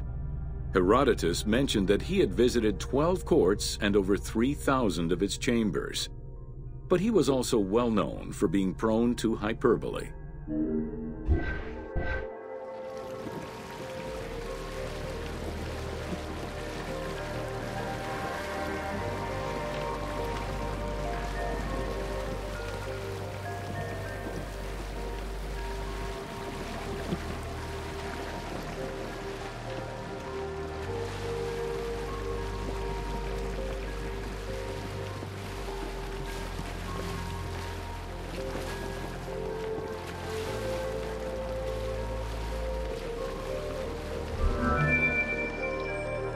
Amenemhat's pyramid was built with a brick core and covered with stone slabs, designed to be impenetrable. The burial chamber, made out of a single block of sandstone, is unique in its design.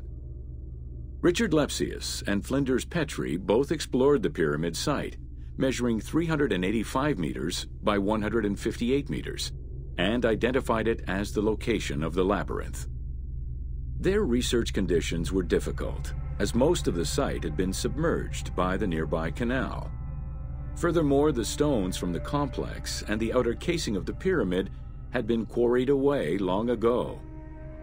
Ubisoft decided to give life back to this lost monument and the many crypts that were said to be devoted to the sacred crocodile god, Sobek.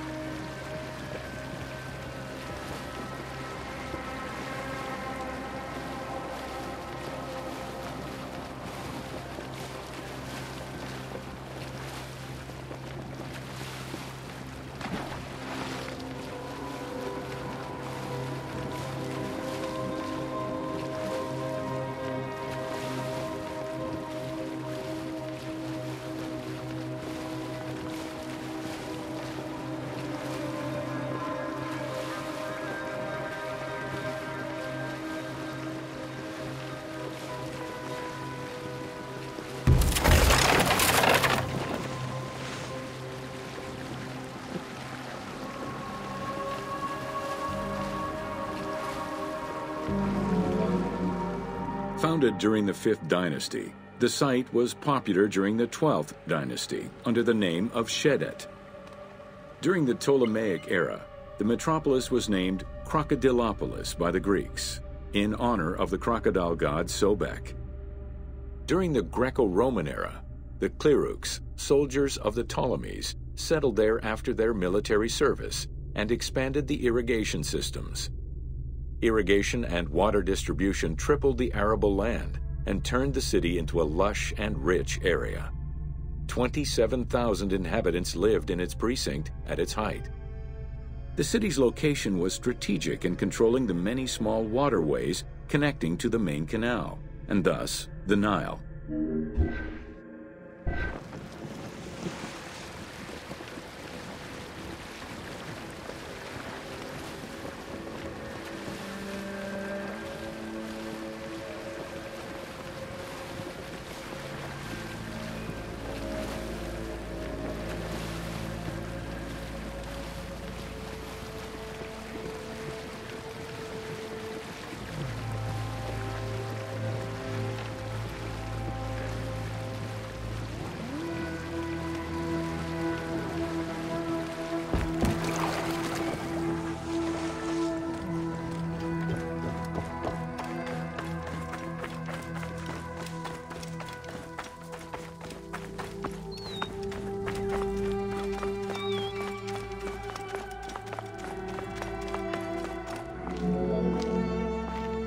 Main cult was that of Sobek of Shedet, a divinity associated with water and fertility, both very important to an area that depended on irrigation. Many local villages had the title Town of Sobek added to their official designations. During festivals, ancient Egyptians recited hymns to Sobek, asking for his divine intervention. Greek settlers, and later Romans, would help the Temple of Sobek's economy to flourish by adopting the local embalming mortuary rites. Their sarcophagi were beautifully painted and adorned with amazingly realistic portraits.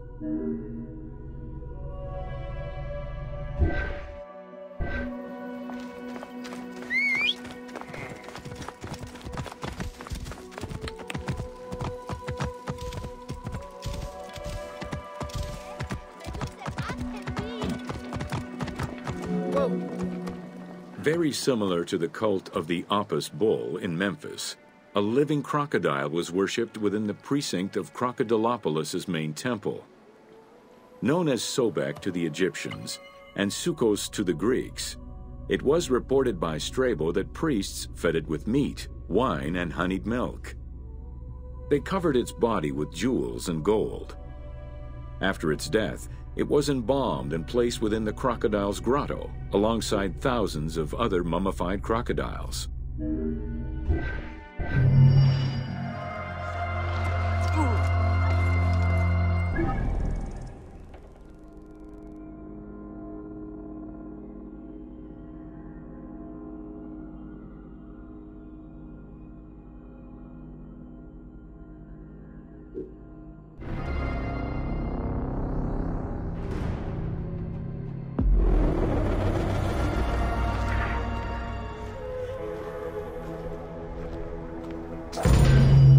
Welcome to Building Ancient Egypt.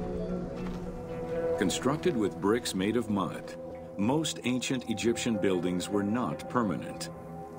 Only religious temples and funerary monuments were meant to stand the ravages of time. For these very important structures, Egyptians used limestone, sandstone, and harder materials, such as granite, quartzite, and travertine. These heavy stone blocks were so prized that they were often transported from quarries located hundreds of kilometers away.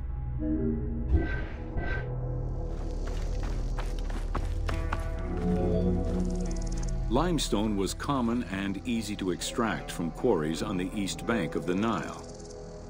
This particular limestone had marine fossils in it, however, preventing it from being easily decorated and polished. Used as the main building material, the structure would then be finished with a finer limestone that was polished smooth and decorated as needed. Limestone was used for the building of the first pyramids and for most of the religious buildings of the Old and Middle Kingdoms.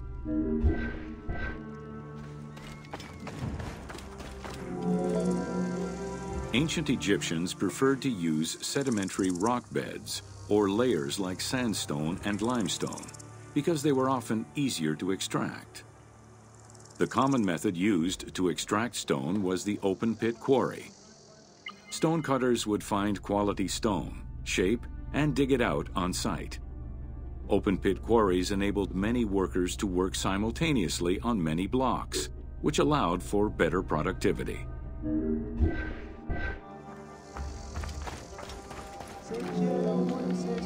Workers would draw a large grid directly on the stone's surface, taking care to leave a space between the blocks. This allowed them to isolate the different blocks and create a trench that would make the extraction easier. Stoneworkers used iron chisels for hard rock and bronze or copper tools for softer rocks such as limestone. Removing material between each block created a trench line in some quarries, that trench was wide enough to accommodate a worker, who would then cut the block entirely on site. For harder rocks like granite, workers cut a series of holes and hammered wooden wedges into them. They then soaked the wood until it swelled and caused the rock to split.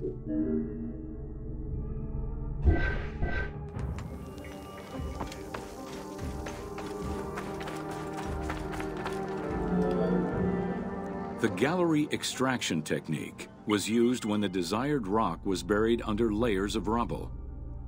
This method was often necessary in order to find the whiter and finer limestone required for a smoother finish. The first step was for the stoneworkers to create an access pit that would allow them to reach the desired wall of stone. Once a wall of quality stone was exposed, workers could then cut out smaller blocks. This pit required a descending platform. Designed like a stairway, it allowed them to free multiple galleries of blocks.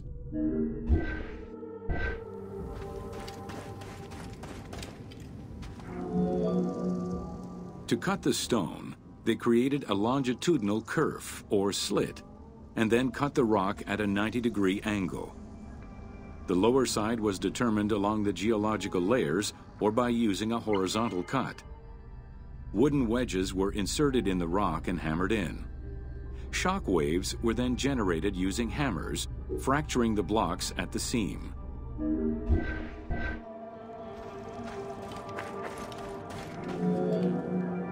To maintain the stability of these mining pits over the course of quarrying, workers would leave support sections of unexcavated rock.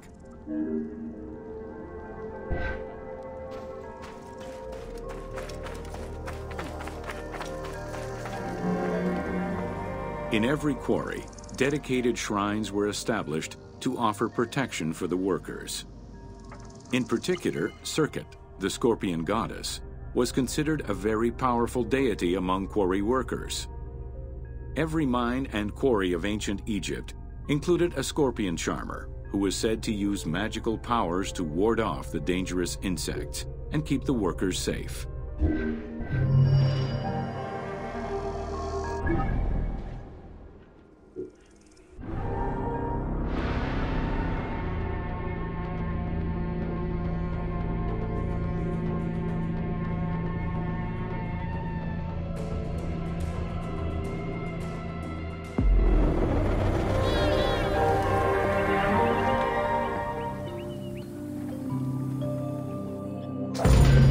Welcome to Workers and Transport.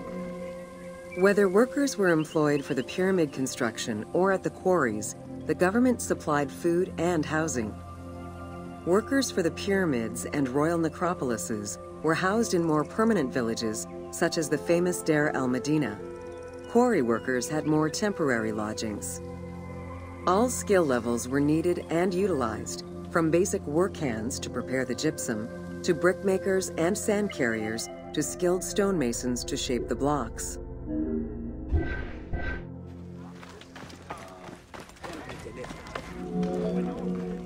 Skilled architects and engineers were employed year-round, while support labor were often farmers who worked on the quarries or construction during the Nile's flood season. The basic laborers were hardworking and versatile, Many may have been farmers who joined the construction during the off-season. Hieroglyphs found in the work villages listed assigned job titles.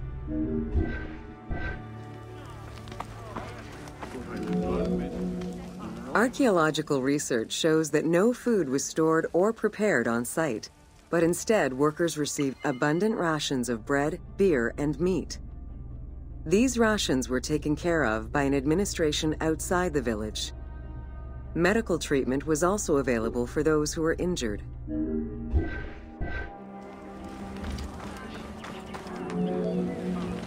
While some quarries were close to the Nile, others were located across the desert and required long expeditions. These expeditions were sanctioned by the state. They involved complex logistics and required many participants. Transporting a block by land meant that workers had to overcome the weight and friction of the load. To solve this, they first dug a track in the ground. This path was sometimes reinforced with rails upon which a sled, used to ferry the blocks, would be pulled.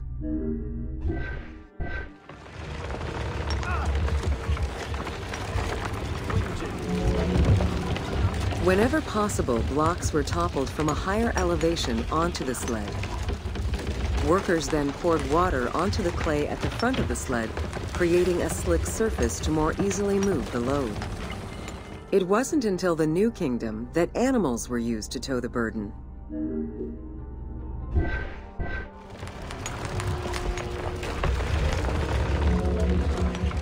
During flood season, the Nile was at its largest and deepest, which allowed the transportation of the heaviest and biggest loads. Quarries close to the river had troughs dug out to deliver the stones to the shoreline. Harbors and wharfs situated at the river's edge allowed the transfer of materials and supplies. Harbor warehouses accommodated additional stocks of stone so that they were available for the winter sailing season.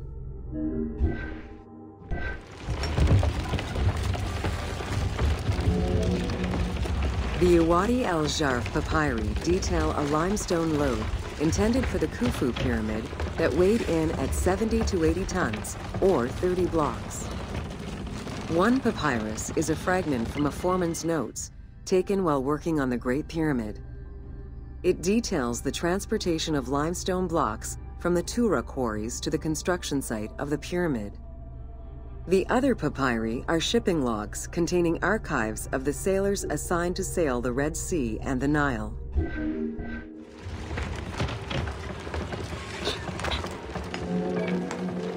Stone cargo generally weighed 15 tons per boat, amounting to roughly six or seven blocks per trip. For heavier loads such as obelisks, monolithic pillars, or gigantic statues, larger boats were used. These transports are the ones typically showcased on temple walls.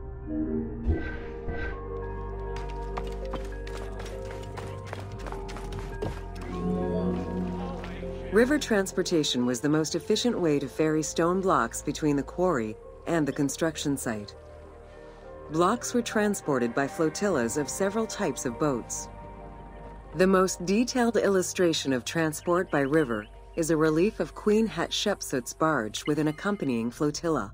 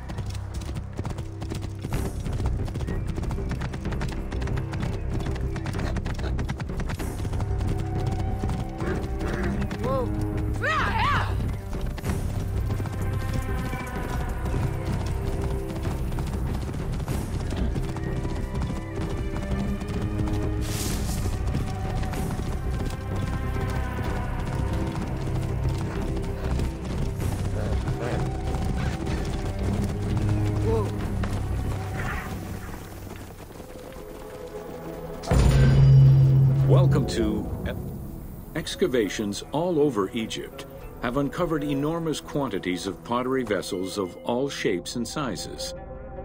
The production of pottery was mainly confined to the outskirts of settlements due to the materials required and to keep the kiln smoke away from inhabited spaces. The function of the product determined the selection of the raw material, its treatment, its form, as well as the finishing of the surface.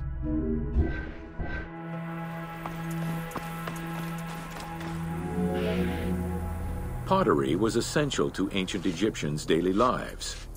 It was used in all aspects of life, from the storage of grains and liquids to containers within the tombs of necropolises. The most common pottery was made from Nile silt that resulted in a reddish brown clay. Limestone clay, which made for more attractive pottery, was only found in Upper Egypt.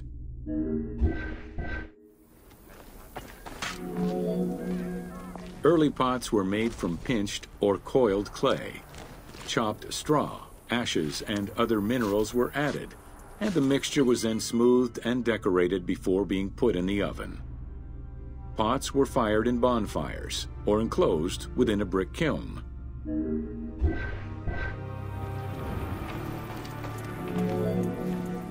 The potter's wheel was utilized during the Old Kingdom. Pottery became smoother and more polished, similar to river stones. It was decorated primarily in red pigment, with the black color achieved by exposing it to smoke. Pottery workshops were attached to palaces or temples, and around the late period, specialized workshops began to appear.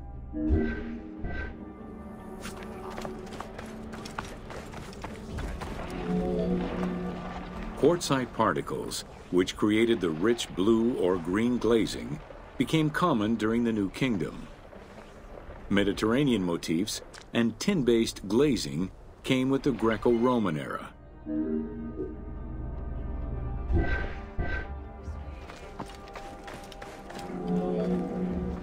Potsherds could be found anywhere and were the most common canvas for writing or drawing, in comparison to the more expensive papyrus sheets. Named after their Greek description, ostraca contained daily life records, letters, or could be drawn upon. Artists drew sketches for temples and tombs, or simply for leisure.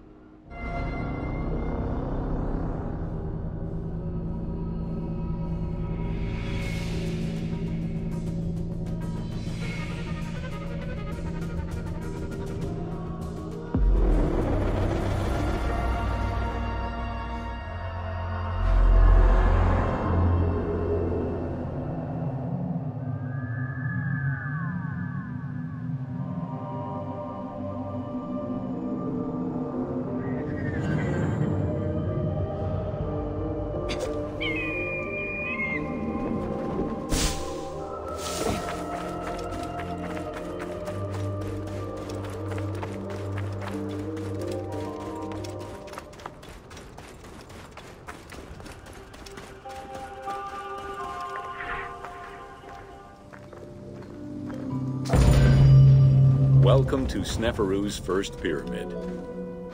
With the long reign of Sneferu, the first king of the fourth dynasty, the most brilliant and creative period began for the construction of funerary monuments in Egypt.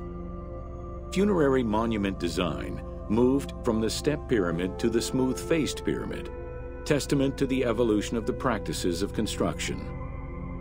The first attempt at this design was the Pyramid of Meidum,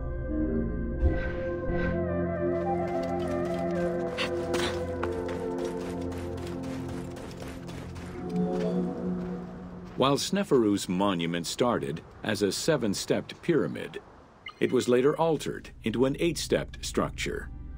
The final phase of construction saw the steps filled out and an outer casing applied to achieve a smooth surface.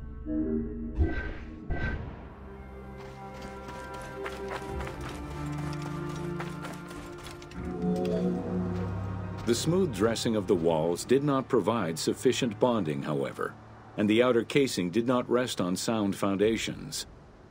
As a result, the bases of the four outer buttress walls gave way, causing the walls to slide down and collapse. While the Meidum Pyramid was abandoned due to design flaws, it showcased other innovations that would impact all future pyramid designs.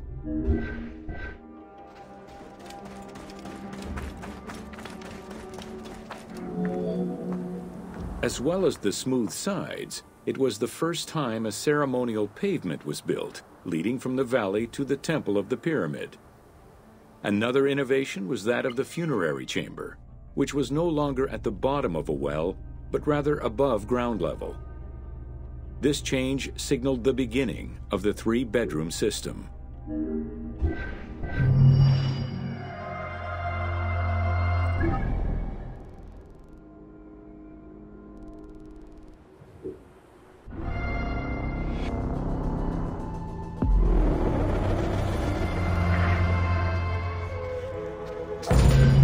Welcome to the Bent Pyramid of Dashur. After the construction of the Meidum Pyramid failed, Sneferu transferred his residence and the official necropolis to Dashur. There he began construction on his second attempt at a funerary monument. The resulting structure, known as the Bent Pyramid, is the only one of its shape in Egypt.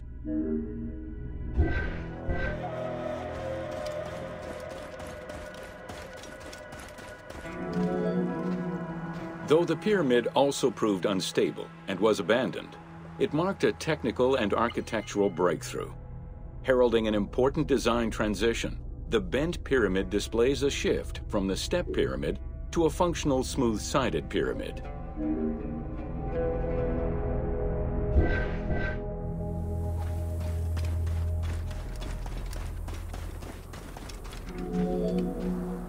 The bent pyramid was unique in having two separate entrances, one on the northern face and another on the western face. The chamber of this pyramid was too small for a human burial. It was probably meant for the burial of a statue designated to house the Ka, the vital spirit of the deceased king.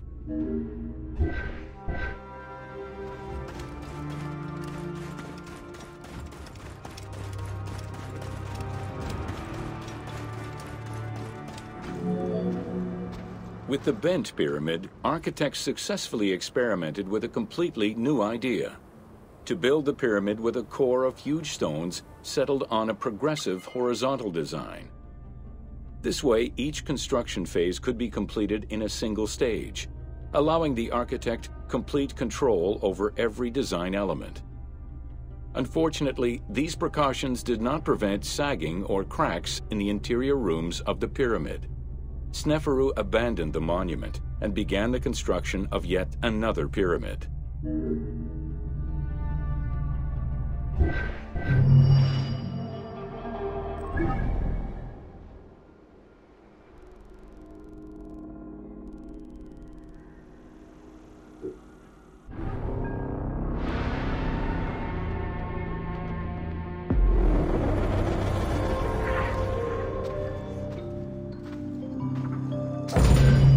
Welcome to natron. Natron is a colorless salt that was used by ancient Egyptians for food preservation, cleansing products, and glassmaking. It was also used in the mummification process.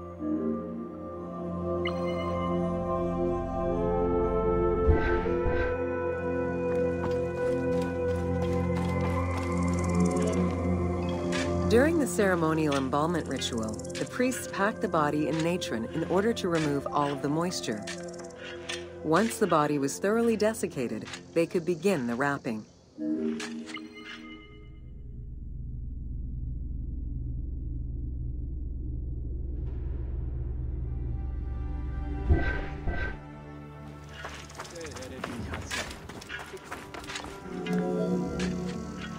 Natron was mined in Wadi Natron. The main mining methods involved either cutting slices out of the lake bed when it was dry, or raking through mineral-saturated water to gather the mineral salts during the floods.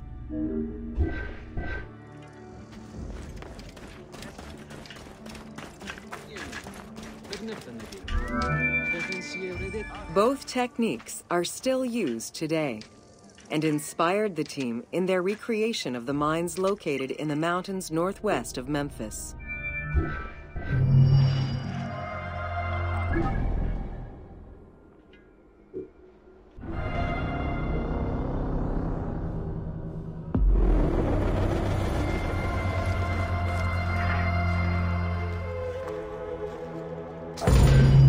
Welcome to the Red Pyramid of Dashur. The Red Pyramid was built two kilometers to the north of the Bent Pyramid. It was so named due to the reddish limestone used in its construction. The Red Pyramid reached a height of 105 meters.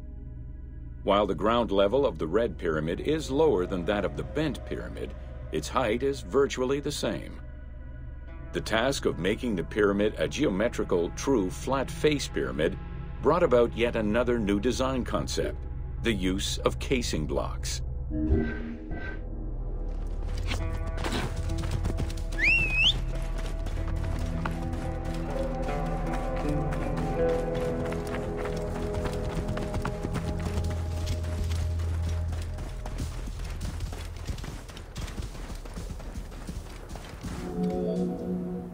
Descending corridor of the pyramid, which opens to the north, arrives at ground level, where two almost identical spectacular chambers with high ceilings are aligned north to south and connected by a short horizontal passage.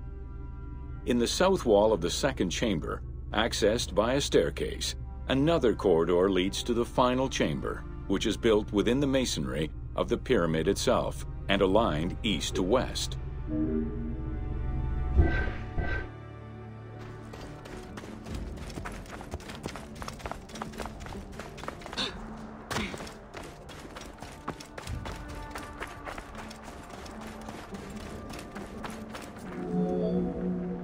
The annexes of the Red Pyramid consist of a small funerary temple located to the east. A causeway presumably ran due east from the temple, but it has yet to be excavated.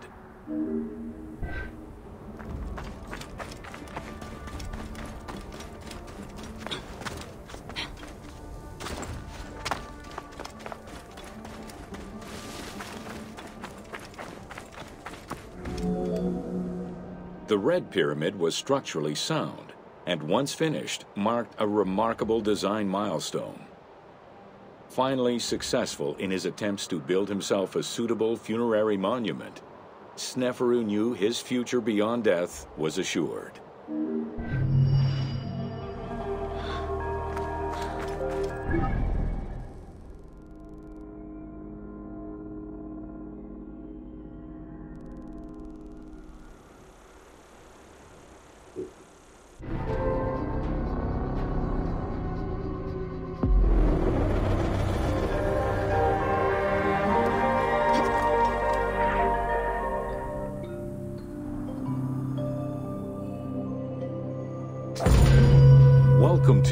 The Step Pyramid Complex of Djoser.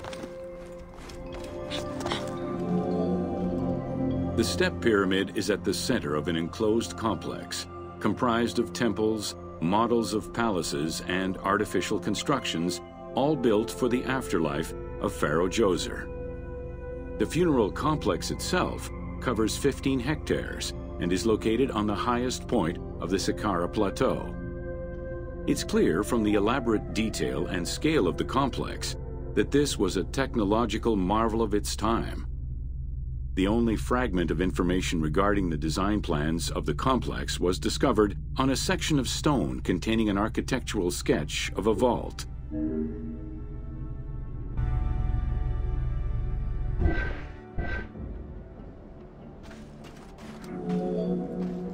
The Step Pyramid is the first monument built of stone.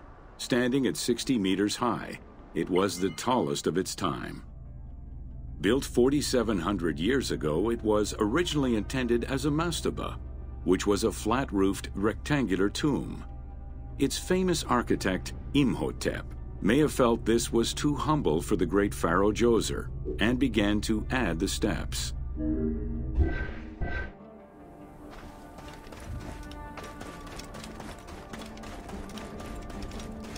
The Step Pyramid complex is enclosed within a 1,600 meter long wall that is 10 meters high.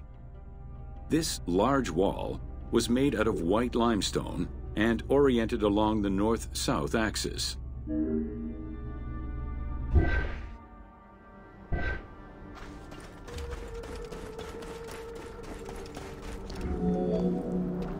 While there are 14 doors, only its eastern door was intended to accommodate the living. The remaining false doors were built as portals for the king's ka to pass through. Along with false doorways, the walls were designed with bastions and steeples resembling a defensive wall. The positioning of these design elements suggest that they were related to the Hebsed festival.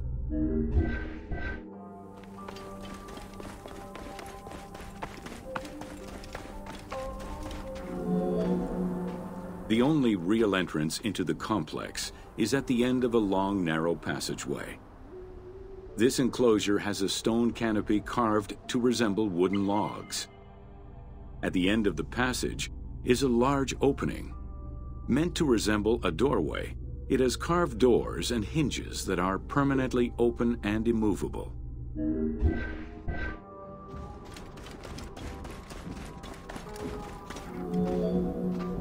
The corridor is lined with 20 pairs of columns up to 6 meters high, built by stacking stone drums. The completed facade was made to resemble reed stock bundles. Traces of red paint were found on the columns, along with black paint on the support walls. This would have had the effect of blending the walls into the shadows to give the red columns the illusion of standing on their own.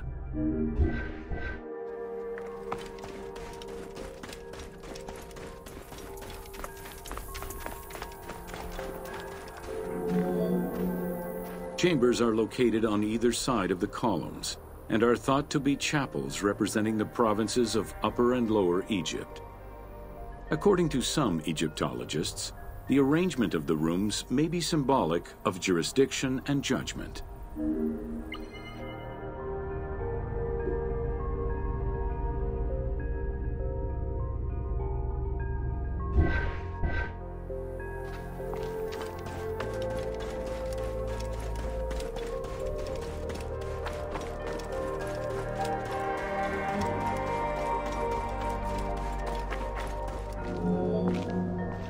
Guarded by a line of carved snakes, this tomb is located at the southern end of the courtyard. The burial chamber is beneath it, down a 30 meter deep shaft. The low ceilinged chamber resembles a mastaba and is relatively intact compared to the later burial chamber. The tomb is made of pink granite, though there is evidence it was once polished limestone. Too small for a body, it is possible that the tomb was intended for the king's ka, or to hold the canopic jars containing the king's organs. Later traditions in burials would have the canopic jars in the same chamber as the body.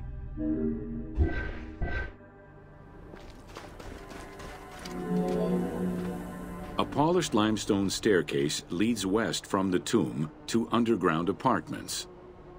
Some of these rooms were intended to accommodate the king and his family in the afterlife. Many large jars of pottery were found, including some that still had deposits of beer, milk, and oil inside them. The false doorways are decorated with reliefs of the king taking part in rituals. In these reliefs, he is seen carrying agricultural tools, running, and performing a ritual for the reanimation of the deceased.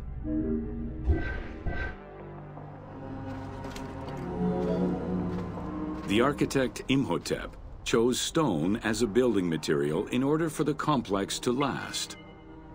Following the completion of the initial mastaba, Imhotep devised a burial of more ambitious dimensions.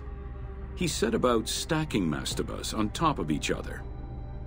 Evidence shows that the pyramid was enlarged twice by additional cuts into the steps eventually reaching 62 meters in height and 121 meters by 109 meters at its base.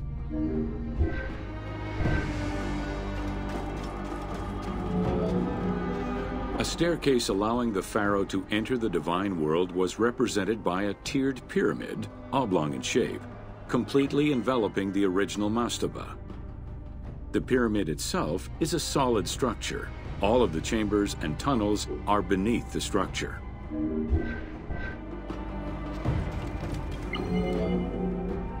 Pharaoh Djoser the Sacred was the founder of the Third Dynasty. He ruled for 19 years. During his reign, he was known as Horus Netjerikhet, divine of the body. He was given the name Djoser several centuries after his death as a sign of respect and he is regarded as one of the greatest pharaohs of Egypt. An apocrypha was drafted in his name during the Ptolemaic period, 2,500 years after his death.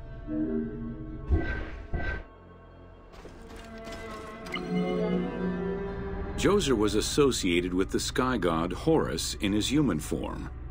A plinth near the step pyramid is inscribed with his name and associated with Horus. He was the first to reside in Memphis, making it the central hub of government for the region. Djoser was known to have built many temples and monuments before the complex at Saqqara. The funerary complex was the first of its kind and would mark Djoser's greatest architectural achievement.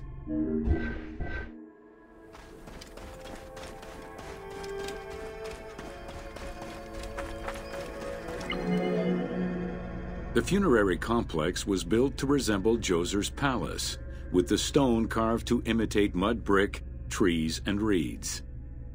Creating these details and softer textures in hard stone would have been a time-consuming, labor-intensive task. Much of the complex is designed to accommodate the Hebsed festival, allowing the king the ability to affirm his rule even in the afterlife.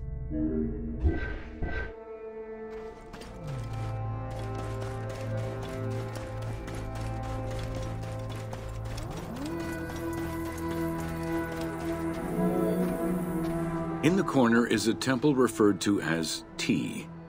This temple is among the most mysterious structures in the complex. Its outer facade is plain, while inside it is decorated with intricate djed pillars and carvings. It's possible that this place was intended to be where the Ka of the king materialized, symbolically visiting the platform of the Hebsed courtyard from the afterlife.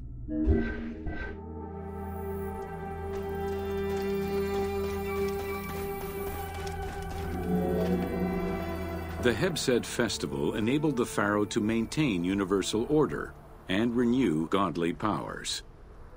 Through a series of trials and religious rites, such as dance, offerings, and visiting the sanctuaries of various deities, the ruler's vital force and divine nature was confirmed. The celebration was meant to represent the ruler's jubilee and would take place every 30 years, though the deadline was not always followed. The earliest known ritual dates from the First Dynasty.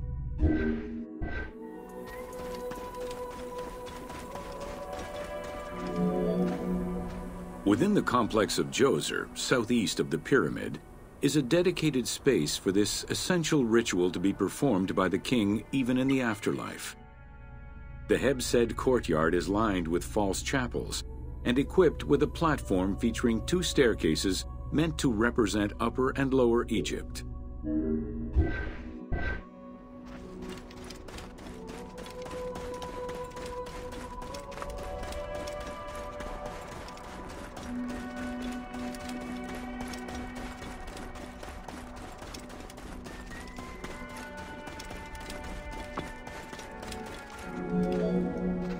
Located in the courtyard, the two pavilions are believed to represent the palaces of Upper and Lower Egypt. Rectangular in shape, the two replica structures face one another.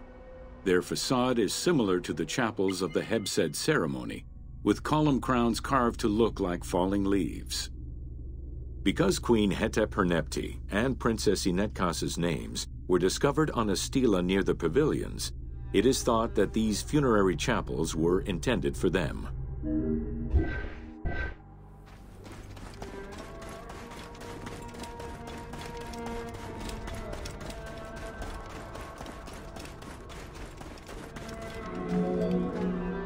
The funerary temple is on the north side of the complex, facing the stars where the deceased ruler was believed to travel after death. Within this temple was the pharaoh's serdab, or cellar. It is a small, enclosed space with one wall sloped to match the first step of the pyramid.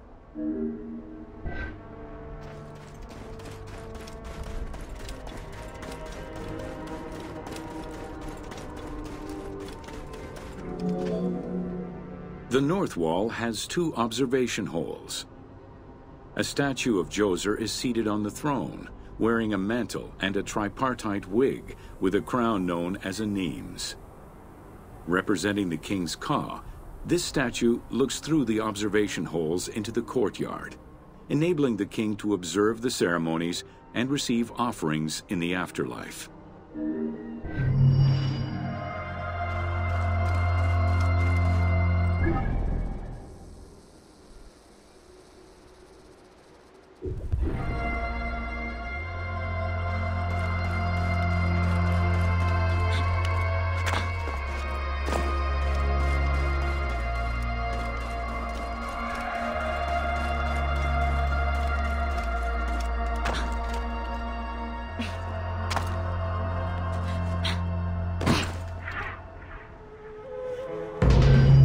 Welcome to Inside Djoser's Step Pyramid.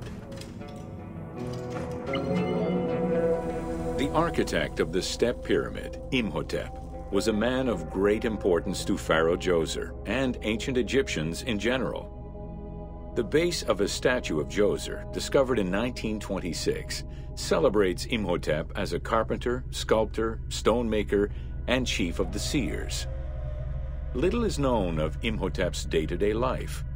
While he is credited for writing medical texts, it is for his role of architect that he is most famously known.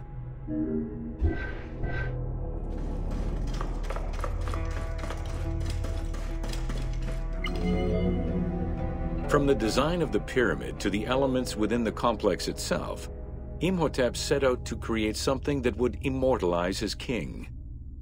An architectural achievement, the step pyramid was made from stone blocks instead of mud brick. It was the first time Egyptians built a monument of that height. Imhotep explicitly intended for the stone to reflect natural materials. The funerary complex of Djoser remained famous throughout the centuries and millennia, and its great architect, Imhotep, was deified by ancient Egyptians during the late period.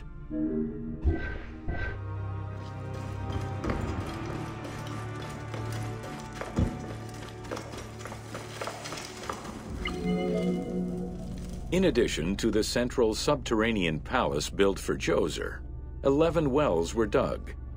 Each went to a depth of 33 meters and connected with a horizontal gallery extending for about 20 meters. The first five galleries were intended for members of the royal family.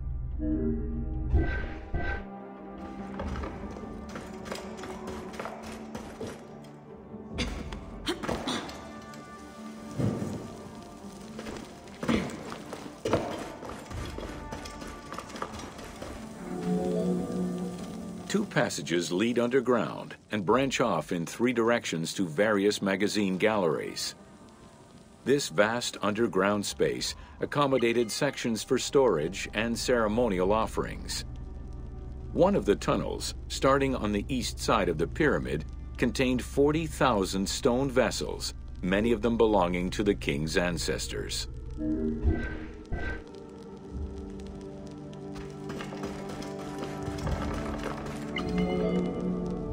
The burial chamber of Djoser is located at the bottom of a 28-meter deep central shaft. According to Egyptologist Jean-Philippe Lauer, the chamber was originally made from polished blocks of limestone, while its ceiling was decorated in five-pointed stars. At some point, however, the limestone blocks were replaced entirely by pink granite blocks, leaving behind only fragments of limestone blocks decorated with stars.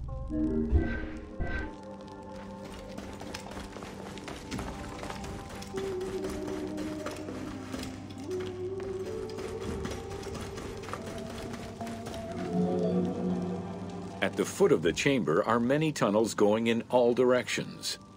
This maze of tunnels, galleries, and chambers stretches over five kilometers. There are a number of dead ends and false doors. They may have been intended for the afterlife, rather than to fool thieves.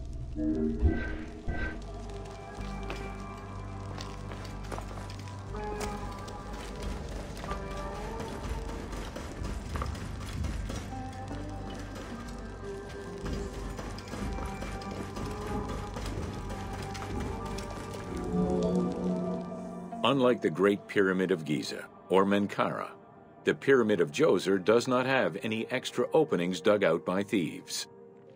There was no need for them. Because of the easy access into the tunnels and along the corridors, thieves had little trouble clearing out the temples once inside. It is unknown when the mummy of Djoser was stolen.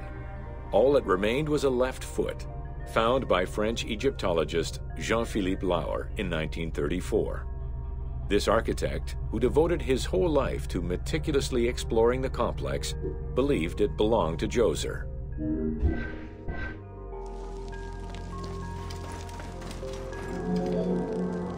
The Pharaoh's apartments, also known as the Blue Chambers, are decorated with blue-green tiles meant to imitate the reed matting that covered the walls and windows of his palace. The stone is carefully curved and painted to look like the rolled mats of open doorways and curtains.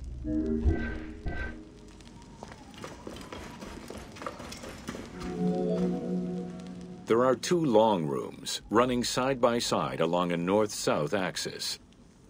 The south room has false doors separated by stone panels, while the north room is a corridor which allows access to side chambers.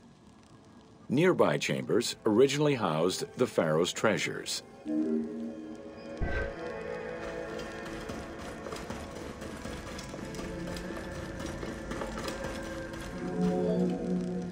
The door frames are made of fine limestone and carved with the king's name. As in the south tomb, reliefs are carved into the doorways. These reliefs show the king performing rituals and visiting divine sanctuaries for all eternity. Their interiors are fictive additions made by the team to add to the wonders of the tomb. It is clear from the elaborate detail and scale of the complex that this funerary monument was a technological marvel of its time.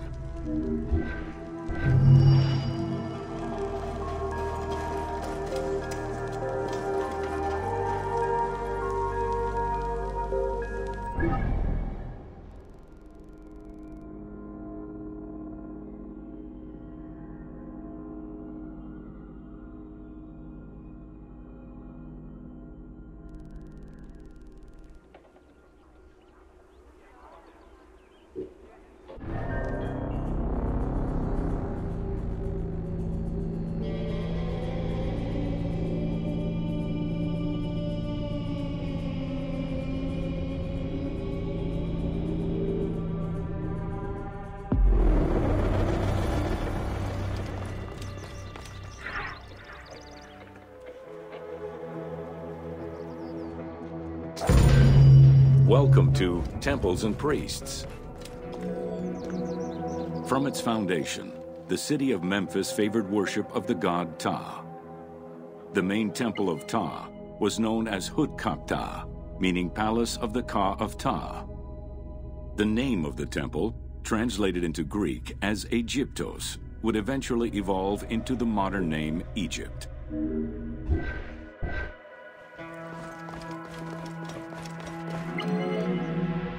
Temples were the center of religious, political, and economic life in ancient Egypt.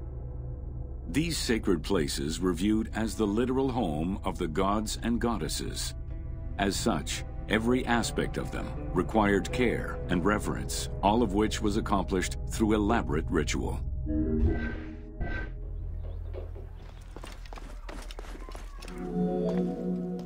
Located in the center of Memphis, the Temple of Ptah was the most prominent and imposing building in the city. The long walkway leading toward the temple, known as the Dromos, was guarded by rows of sphinxes. The entire sacred area was designed to keep the statue of the god protected, deep within the sacred enclosures that surrounded it.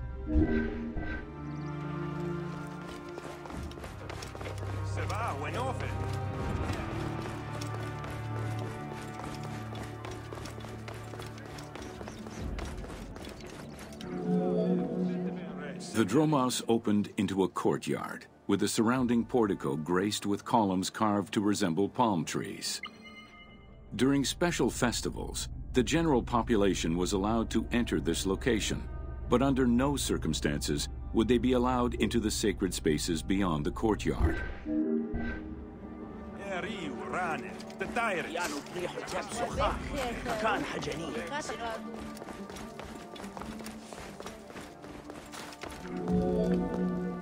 The Memphis Alabaster Sphinx was discovered in 1912, almost completely buried in water and sand. Eight meters in height and weighing in at roughly 90 tons, it is still mounted on its original pedestal.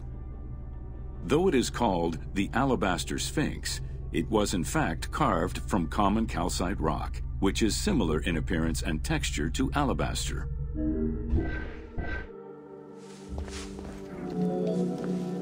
Erosion has destroyed the original engravings, making it difficult to determine when it was created. Egyptologists believe that its facial likeness resembles Amenhotep II, and so it could have been sculpted somewhere between 1700 and 1400 BCE. It is believed that this monument once stood outside of the Temple of Ptah and was integrated into subsequent extensions to the complex.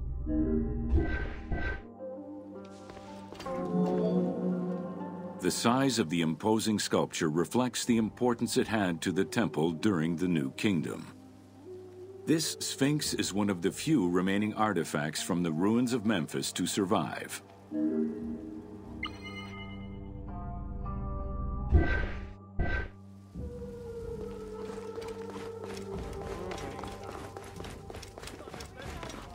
In Egyptian culture, some animals were associated with gods, while others were considered to be living gods.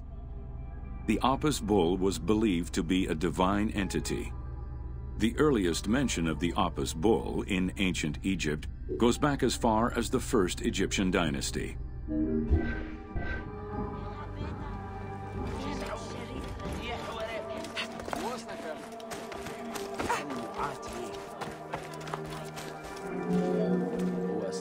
Originally the symbol of fertility, the Apis bull was linked to the god Ra, with the image of the sun carried between its horns. Later it was associated with Osiris, the ruler of the underworld, thus becoming the funerary divinity Osorapis. During the 18th dynasty in Memphis, the Apis bull's association with the city's deity earned it the title Herald of Ptah. The Apis bull was so revered that even Alexander the Great, upon his arrival in Memphis, gave honor to Apis.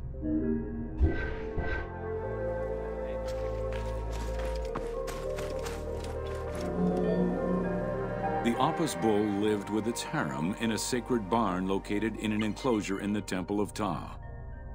Each bull bore 29 signs representative of its divinity.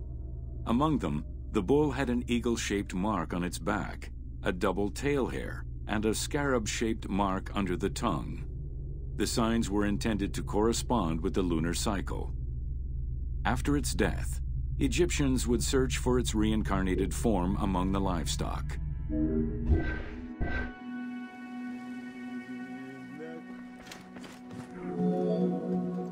Like other living divinities, the mortal incarnation of the Apis bull was prayed to, and when it died, it was given a luxurious funeral, which included mummification. Until the reign of Ramses II, the Apis bulls were buried in individual graves in Saqqara. During the 26th dynasty, the bodies of the bulls were buried in enormous stone vats in the underground corridors of the Serapeum of Memphis.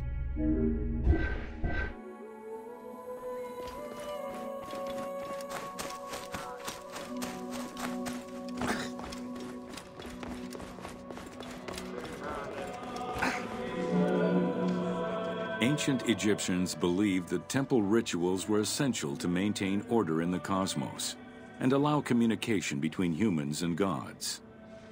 The pharaoh was required to bring offerings as part of a twofold promise made to the gods to remain a just ruler and to prevent chaos from entering Egypt.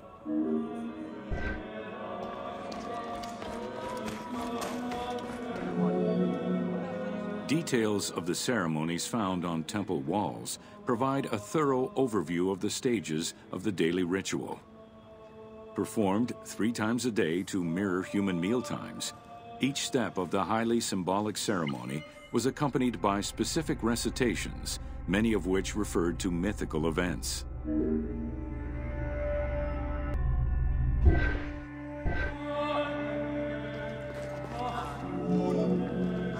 The high priest would first awaken the sleeping god with a chant.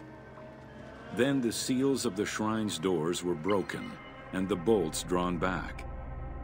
The act of swinging open the doors was a symbolic gesture where sight was granted to the deity.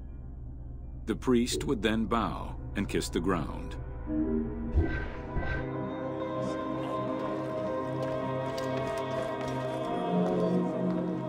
The god was then washed with incense-infused water and its mouth rinsed with mineral salts.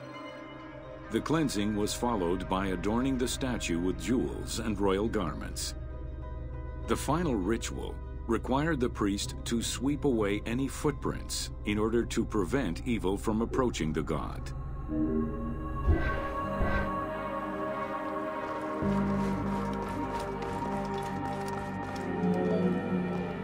Heredity was the primary source of new recruits. Rarely was an outsider allowed this position. At the top of the temple hierarchy was the high priest. Each temple dedicated to a god had at least one high priest devoted to its care and service. During the Ptolemaic dynasty, one family held the position of high priest in Memphis for almost 300 years.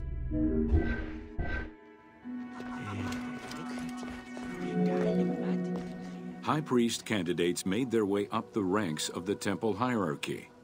The one chosen to occupy the lofty position of high priest was usually confirmed by the pharaoh. Several of the high priests were also important officials in the government. Families sharing the highest priesthood titles tended to make many alliances, thereby gaining more land and wealth. Shifting balances of power sometimes resulted in more or less open conflicts between the priesthood and the pharaohs.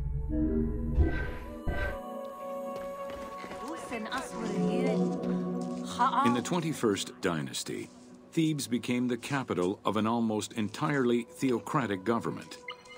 The city was headed by king priests who spoke and governed in the name of the god Amun, in open opposition to the ruling pharaohs. These king priests caused a massive decentralization of power, known as the Third Intermediate Period.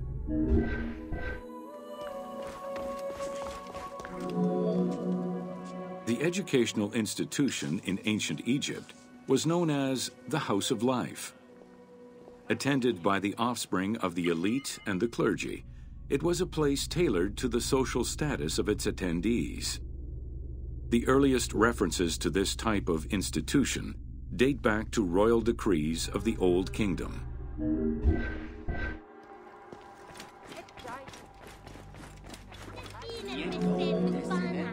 Only two known centers have been uncovered one in the abandoned city of Akhetaten, and one at the temple of Ramses II on the west bank of Thebes. Inscriptions uncovered in those locations mention the names and titles of people who were connected with the House of Life, such as a chief physician and many scribes. It is presumed that by the late kingdom, every temple had a House of Life.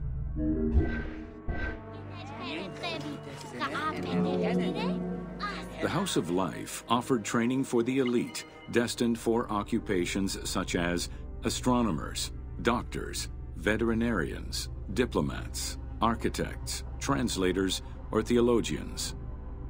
Some institutions focused on specific disciplines, making them a central hub for the country.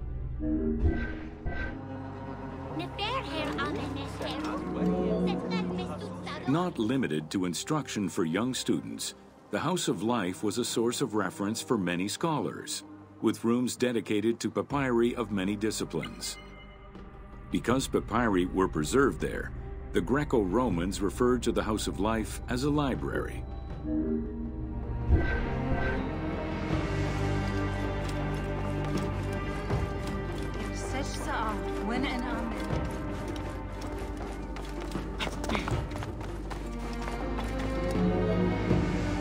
Ancient Egyptian economy was based on an unequal system of redistribution of goods. The state of Egypt collected the crops, and the temples distributed them throughout the provinces.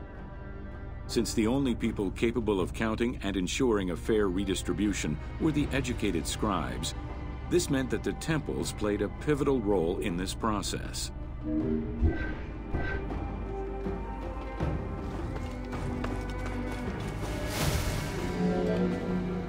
There are records of pharaohs making offerings of large tracts of land and animals to temples in order to maintain their favor. Ramses III offered generous gifts to the temple of Amun in Karnak in such a manner.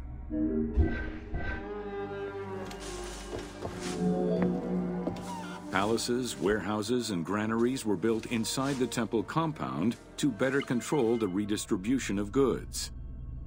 The size of the recorded numbers of goods, combined with every other function filled by temples, only serves to confirm their might as economic, religious, and political centers of power within Egypt.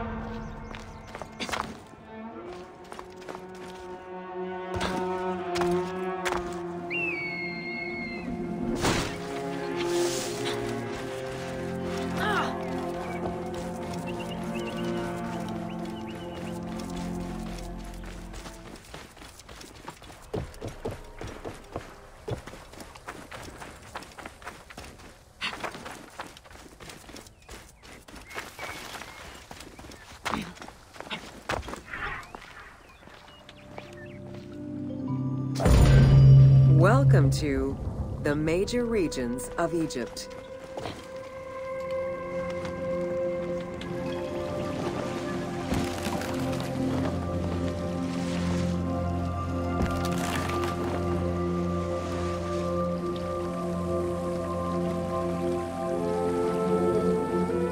Life in ancient Egypt was concentrated along the shores of the Nile and divided into two regions. Lower Egypt was situated on the Nile Delta near the Mediterranean, and Upper Egypt was at the south reaching into Africa. Due to its proximity to the Mediterranean, temperatures in Lower Egypt were less extreme than in Upper Egypt.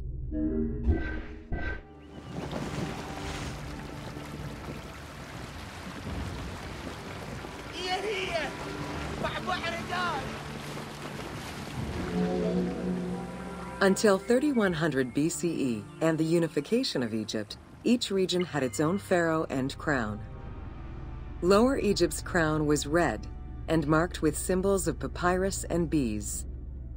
Upper Egypt's crown was white with symbols of lotus and sedge grass.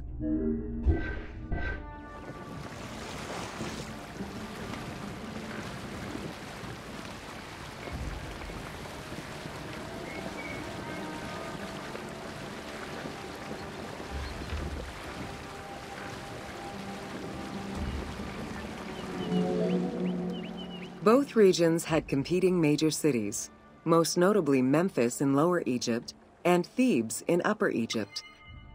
There were different religious cults in both regions, each worshipping their own major gods.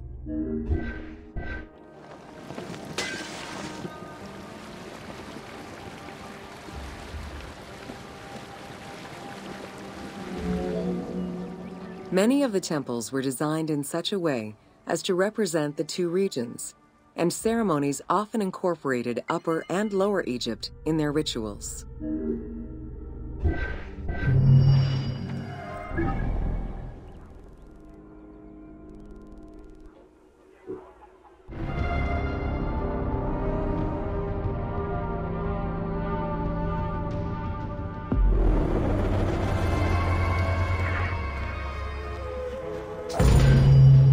Welcome to Mummies of Ancient Egypt.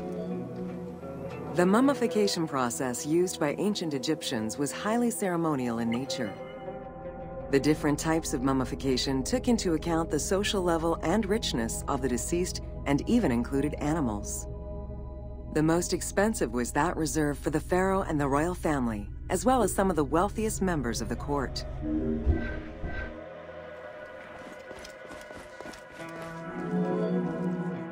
The first step was cleaning. Once bodies arrived at the mummification site, they were placed on inclined tables while the bodily fluids drained away.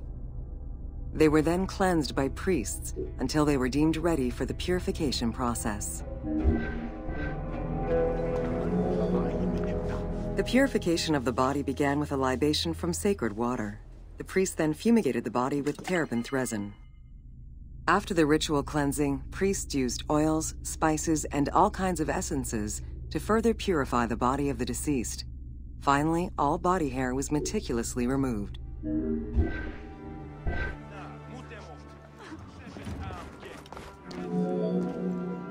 Once the body was properly purified, embalmers removed the organs, following very specific procedures. First, the brain was extracted by inserting a spoon through the nostril to break the ethmoid bone. Then, using a spatula, the pieces of the brain were removed as thoroughly as possible. What matter remained was extracted after a process of liquefaction, achieved through the use of a caustic liquid. The cranial box, once emptied, was rinsed and disinfected with palm wine, and then stuffed with strips of linen cloth and liquefied resin. After taking care of the brain, embalmers made an incision on the left flank and carefully set aside the viscera. The inside of the body was also rinsed with palm wine. Then the embalmers filled the belly with pure myrrh, cinnamon, and other perfumes and sewed it shut. The removed viscera were washed in palm wine and packed in crushed herbs before being placed in canopic jars.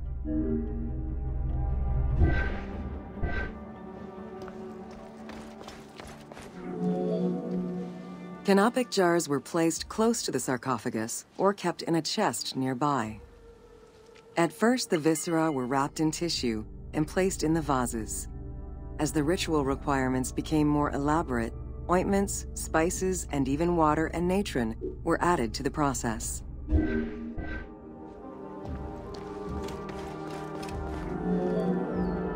Towards the middle of the New Kingdom, canopic jars assumed the appearance of the four sons of Horus.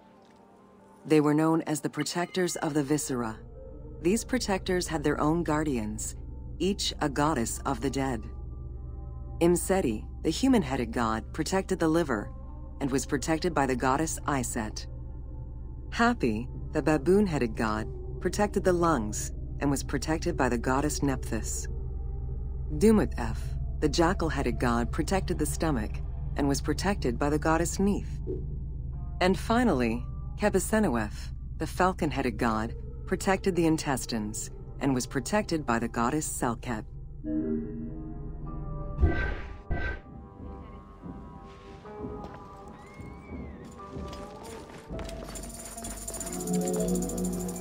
Natron is a naturally occurring mineral found in evaporite. These sedimentary rocks are made up of mineral salts and were generally mined from lake beds in Egypt.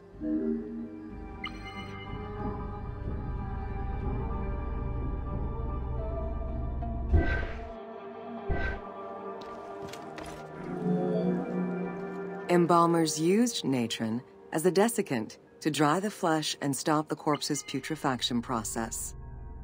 Once the body was cleansed and eviscerated, the deceased was covered in natron for about 40 days. Once desiccated, the body was prepared to be wrapped in strips of linen.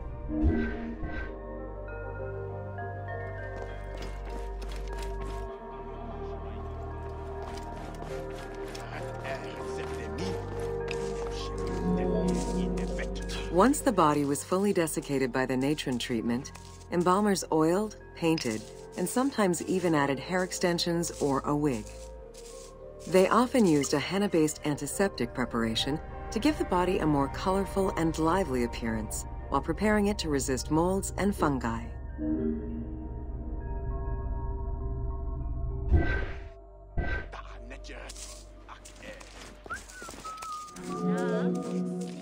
Next came the phase which gave mummies their most well-known appearance, the wrapping. Originally, each part of the body was wrapped separately. Men had their arms crossed on their chests, while women had the right arm folded over their breasts and the left arm stretched along the body. However, techniques evolved over time. Eventually, the body as a whole was wrapped with limbs alongside the body, and increasingly sophisticated and different techniques of weaving flax bands were developed.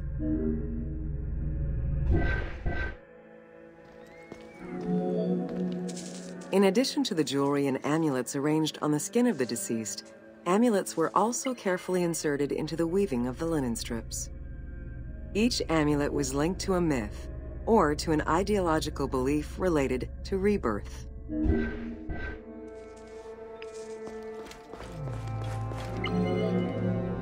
Masks were an important part of a mummy's finery. Early wooden funeral coverings were very expensive, however, and soon replaced by masks created through a technique known as cartonnage. Masks fashioned with this method were created by laying several layers of linen or papyrus pulp on a base made of mud or straw. Cartonnage was used for more than funerary masks. Ornaments and the animal coffins of the late period were also made in such a fashion.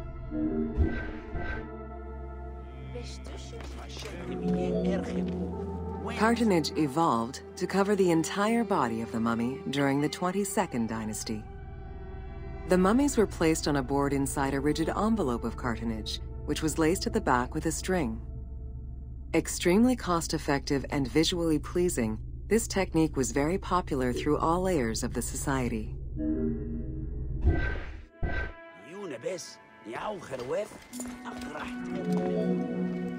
Cartonnage envelopes were usually covered with inscriptions and polychrome decorations, specifying the names and titles of the deceased, scenes depicting daily life, or decorations specific to the funerary world.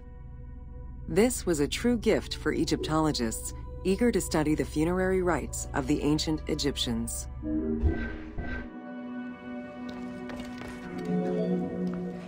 Once the mummy was properly wrapped and adorned, the embalmers proceeded with the ceremony of the opening of the mouth. A vital step of the funerary process, this ceremony was meant to bring back to life the deceased themselves or an object representing the deceased.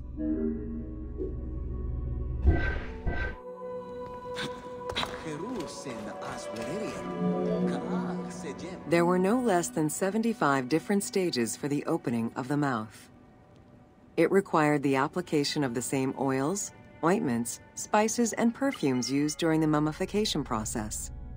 Makeup was sometimes part of the process as well.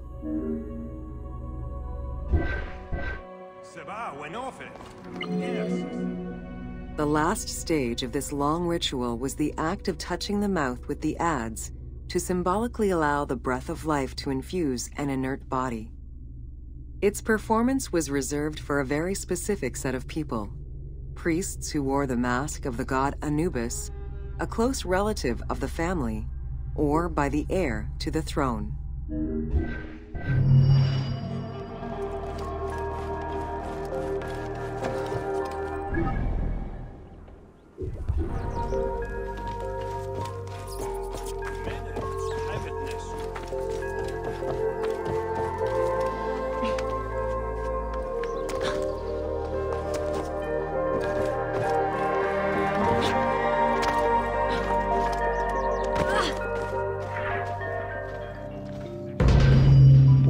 To Artisans of Ancient.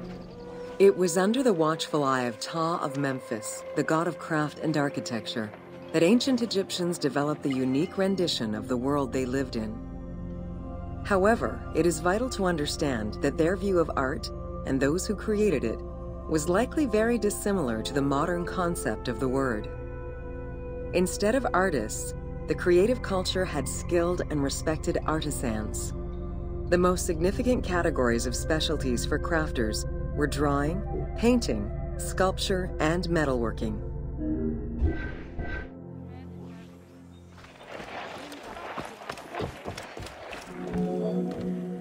Ancient Egyptian craftspeople created both art and a wide variety of mundane, everyday tools. Every item created had a specific purpose and was produced by anonymous artisans who worked alone or with a team. Most crafts, such as pottery and metalworking, were utilized for everyday items. Luxury goods and artwork illustrations served temple rituals and were not meant for public display.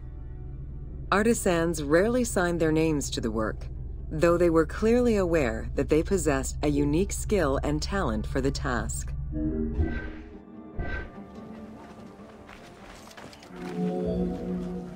Art, in all its forms, has offered not only a practical insight into the way ancient Egyptians lived, but in how they viewed the world and their place in it. The balance of order and chaos was crucial in both the physical and the metaphysical universes. As a result, their art appears to follow a strict set of stylistic conventions that supported this worldview. From households and palaces to temples and tombs, pottery, papyrus, and textile items were essential to the everyday life of ancient Egyptians.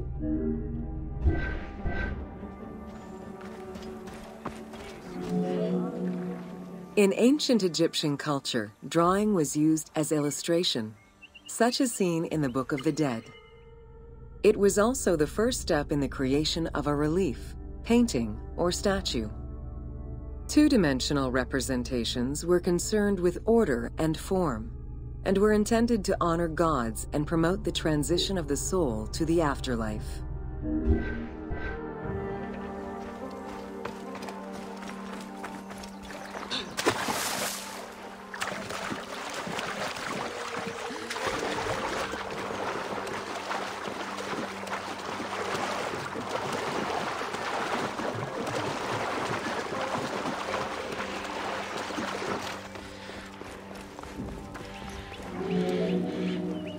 Stylistically, Egyptians were concerned with the depiction of the human form's inner self.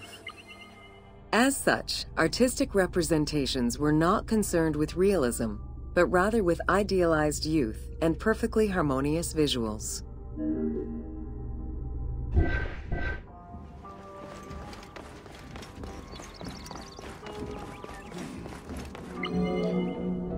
An exception to this were scenes depicting hunting and battle, where the environment and enemies moved in lively, even chaotic ways.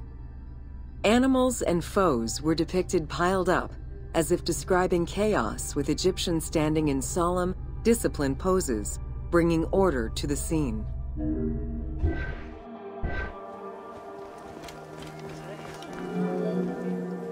Reliefs could be either in high relief or low relief.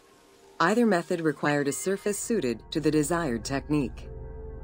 Preparation of the surfaces differed depending on the quality of the rock. A quarried block only needed a simple smoothing. Rough cut rock monuments, such as those found in tombs, required more work. Often the surface was coated in plaster before being sculpted.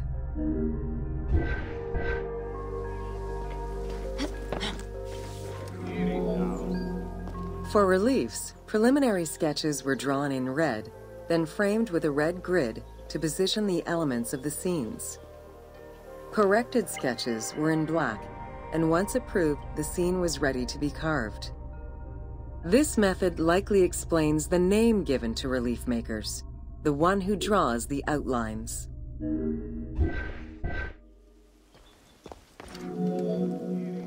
Statues were believed to be vessels for the souls of the deceased, or deities. That is why a sculptor was called the one who makes it live. This divine duty earned them the utmost respect. As with a relief, creation of a sculpture began with a drawing. Most statues were made of quarried blocks of stone, primarily limestone, though sometimes harder stones such as quartzite were also used.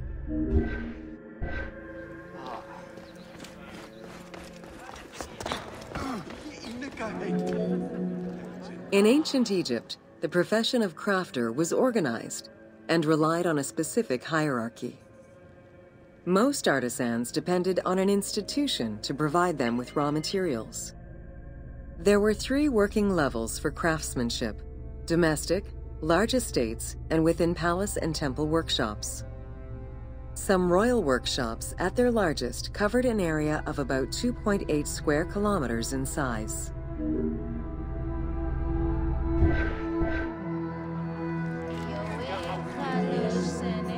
At the domestic level, most Egyptians were craftspeople to a greater or lesser extent. The ability to repair tools was a daily necessity. Crafted everyday items could also be bartered for at the local market.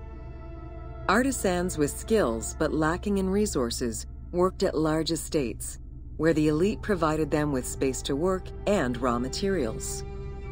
The most skilled artisans were employed in royal or temple projects and benefited from a special status. They were provided with good workspaces and considered to be highly skilled.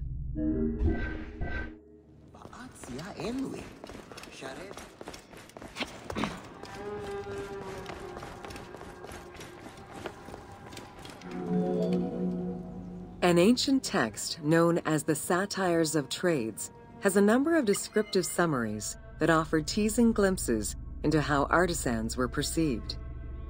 A coppersmith was said to stink and have fingers that resembled crocodile droppings, while potters were said to be like those who lived in bogs.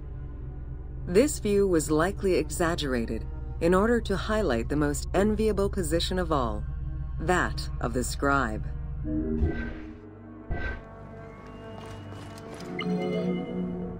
Located near the Valley of the Kings, Deir el Medina was a settlement created by order of the king to honor the most skilled artisans. Its name translates as the Monastery of the City.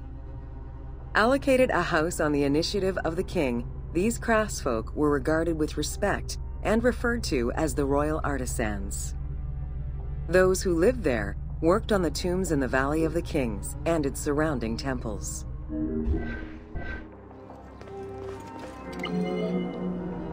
Archaeologists believe the site was home to skilled and respected artisans for over 400 years. It is considered one of the most important discoveries relating to Egyptian daily life. While much of the focus of Egyptian archaeology was on its kings and queens, it wasn't until the excavation of Deir el Medina that Egyptologists were given a valuable window into the community life of ancient Egyptian artisans.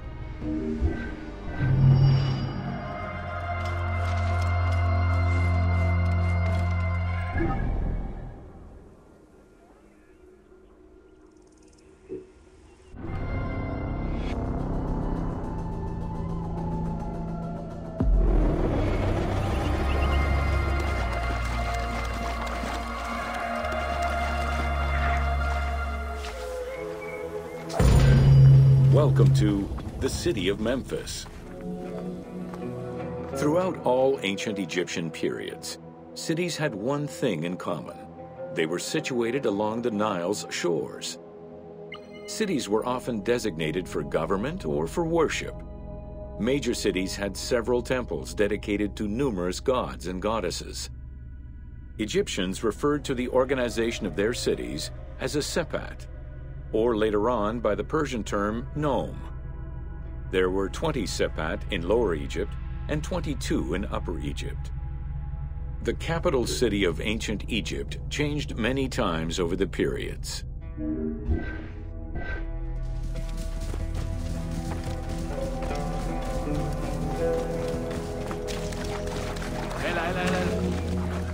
One of the largest was Memphis, located in Lower Egypt.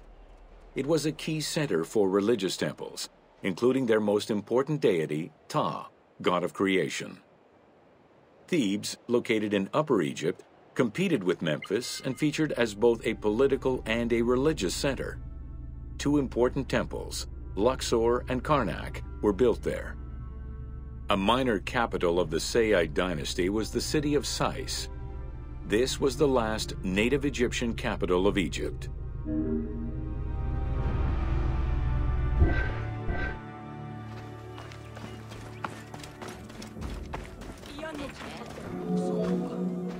During the Third Dynasty, under Pharaoh Djoser, Memphis became the first religious and administrative capital of Egypt. Even when the political capital of Egypt decentralized itself, pharaohs were crowned in this sacred city in order to legitimize their ascension to the throne, up to and including Alexander the Great. Though little remains today save ruins south of Cairo, we can guess at the structure of the city, which stretched up to 5 kilometers in length and 2 kilometers in width.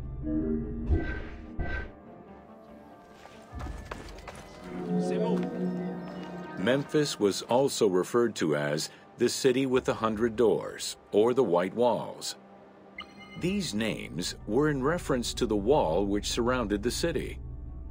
Under the protection of Ptah, god of craftsmen, the city was a thriving religious and economic hub.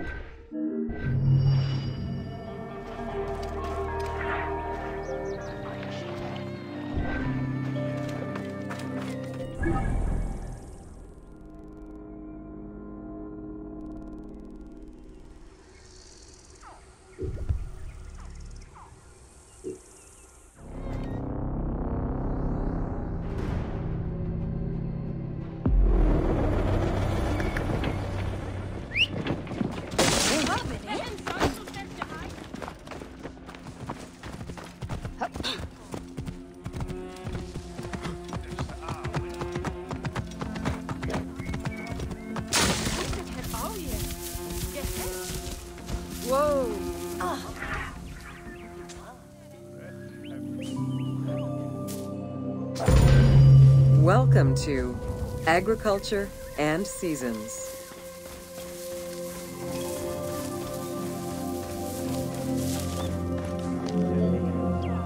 While crops were cultivated in different oases around the desert, most of the arable lands were near the Nile. Two types of cereal grain were cultivated, barley and an ancient wheat known as emmer. These two key ingredients contributed in establishing bread and beer as the staple of the Egyptian diet and the basis of its economy.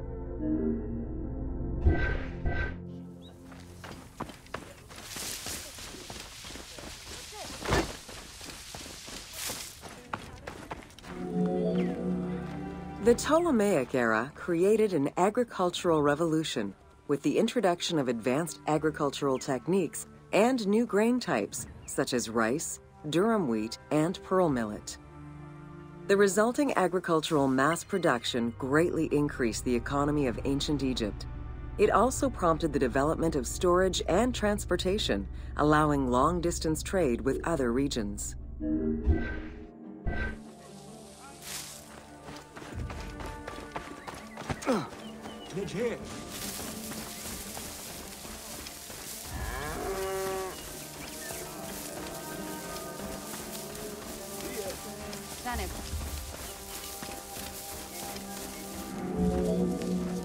Both bread and beer rations were part of a system of barter payment. The state used those goods to pay wages for those who worked in the quarries and at the construction sites. Beer was so important to ancient Egyptians, they had a goddess of beer brewing, Tenenet. Tenenet is seen in many paintings and sculptures with beer, and women are depicted as the primary beer makers.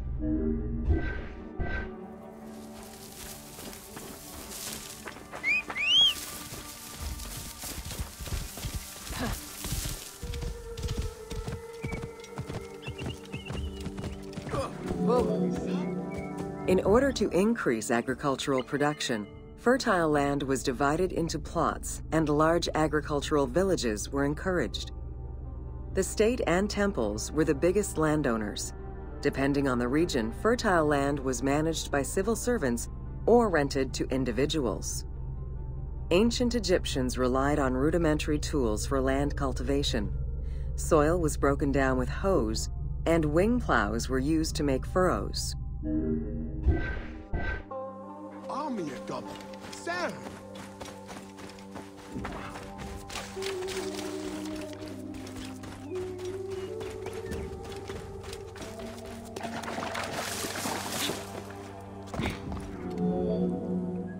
The three seasons known as Akhet, Peret, and Shemu corresponded to a specific phase of the agricultural process and the river's natural changes. Akhet was the time of the flood, beginning with the appearance of the star Sirius in July. Peret was the time when lands were cultivated, plowed, and sown. This fell between October and November. Shemu ran from May to September and was when harvesting and taxation began.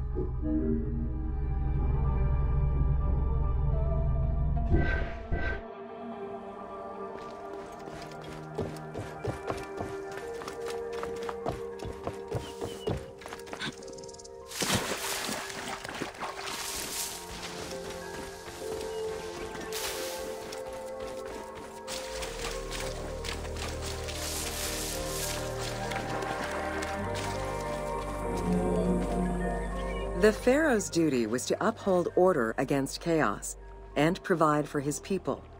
Priests and local governors also wanted to appear as protectors of the people. However, any variation in the Nile's seasons could cause water shortages. This had devastating consequences on wheat and barley crops. The pharaoh, administrators, and priests knew they needed to demonstrate their ability to prevent such a catastrophe from happening. And so they invented the story, which would be inscribed upon the famine stela.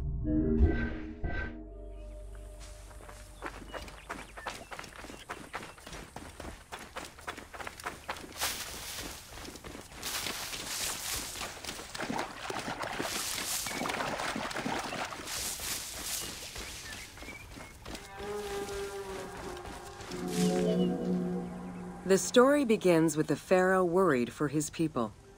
The Nile hasn't flooded in years, and his people are starving. In search of the origins of the flooding, Djoser seeks out Khnum, the protector god of the region and the source of the drought. Djoser gives the god offerings and orders his priests to restore the temple of Khnum. These offerings please the god, and the floods are restored. This story was intended to highlight the importance of the deity in everyone's daily lives, while also demonstrating the crucial role that the priests and the king played in feeding and protecting the people of Egypt.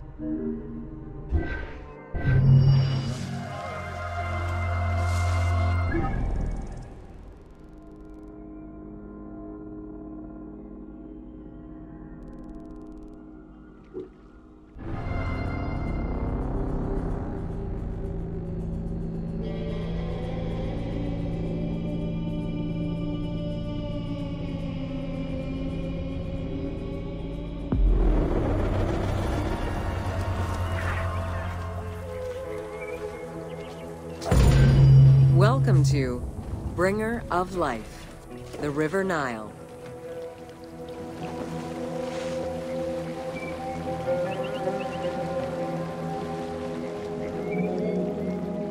The ancient Egyptians called the dark fertile soil of the Nile the Black Lands, and the surrounding desert was referred to as the Red Lands.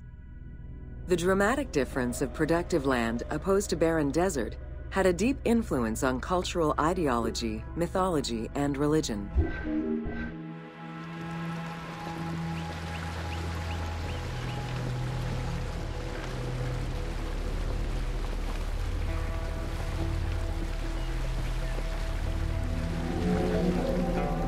The Nile determined much of Egyptian civilization.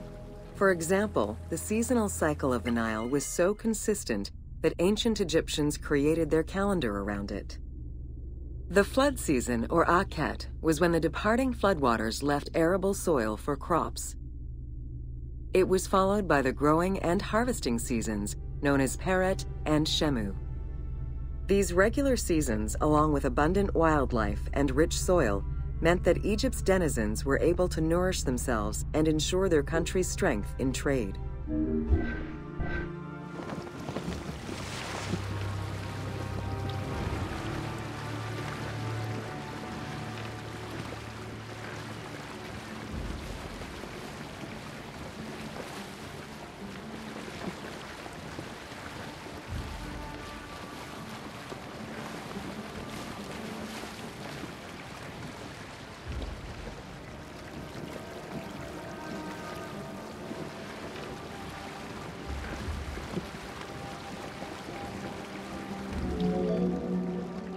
River Nile, flowing from the south to the north, neatly traversed through both Upper and Lower Egypt.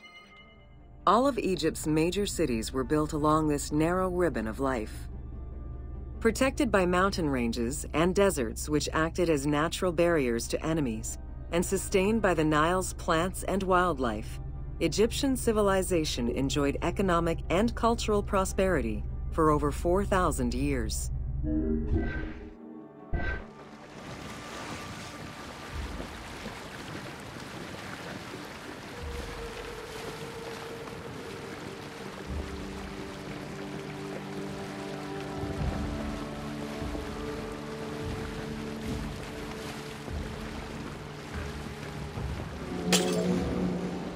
Both ancient Egyptians and ancient Greeks referred to the Nile as the river in their respective languages. Stretching a distance of over 6,700 kilometers, the Nile is one of the longest rivers in the world. It flows south to north, spanning 11 countries. The River Nile originates in the region of the Great Subequatorial Lakes, including one of the largest in the world, Lake Victoria near Tanzania. Thank you.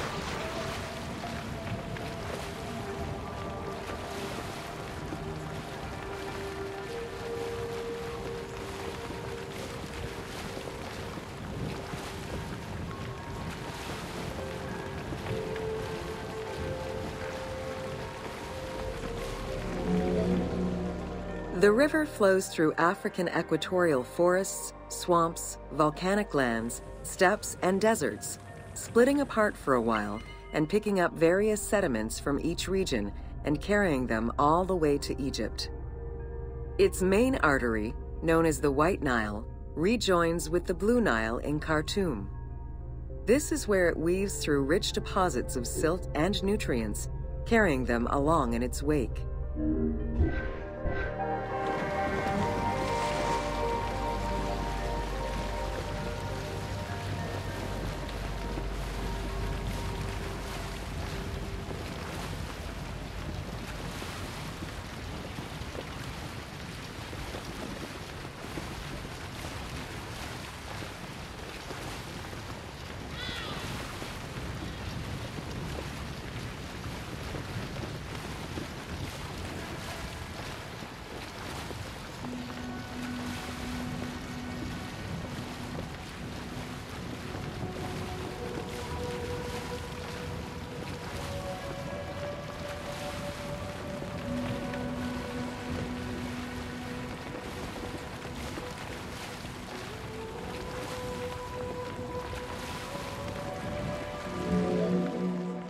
The Nile crosses six cataracts from the south to the north, creating natural obstacles between the various sections of the river.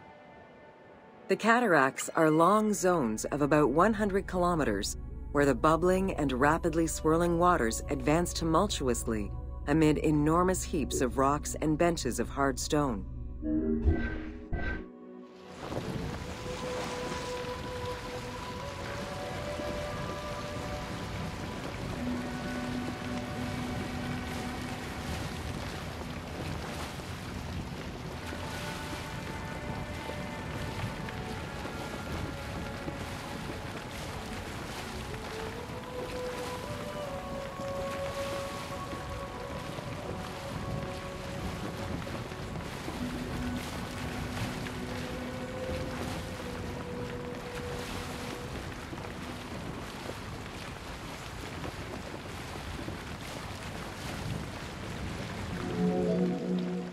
It is after crossing Nubia and the First Cataract that the river officially returns to Egypt in Aswan. There are still a thousand kilometers before it reaches Cairo and the Delta, bringing life to those living on its shores before it eventually empties into the Mediterranean Sea.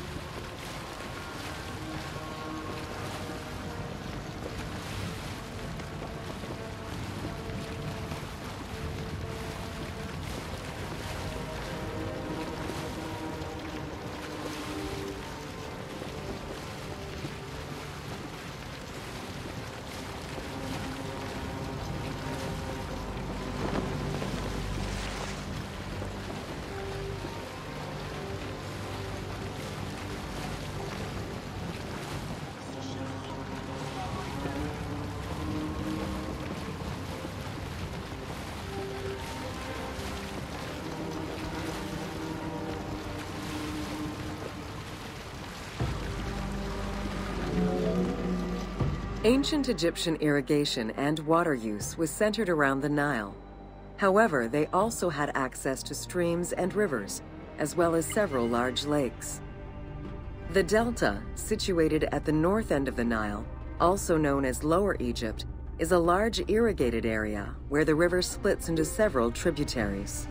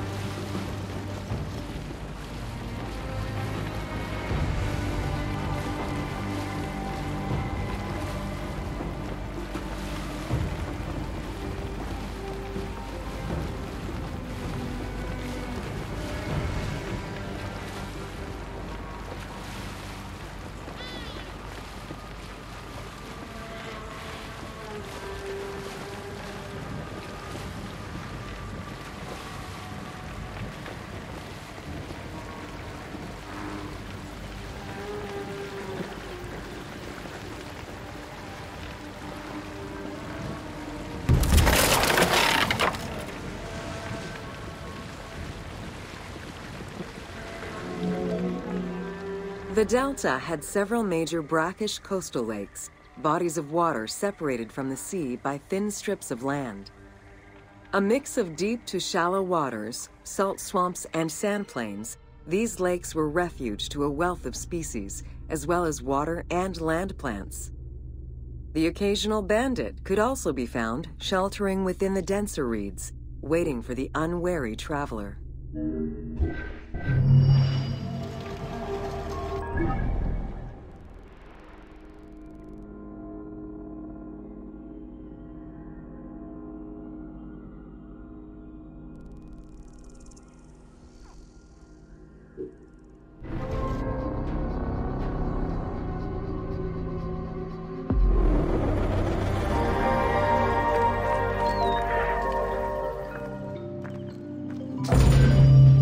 To Khufu's funerary complex. The Valley Temple was the first architectural component encountered when one entered the funerary complex. It was considered the official entrance of the tomb and mixed the structural components of both a temple and a portico. Khufu's Valley Temple shows evidence of a basalt pavement, letting us know where the portico portion of the structure was located. Such a partition is believed to symbolize both the subterranean and solar aspects of the afterlife.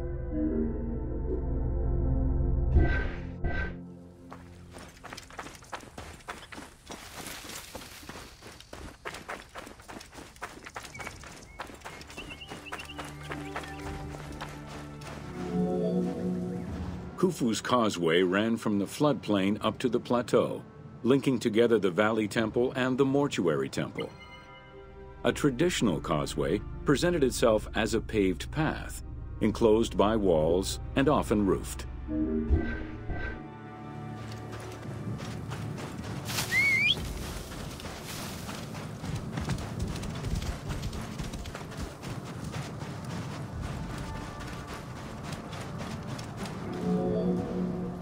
Fragments discovered by archaeologists indicate that the walls in Khufu's causeway, one of the longest known to us, were decorated with carvings and possibly paint.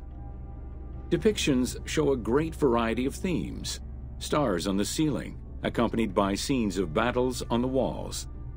Other engravings depicted the creation of the complex by illustrating craftsmen at work.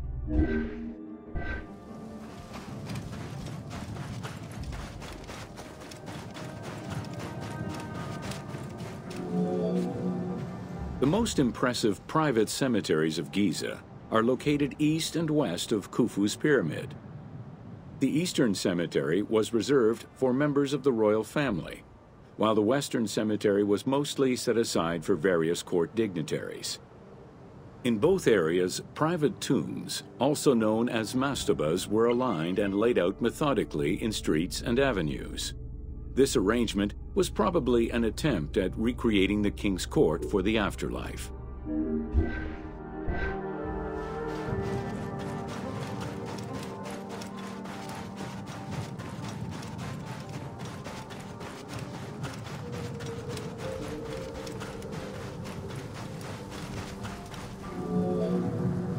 To the east of Khufu's pyramid reside three smaller constructions, the three Queen's Pyramids, a sloping passage led from the ground surface to a burial chamber, cut out of the bedrock and lined with masonry. If it seems quite certain that these monuments were intended for Queen's burials, the identity of the original occupants is hard to assess.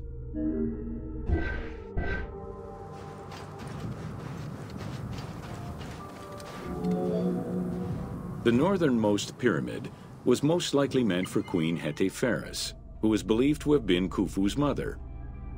However, in 1925, her actual tomb was discovered nearby by accident.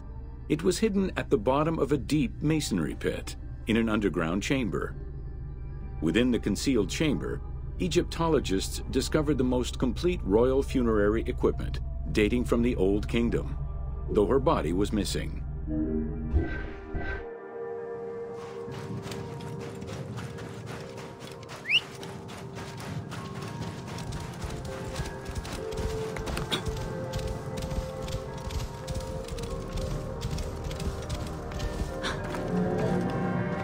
Within the vicinity of Khufu's pyramid, Egyptologists have uncovered seven boat pits. The exact function of such boat-shaped pits remains unconfirmed, though one can easily conjecture that it was symbolic in nature.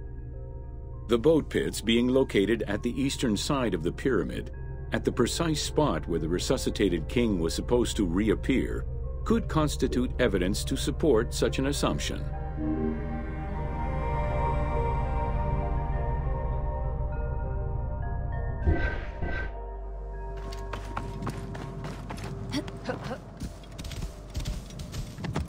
Whoa, whoa.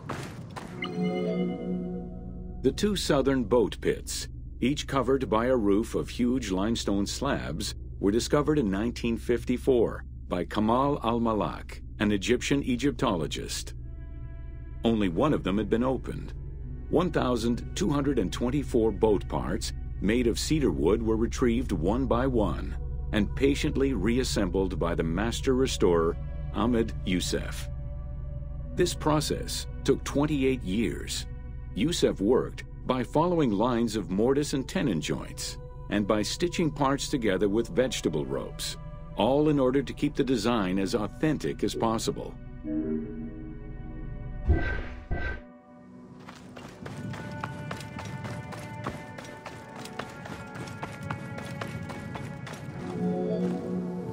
The Greek term pyramidion refers to the capstone of a pyramid or the tip of an obelisk. In ancient Egyptian, both components were called benben. This word was also used for a specific kind of food, a cone-shaped offering made of bread. The pyramidion was intended to be a miniature reproduction of the pyramid, making it equal to the monument itself in symbolic importance.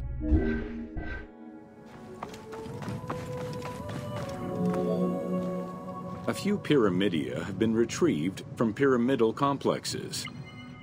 The earliest, found in Dahshur, is undoubtedly a good example of Old Kingdom's pyramidia. It is made of limestone and has no inscriptions. Some engraved pyramidia were recovered from private funerary chapels. Their inscriptions all related to the solar symbolism of the Benben.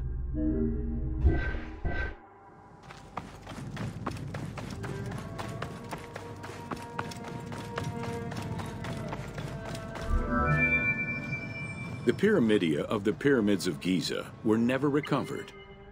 The reconstitution you see in the game is fictive, incorporating a golden pyramidion bearing inscriptions relevant to Khufu.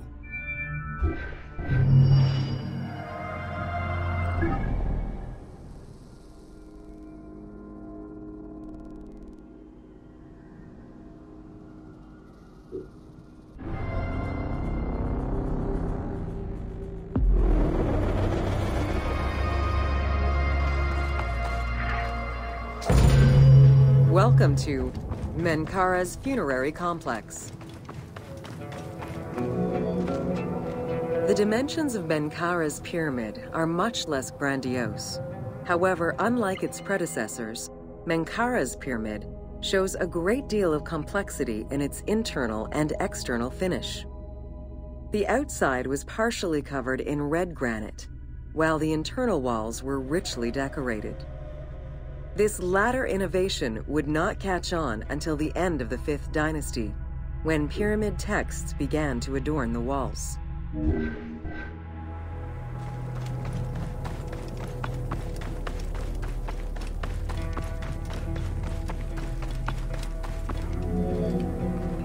Menkaura's pyramid contains two sloping passages, both located in the northern side of the structure. The upper one was abandoned during the construction phase, whereas the lower one, slightly above the base of the monument, constitutes the real entrance. The lower passage leads to a first room, which, for the first time since the reign of Djoser, is decorated with engraved false doors.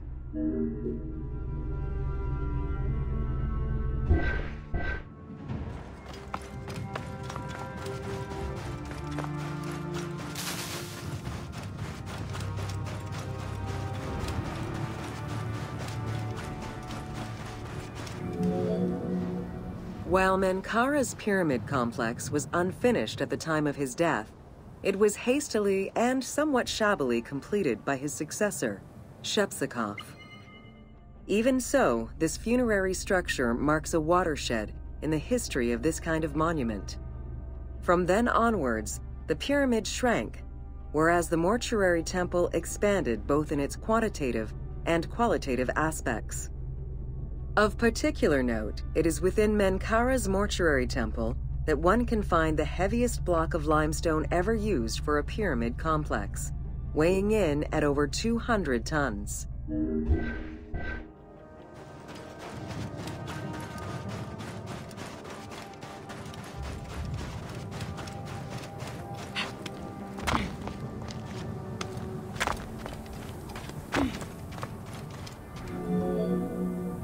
Menkaura's causeway was completed in mud brick by the king's successor, whereas the lower part was nothing more than a simple ramp. As for the Valley Temple, it was built in two phases. The foundations were first laid out in limestone during Menkaura's reign, but the temple itself was completed in mud brick afterwards. As such, the Valley Temple was soon damaged and ended up being completely rebuilt during the Sixth Dynasty.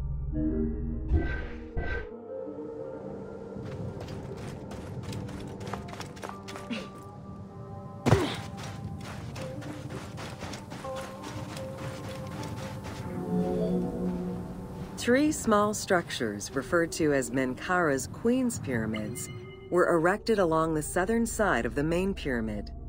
One of them was a smooth faced pyramid, while the other two were more basic step pyramids. It is difficult to assess whether the latter were designed as such or were left unfinished with no casing to smooth out their surfaces.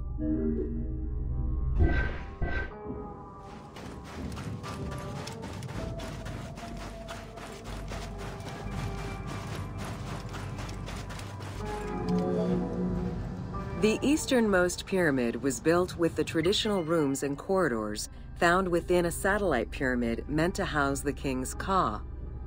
However, a granite sarcophagus was found within, leading to the conclusion that it was used as an actual tomb rather than as a symbolic cenotaph. Drawing on these observations, some assume that this pyramid was first built as a satellite pyramid for the king's ka before seeing its purpose change to that of a queen's tomb. Which queen, however, remains a mystery.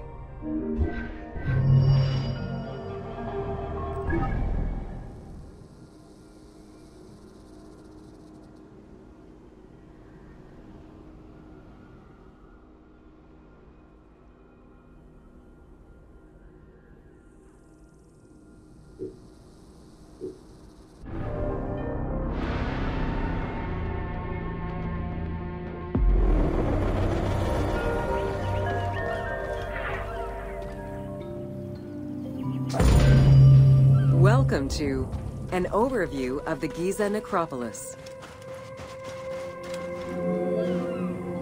The Giza Plateau is located on the west bank of the Nile. and was considered by ancient Egyptians as the domain of the dead.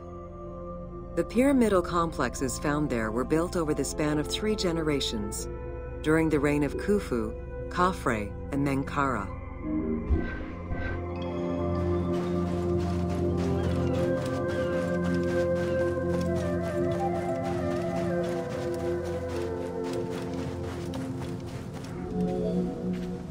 The Giza area, now famous for its three pyramids, is part of a wider grouping of funerary complexes.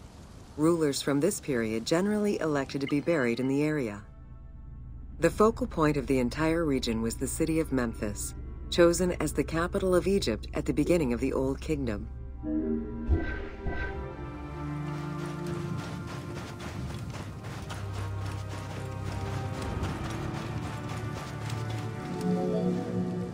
The placement of the Giza monuments, and particularly that of the pyramids, followed a practical yet strict alignment.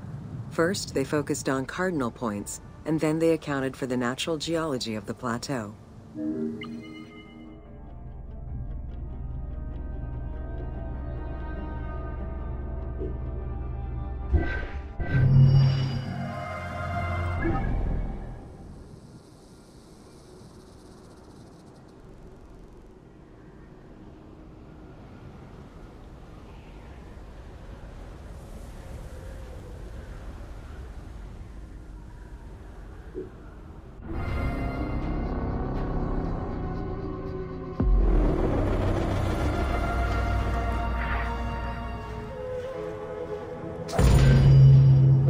Welcome to The Origin of the Pyramid.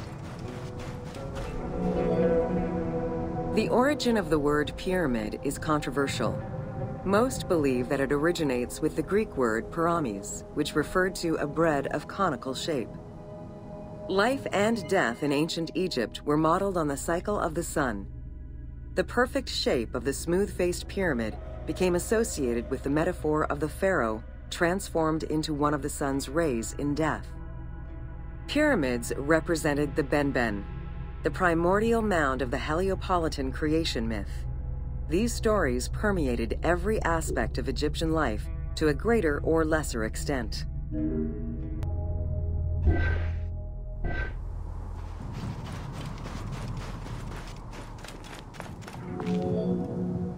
During the pre-dynastic period, the development of funerary practices was different depending on whether one was located in Lower Egypt or Upper Egypt.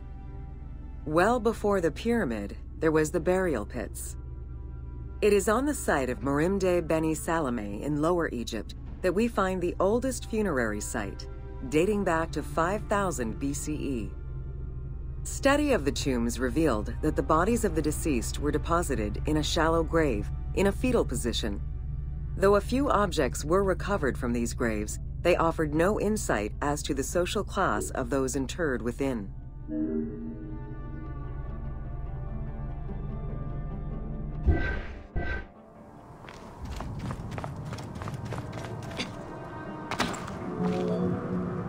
In Upper Egypt, pre-dynastic practices are easier to study, but reveal more complex funerary rites. They are divided into two cultural phases, Badarian and Nagada. The Badarian phase ranged from 4400 BCE to 3800 BCE. Small necropolises were discovered on the outskirts of villages, revealing the emergence of a funerary cult. The bodies of the deceased were lowered into an oval grave and covered with goat or gazelle skins. Items needed in everyday life were added alongside the body.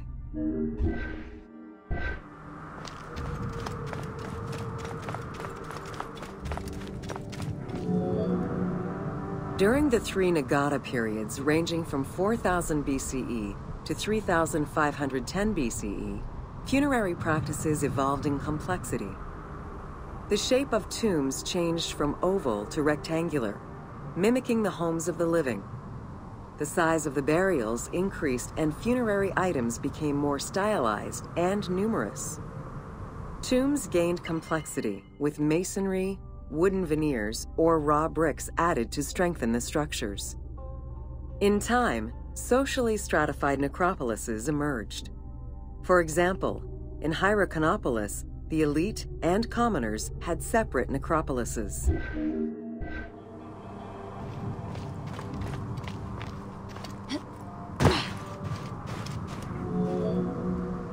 The term mastaba, meaning massive bench in dialectal Arabic, refers to a form of funerary architecture that was present in Egypt from the Archaic period to the Middle Kingdom.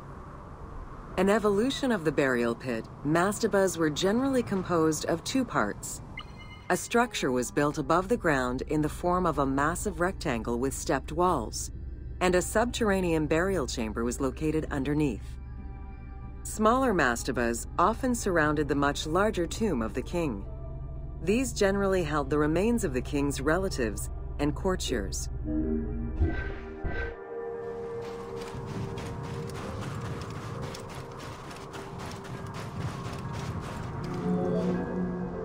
The arrangement of the substructure of the mastaba evolved during the course of the Old Kingdom. From the 5th dynasty onwards, mastabas often featured multi-roomed substructures, with sometimes up to 30 rooms. Also, the quantity and quality of decorated surfaces increased noticeably, as well as the number of statues found within.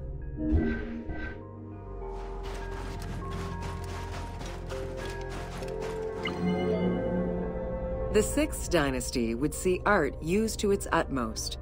The entire surface of a mastaba would be covered in scenes of daily life, illustrating the prosperity of those lucky enough to comfortably spend eternity near the pyramid of a pharaoh.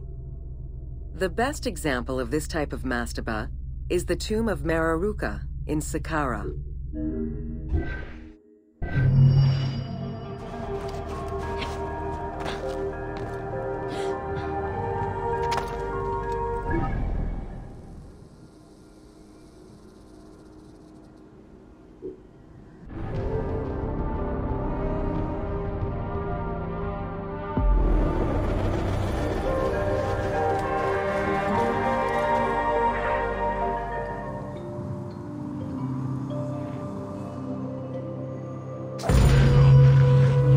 To The Riddles of the Sphinx.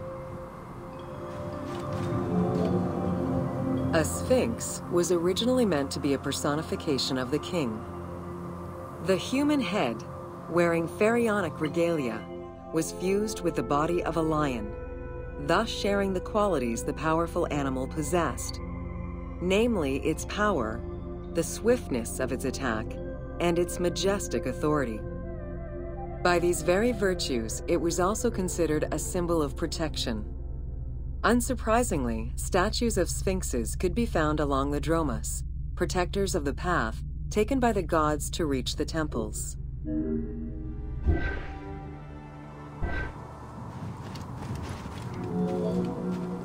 Over the centuries, enthusiasts and historians alike have wondered who built the Sphinx? For what purpose? And who does it represent? These questions remain unanswered. Several theories do exist, however, some more credible than others.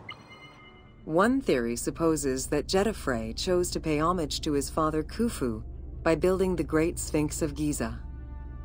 The stone temple on the eastern face of the Sphinx would have been added later on by his brother and successor, Khafre, in order to strengthen the divine worship of their father. It would be the first Egyptian temple oriented with the sun.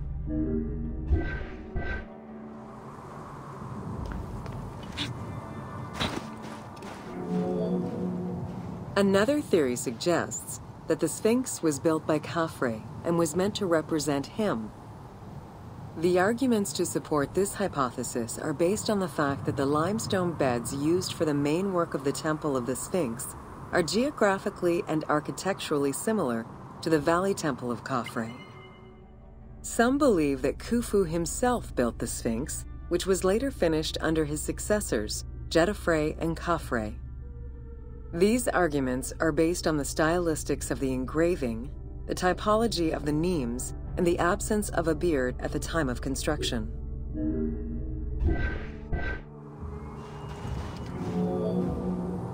While ancient Egypt as a whole leaves a rather monochrome vision of its monuments and statuary, it is vital to understand that in ancient times, absolutely everything was painted. The sun, eating away at the pigments of the colors, the sand, the climate, and the implacable impact of time, unfortunately destroyed the glorious colors of the Sphinx of Giza.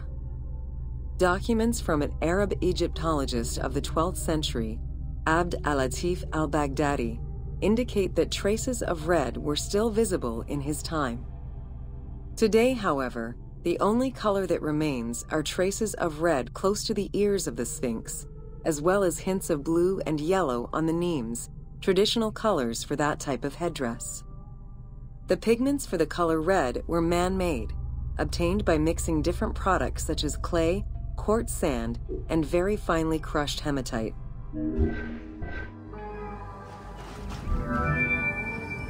Red had a strong symbolism in ancient Egypt. It was both the color of life and the color of death. It could represent the sands of the desert or the brilliance of the sun.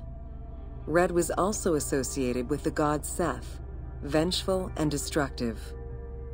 The Egyptian word for red, Deshur, is also the word which was used to signify the desert or the royal crown of Lower Egypt. In art, red was also the color used to paint the bodies of men, while yellow was used for women. It is possible that there were also color restoration efforts during the Saite period about 600 years before Cleopatra's rule, as indicated by notes on the inventory stele, discovered in 1858 by Auguste Mariette. It is because of this that the team made the decision to display it with its full range of colors, even though the Sphinx's colors would have likely faded by Cleopatra's time.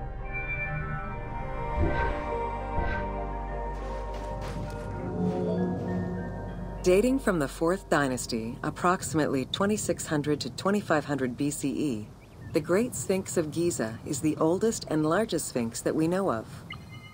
Carved from a natural limestone outcrop, the Sphinx measures 19.8 meters in height, 73.2 meters in length, and 14 meters in width.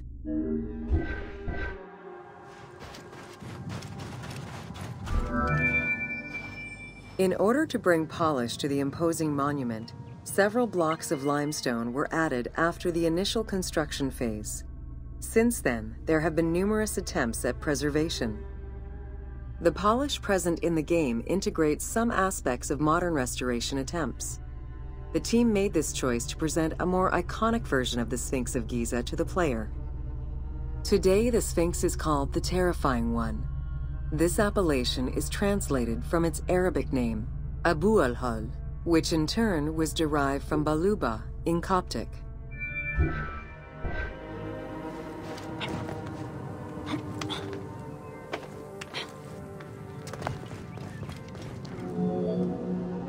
The Sphinx as a whole was carved in situ from a natural stone promontory. Its head was built in a limestone peak of the Mukattam Plate, and the body was sculpted in the underlying rock layer where it is located. The degradation of the Sphinx is due in particular to wind erosion and the different quality of limestone used in its construction.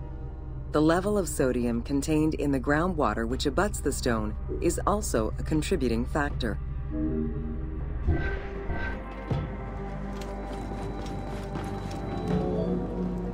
The natural bedrock is seen through the oblique natural strata of the Sphinx's body that are similar to the surrounding limestone.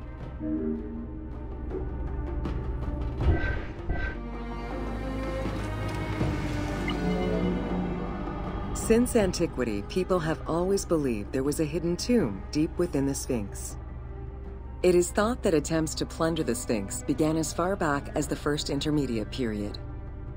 Since then, numerous attempts to pierce the Sphinx's secrets have been carried out, leaving indelible scars upon the monument.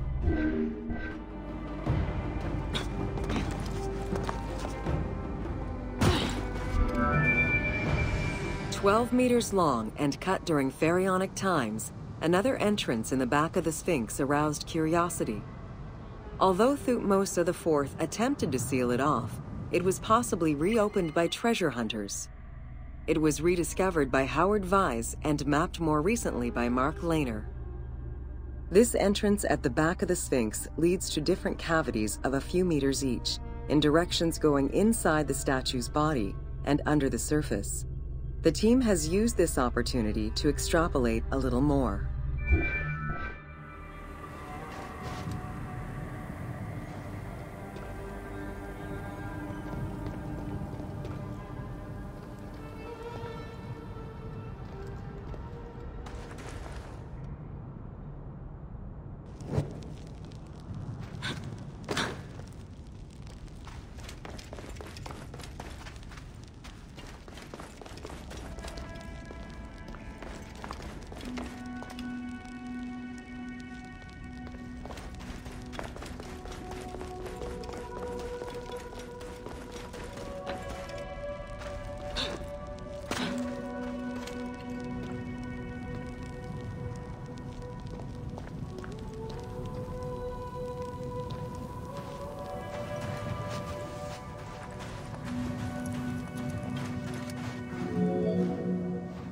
While there have been no major discoveries pertaining to the Sphinx of Giza in recent years, theories and hypotheses continue to emerge. Without validation provided by archaeological sources, however, they remain unsubstantiated.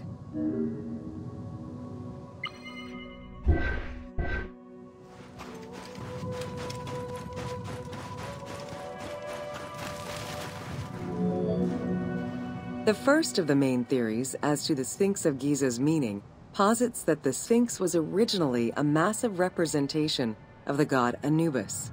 Its principal arguments are that the head of the Sphinx is disproportionate compared to the size of its body. The second theory believes that the representation of two sphinxes on the stela of Thutmose IV would indicate that another stone sphinx had existed on the site itself, possibly even in paired symmetry on the other side of the Nile. However, neither of these theories can be verified in any way.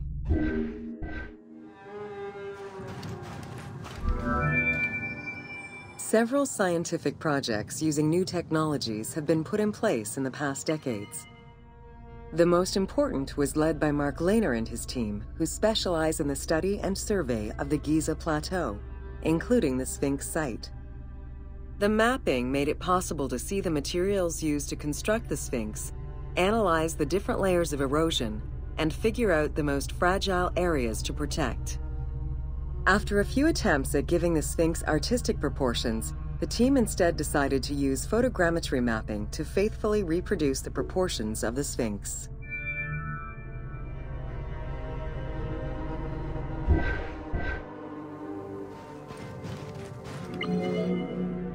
What the Sphinx of Giza represented during its construction and how the Sphinx was perceived by the Egyptians of the New Kingdom are two very different matters.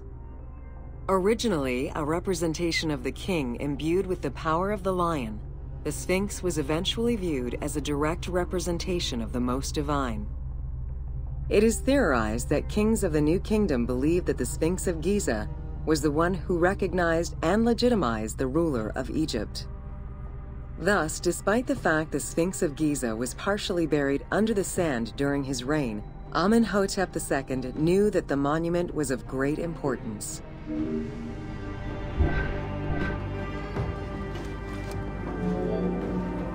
Amenhotep II built a second temple dedicated for the Sphinx as to pay homage to Khufu and Khafre, his predecessors. It became a common habit for this dynasty to spend time with their royal courts at the Sphinx. Its sanctuary became known as Setepet, the Chosen.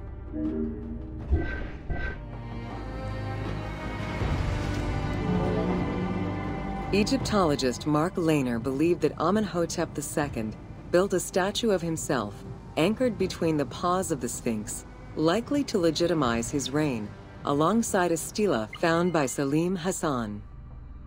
Many other pharaohs of this dynasty, such as Tutankhamun and Ramses II, also left marks of their passage in a similar fashion, sometimes even stripping the stones of nearby temples and pyramids to do so. Amenhotep II's son and successor, Thutmose IV, was a frequent offender.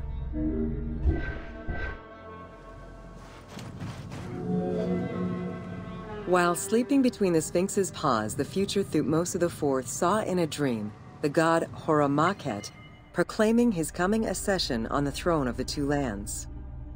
This was, of course, on the condition that he remove all of the sand covering the Sphinx, which stood guard as the personification of the god, and should thus never be engulfed by the sands of the desert.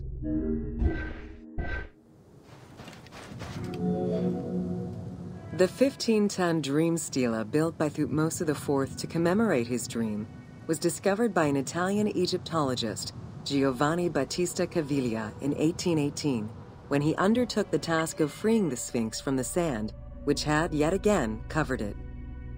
Caviglia was looking for an entrance into the structure of the Sphinx, but instead he discovered an open-air chapel and stelas between the paws. Ashes from a ceremony were still present. Protected by sand, they quite possibly were from the last ceremonies in Roman times.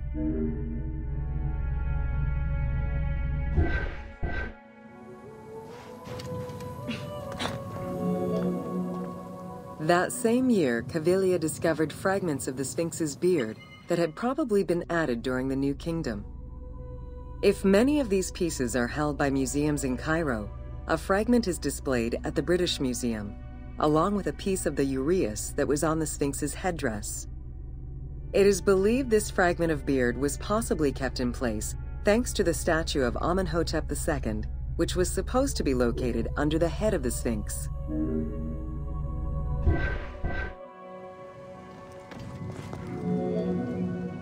A popular cultural legend purports that the nose of the Sphinx of Giza was lost during the time of Napoleon Bonaparte to the cannon fire of French soldiers in training. However, engravings from before the time of that campaign already depicted the Sphinx without a nose, indicating that it had been removed before the French campaign.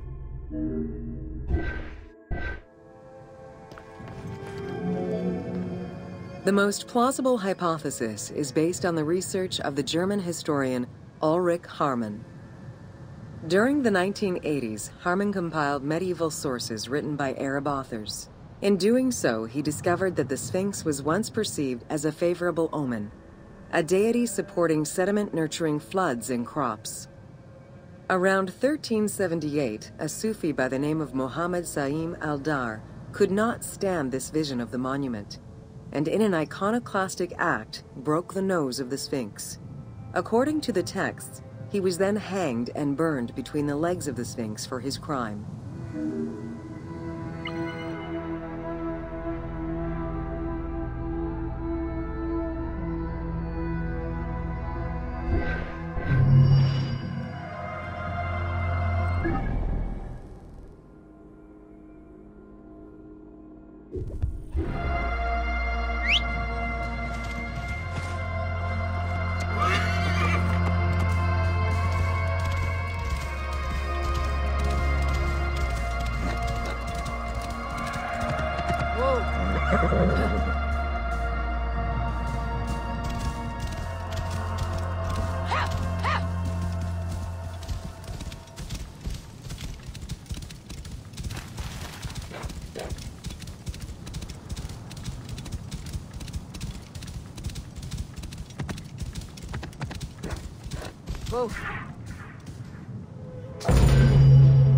Welcome to Khafre's funerary complex. Since the very beginning of the Fourth Dynasty, mortuary temples were built adjacent to pyramids on the eastern side. Such a location, facing the rising sun, as well as the world of the living as a whole, held an important symbolic meaning, for it was within the mortuary temple that kings were revived through daily rituals.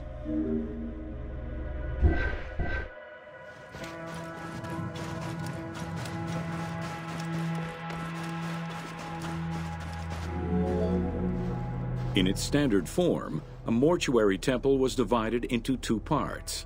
A front area which consisted of a vestibule and a courtyard, and an area in the back, where all sacred elements were located. The back of the temple incorporated several essential features, including an inner sanctuary with a false door, which allowed the soul of the pharaoh to travel between the world of the dead and the world of the living.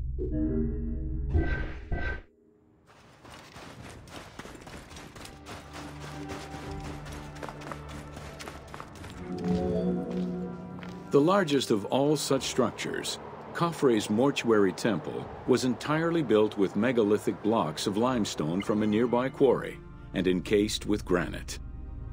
Parts of Khafre's mortuary temple, particularly the courtyard walls, are thought to have been decorated with splendid reliefs.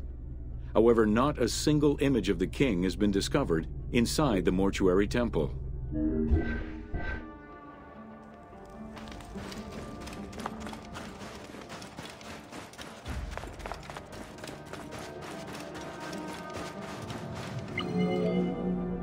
Khufu's direct successor, Djedefre, followed the custom which required each king to establish a new site for their funerary accommodation, and chose Abu Rawash as his last resting place. When the time came to build his own funerary complex, Khafre, also one of Khufu's sons and the successor to Djedefre, broke with tradition and returned to Giza. Not only did Khafre thumb his nose at tradition, but he did so in a way which he hoped would allow him to overshadow his father's most important monument.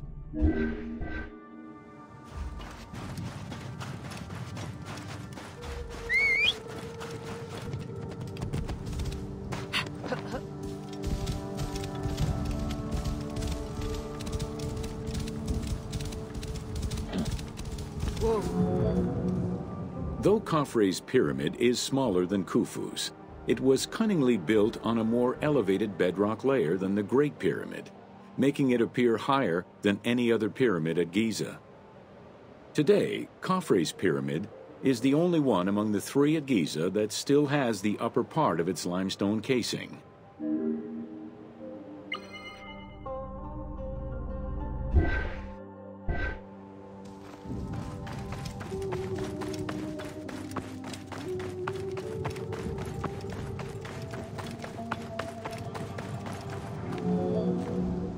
Considered a most sacred area, the Giza necropolis was strictly defined, both geographically and physically. An 8 meter thick Tura limestone wall completely surrounded the Great Pyramid. The only way inside would have been through the mortuary temple.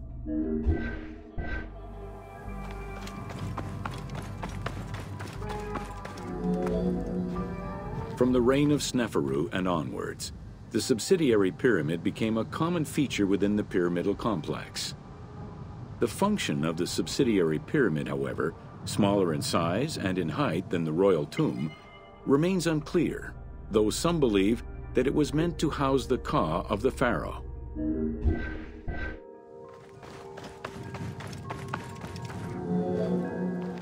In mainstream media, the ka is often defined as the soul of the deceased. The truth is a bit more complicated. Within the ancient Egyptian funerary belief system, the ka was a component of a living person, which separated itself from the body at the time of death.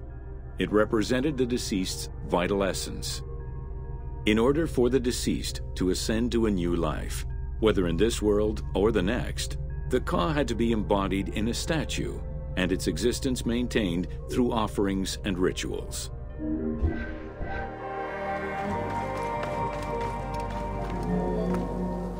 Within Khafre's subsidiary pyramid, a wooden box containing pieces of cedar was discovered by archaeologists.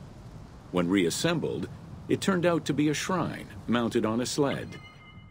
Just as with the solar barges found around Khufu's pyramid, it seems Khafre's shrine and sled were ritually disposed of after his funeral.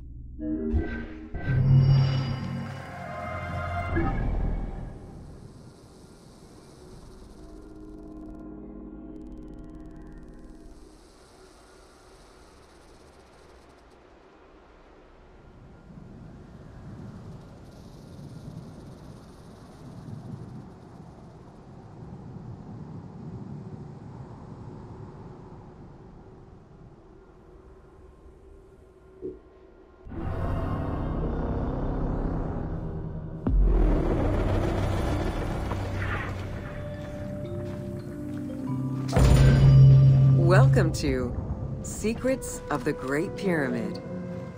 Built around 2550 BCE, the Great Pyramid of Giza is considered one of the most iconic structures of Egypt.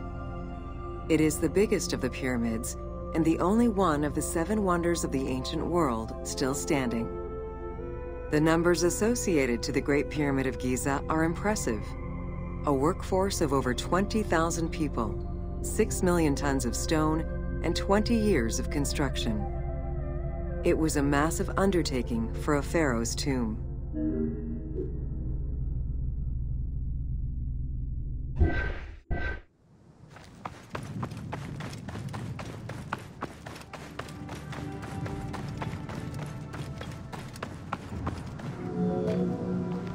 The construction of the Great Pyramid was also a display of power and opulence on the part of Khufu. It is part of the pharaoh's vast funerary complex, which also includes two temples, three satellite pyramids, a causeway, and a builder's necropolis. We can guess that the intent behind the construction of these monuments was Khufu's way of declaring himself one of the most powerful pharaohs to rule a unified Egypt.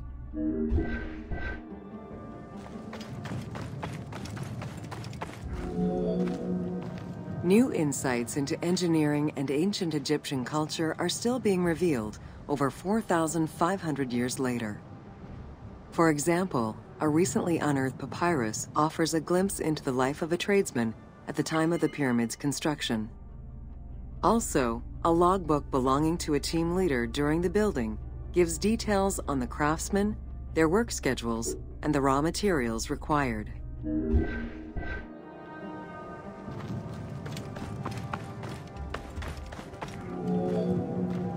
It is interesting to note that by Cleopatra's time, the pyramid's celestial purpose, its construction, and the function of its mysterious inner chambers was already unclear. Today, it is only through dedicated research that we have begun to grasp some of the Great Pyramid's mysteries.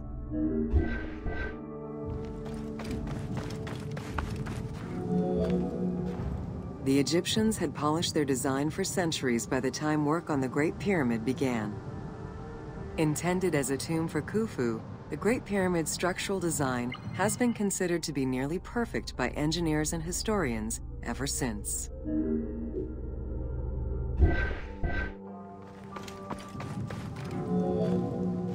Precisely oriented north-south to the four cardinal points of a compass, the length of each side of the Great Pyramid at its base was 230 meters, and its original height was 147 meters. The pyramid is a mere 0.05% error away from being a perfect square.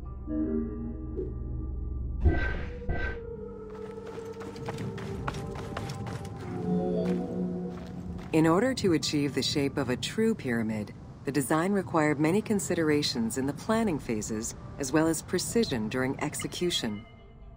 It was especially critical that they control the angle of inclination on all sides at every stage of construction.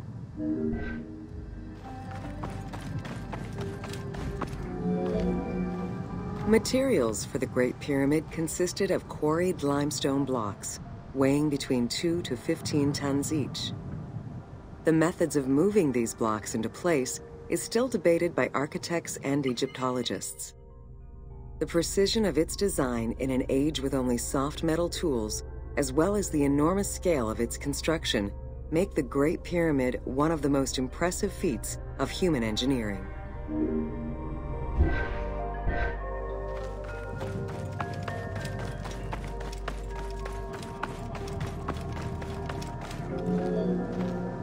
It's estimated that it took between 600,000 and 2 million blocks of stone to build the Great Pyramid. Experts calculate it would have required men to move 12 blocks every hour around the clock for 20 years to place the 2.3 million stones the monument is made of.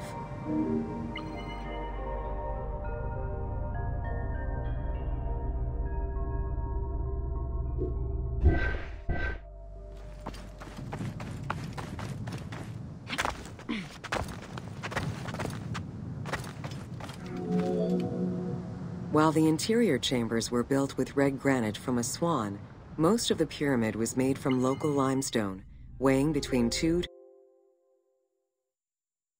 to 15 tons per block. There is debate on how the pyramid stones were moved into place, Recent research is exploring the idea that it was built around a large interior ramp.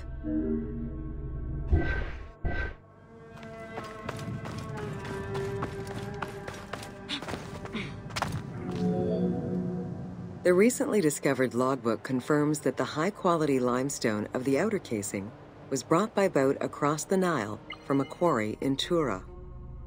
Once complete, the smooth white polished stone of the Great Pyramid would have reflected the sunlight like a beacon, earning it the name the Horizon of Khufu.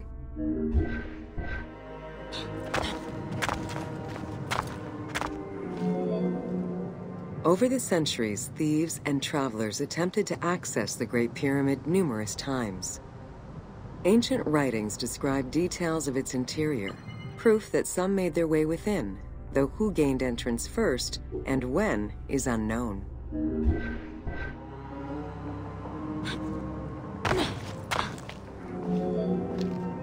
The main entrance of the Great Pyramid is located 17 meters above ground level. It faces north likely in order to align with the North Star. Though the entrance passageway had been discovered in antiquity, any further access into the Great Pyramid was stopped by massive vertical slabs of rock. As such, present-day visitors to the pyramid must use the robber's entrance.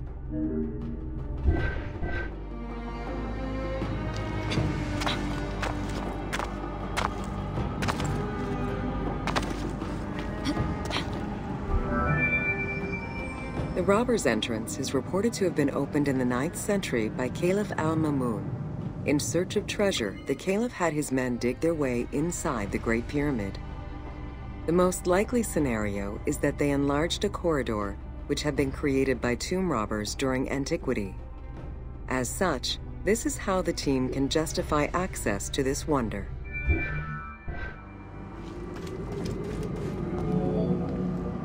Attempts to gain entry to the Great Pyramid and uncover its potential secrets continued throughout the centuries.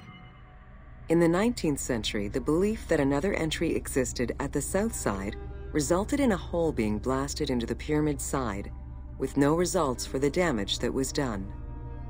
While the search is still ongoing today to uncover more hidden rooms and passageways, conservation is the primary concern of all such efforts.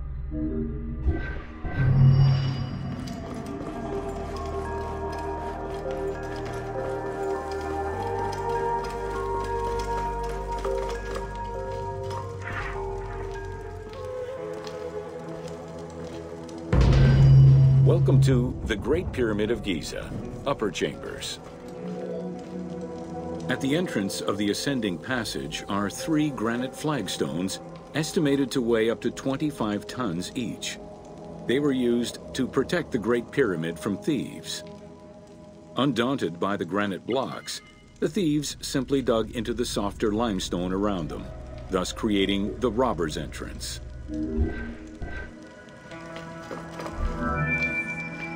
While in reality the robber's entrance is one single cavity which leads to both passages, in the game, the team created individual accesses to either passage. As such, in the game, one entrance leads to the ascending passage, while another leads to the descending passage. The ascending passageway of the Great Pyramid provides a direct path into the Grand Gallery and is accessed 30 meters from the entrance along the descending corridor. Both corridors have similar dimensions and are designed with the same 26 degree incline.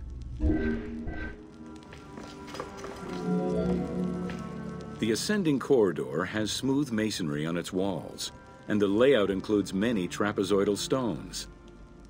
Both the floor and ceiling of the passageway indicate that the passage was enlarged, possibly during or after the funeral, to allow workers room to move granite blocks meant to plug the corridor.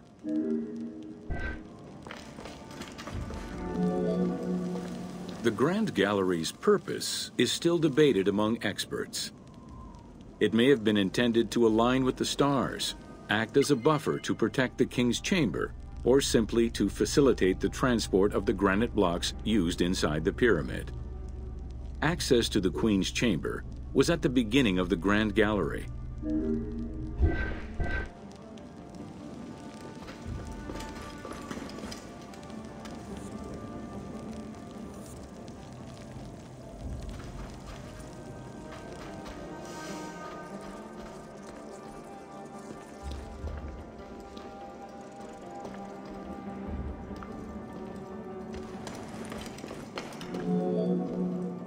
Though this room is referred to as the Queen's Chamber, it is believed that there was no queen buried here. Based on their knowledge of earlier pyramids, Egyptologists believe it was more likely intended as the king's serdab, a chamber meant to contain the Ka statue, which would in turn house the king's spirit.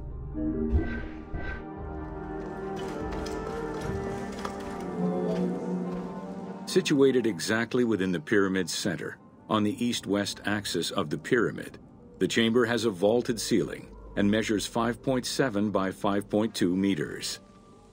In the eastern wall, there is a niche tucked away in a small corbelled archway, which may have originally held the Ka statue.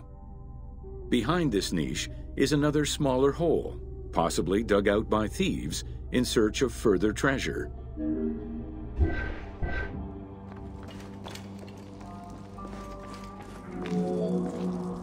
In the 19th century, two shafts were found running through the north and south walls. They each run in a horizontal line for two meters before sloping upward, and both are closed off with limestone blocks fitted with copper handles. Whether they were intended as ventilation shafts for workers or a celestial connection for the pharaoh's spirit is unconfirmed.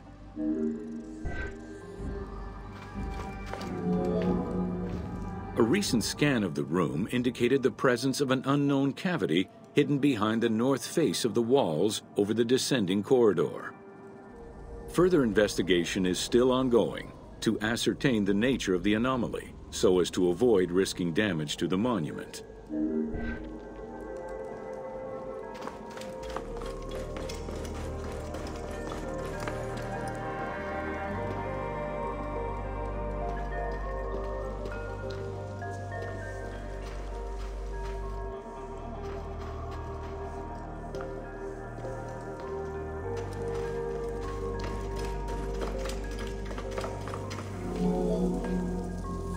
Architects were possibly influenced by earlier rhomboidal pyramids when designing the gallery. It is the longest corbelled vault ever built, measuring 47 meters long and 8.6 meters high. The walls were made to taper inward, allowing for better distribution of weight. As a result, the ceiling measures just over a meter wide at its highest point.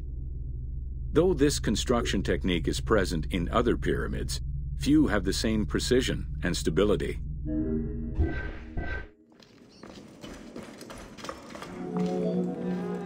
While the space is visually dramatic, the gallery seemed to serve a practical function, though what exactly remains uncertain. Still, the wall design was undoubtedly meant to contribute to the stability of the structure, and its floor may have helped workers move the materials. A channel runs along the middle of the room, a movable floor originally rested in this central recess. The raised benches on either side are equipped with slots that may have been used to help position the granite blocking stones.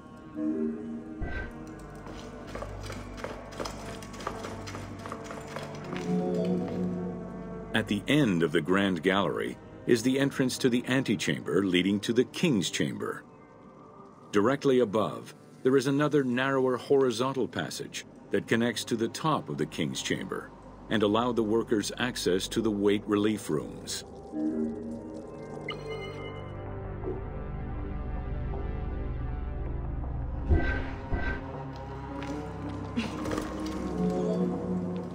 The far end of the Grand Gallery leads to a small antechamber with a portcullis, preventing access to the King's Chamber.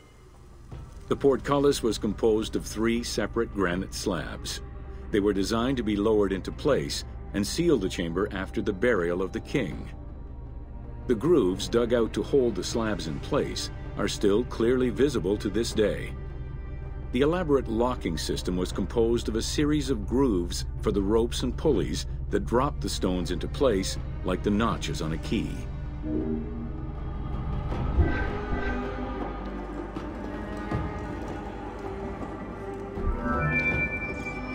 For the purposes of the game, the team elected to remove the portcullis slabs in order to grant the player access to the King's Chamber. In reality, workers would have backed out of the room after the funeral, lowering each slab into place behind them one at a time. Each of the three stones were smashed by looters centuries later, and evidence of their break-in is still evident.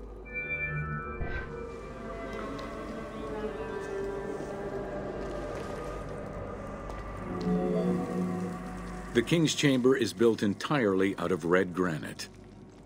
The King's Chamber measures 5.8 meters in height. It has an imposing cover of five stacked levels above, with granite beams weighing 25 to 40 tons each. The uppermost level is surmounted by a vault of stones, arranged in chevrons to bear the enormous structural load.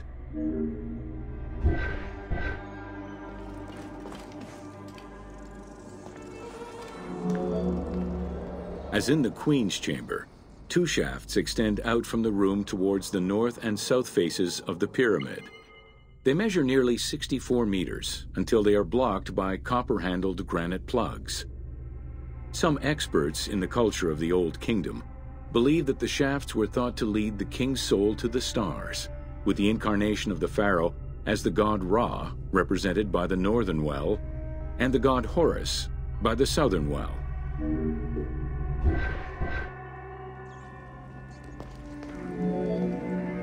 There is a granite sarcophagus at the west end of the room, but it is the concealed construction inscriptions left by workmen on the roof's stones which verify this as the resting place of Khufu. The sarcophagus was recorded as being empty when it was discovered, and its design indicates that there was once a lid in place. It's possible that this sarcophagus is only a cenotaph in memory of the pharaoh, but was never actually meant to receive the body. Khufu's mummy was never found. It is hoped that as of yet undiscovered hidden rooms and shafts of the pyramid may provide an answer as to its location.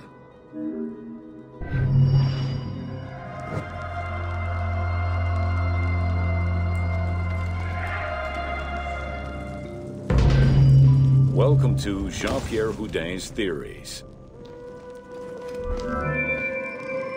The team wanted to provide players with a sense of exploration and discovery, particularly within the Great Pyramid. As such, a decision was made that the internal design of the monument in the game would reflect Jean-Pierre Houdin's theories. While the antechambers of the King's Tomb have yet to be discovered, Houdin posits that this is merely due to a unique design, placing the pharaoh's tomb at the center of the pyramid. The entire tour you are about to take was designed along Houdin's hypotheses.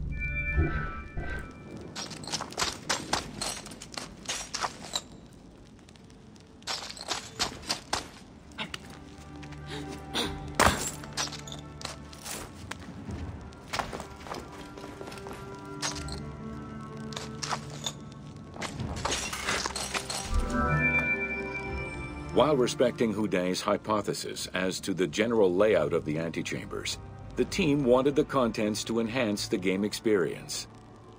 In regular royal tombs, the antechambers were filled with all the material goods needed by the pharaoh in the afterlife. To support the feelings of discovery and awe, the art team created a unique and fantastical treasure in this second antechamber.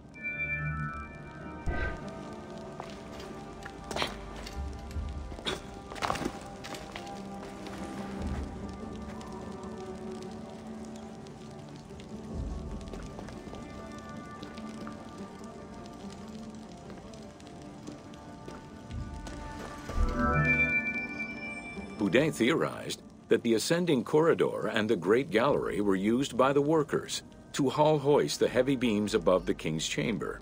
He called it the service circuit. The corridor you are in now was created by the team following Houdin's theory and is referred to as the Noble Circuit. It is through this corridor that the wooden sarcophagus containing the pharaoh's mummy would have been transported to its final resting chamber.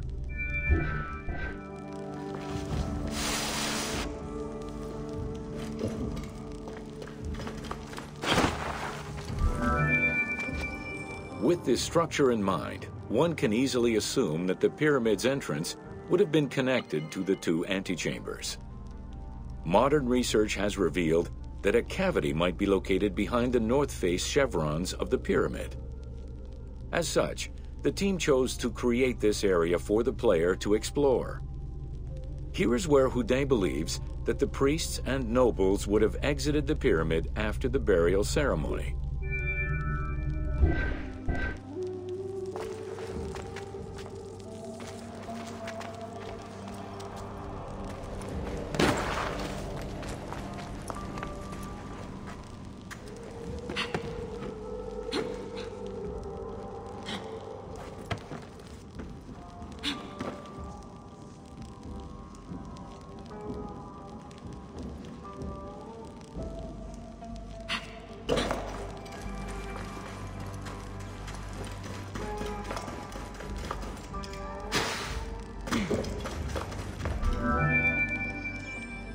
Theories regarding the construction of the Great Pyramid rely on the usage of external ramps.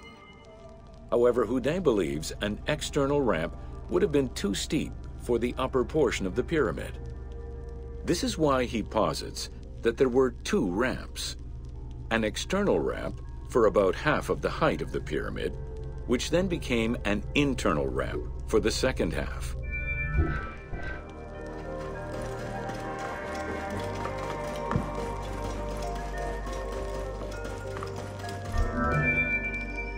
Houdin's theory states that this internal ramp followed the sides of the pyramid in an ascending spiral pattern. A notch discovered in the edge of the Great Pyramid, known as Bob's Room, seems to support this theory. Located at the corners of each edge of the pyramid, these large rooms would have allowed workers to turn the stone by 90 degrees, allowing them to continue the ascent. The team chose to create rooms, such as this one, bringing Houdin's hypothesis to life.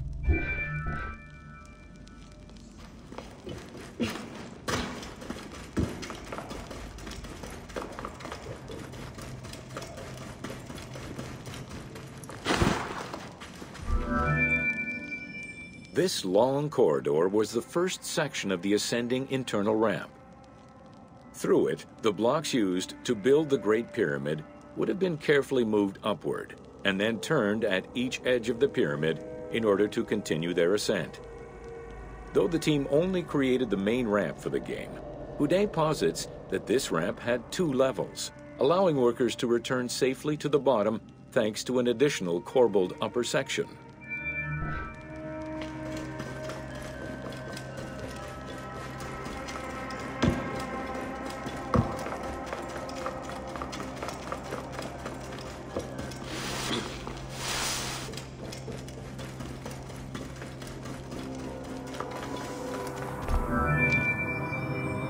According to Houdin, the start of the inner ramp was located at the base of the southeastern face of the pyramid.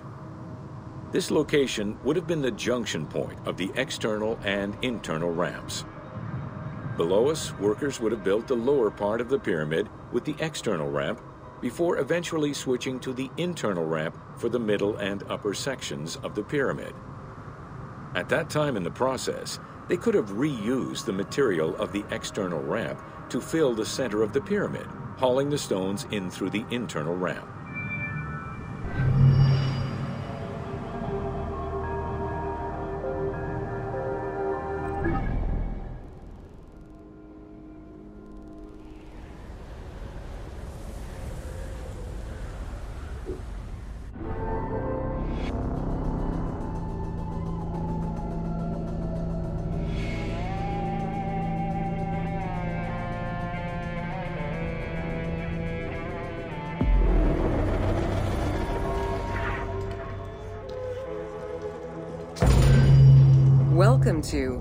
Great Pyramid Subterranean Chamber.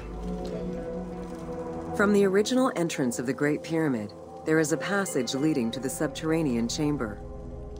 Its walls were carved out of the existing rock of the plateau and then covered in a fine, unmarked limestone. The descending passage has a steep 26 degree downward slope.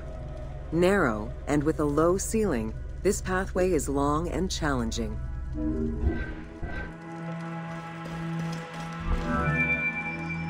While the original passage was 145 meters long, the team reduced its length and made it both wider and higher.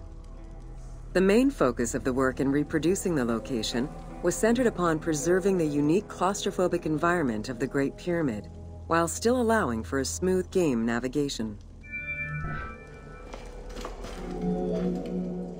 The well shaft was a 58-meter vertical passage that connected the descending corridor to the grand gallery above. An adjacent grotto may have originally been a small natural well in the bedrock that was enlarged during the tunneling.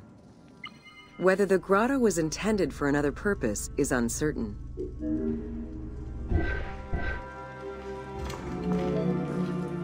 There is much speculation over the purpose of the well shaft. One theory is that the channel was cut or enlarged to supply air to workers in the descending passage. Another is that it was meant to provide an exit route once the work was done in the heart of the pyramid. Without the well shaft, workers would have been trapped inside forever when the Grand Gallery was sealed. The opening at the bottom of the well shaft was most likely sealed by exiting workers to camouflage the passageway.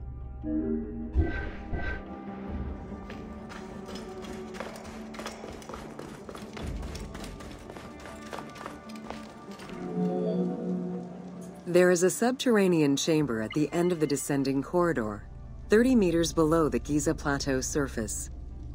Dug directly into the bedrock, the space is wide with a ceiling 3 meters in height. Its floors and walls are rough and uneven, indicating that it was never completed. At the south end of the room, there is another narrow corridor, similar to the others, though it abruptly ends after roughly 20 meters.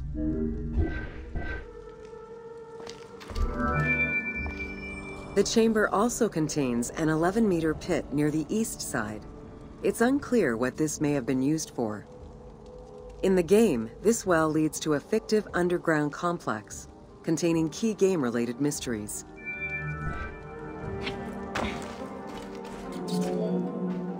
The subterranean chamber's original purpose remains a mystery. One popular theory is that it was originally meant to be Khufu's burial chamber, but the pharaoh changed his mind, preferring to be buried higher up in the pyramid, which would explain the chamber's unfinished state.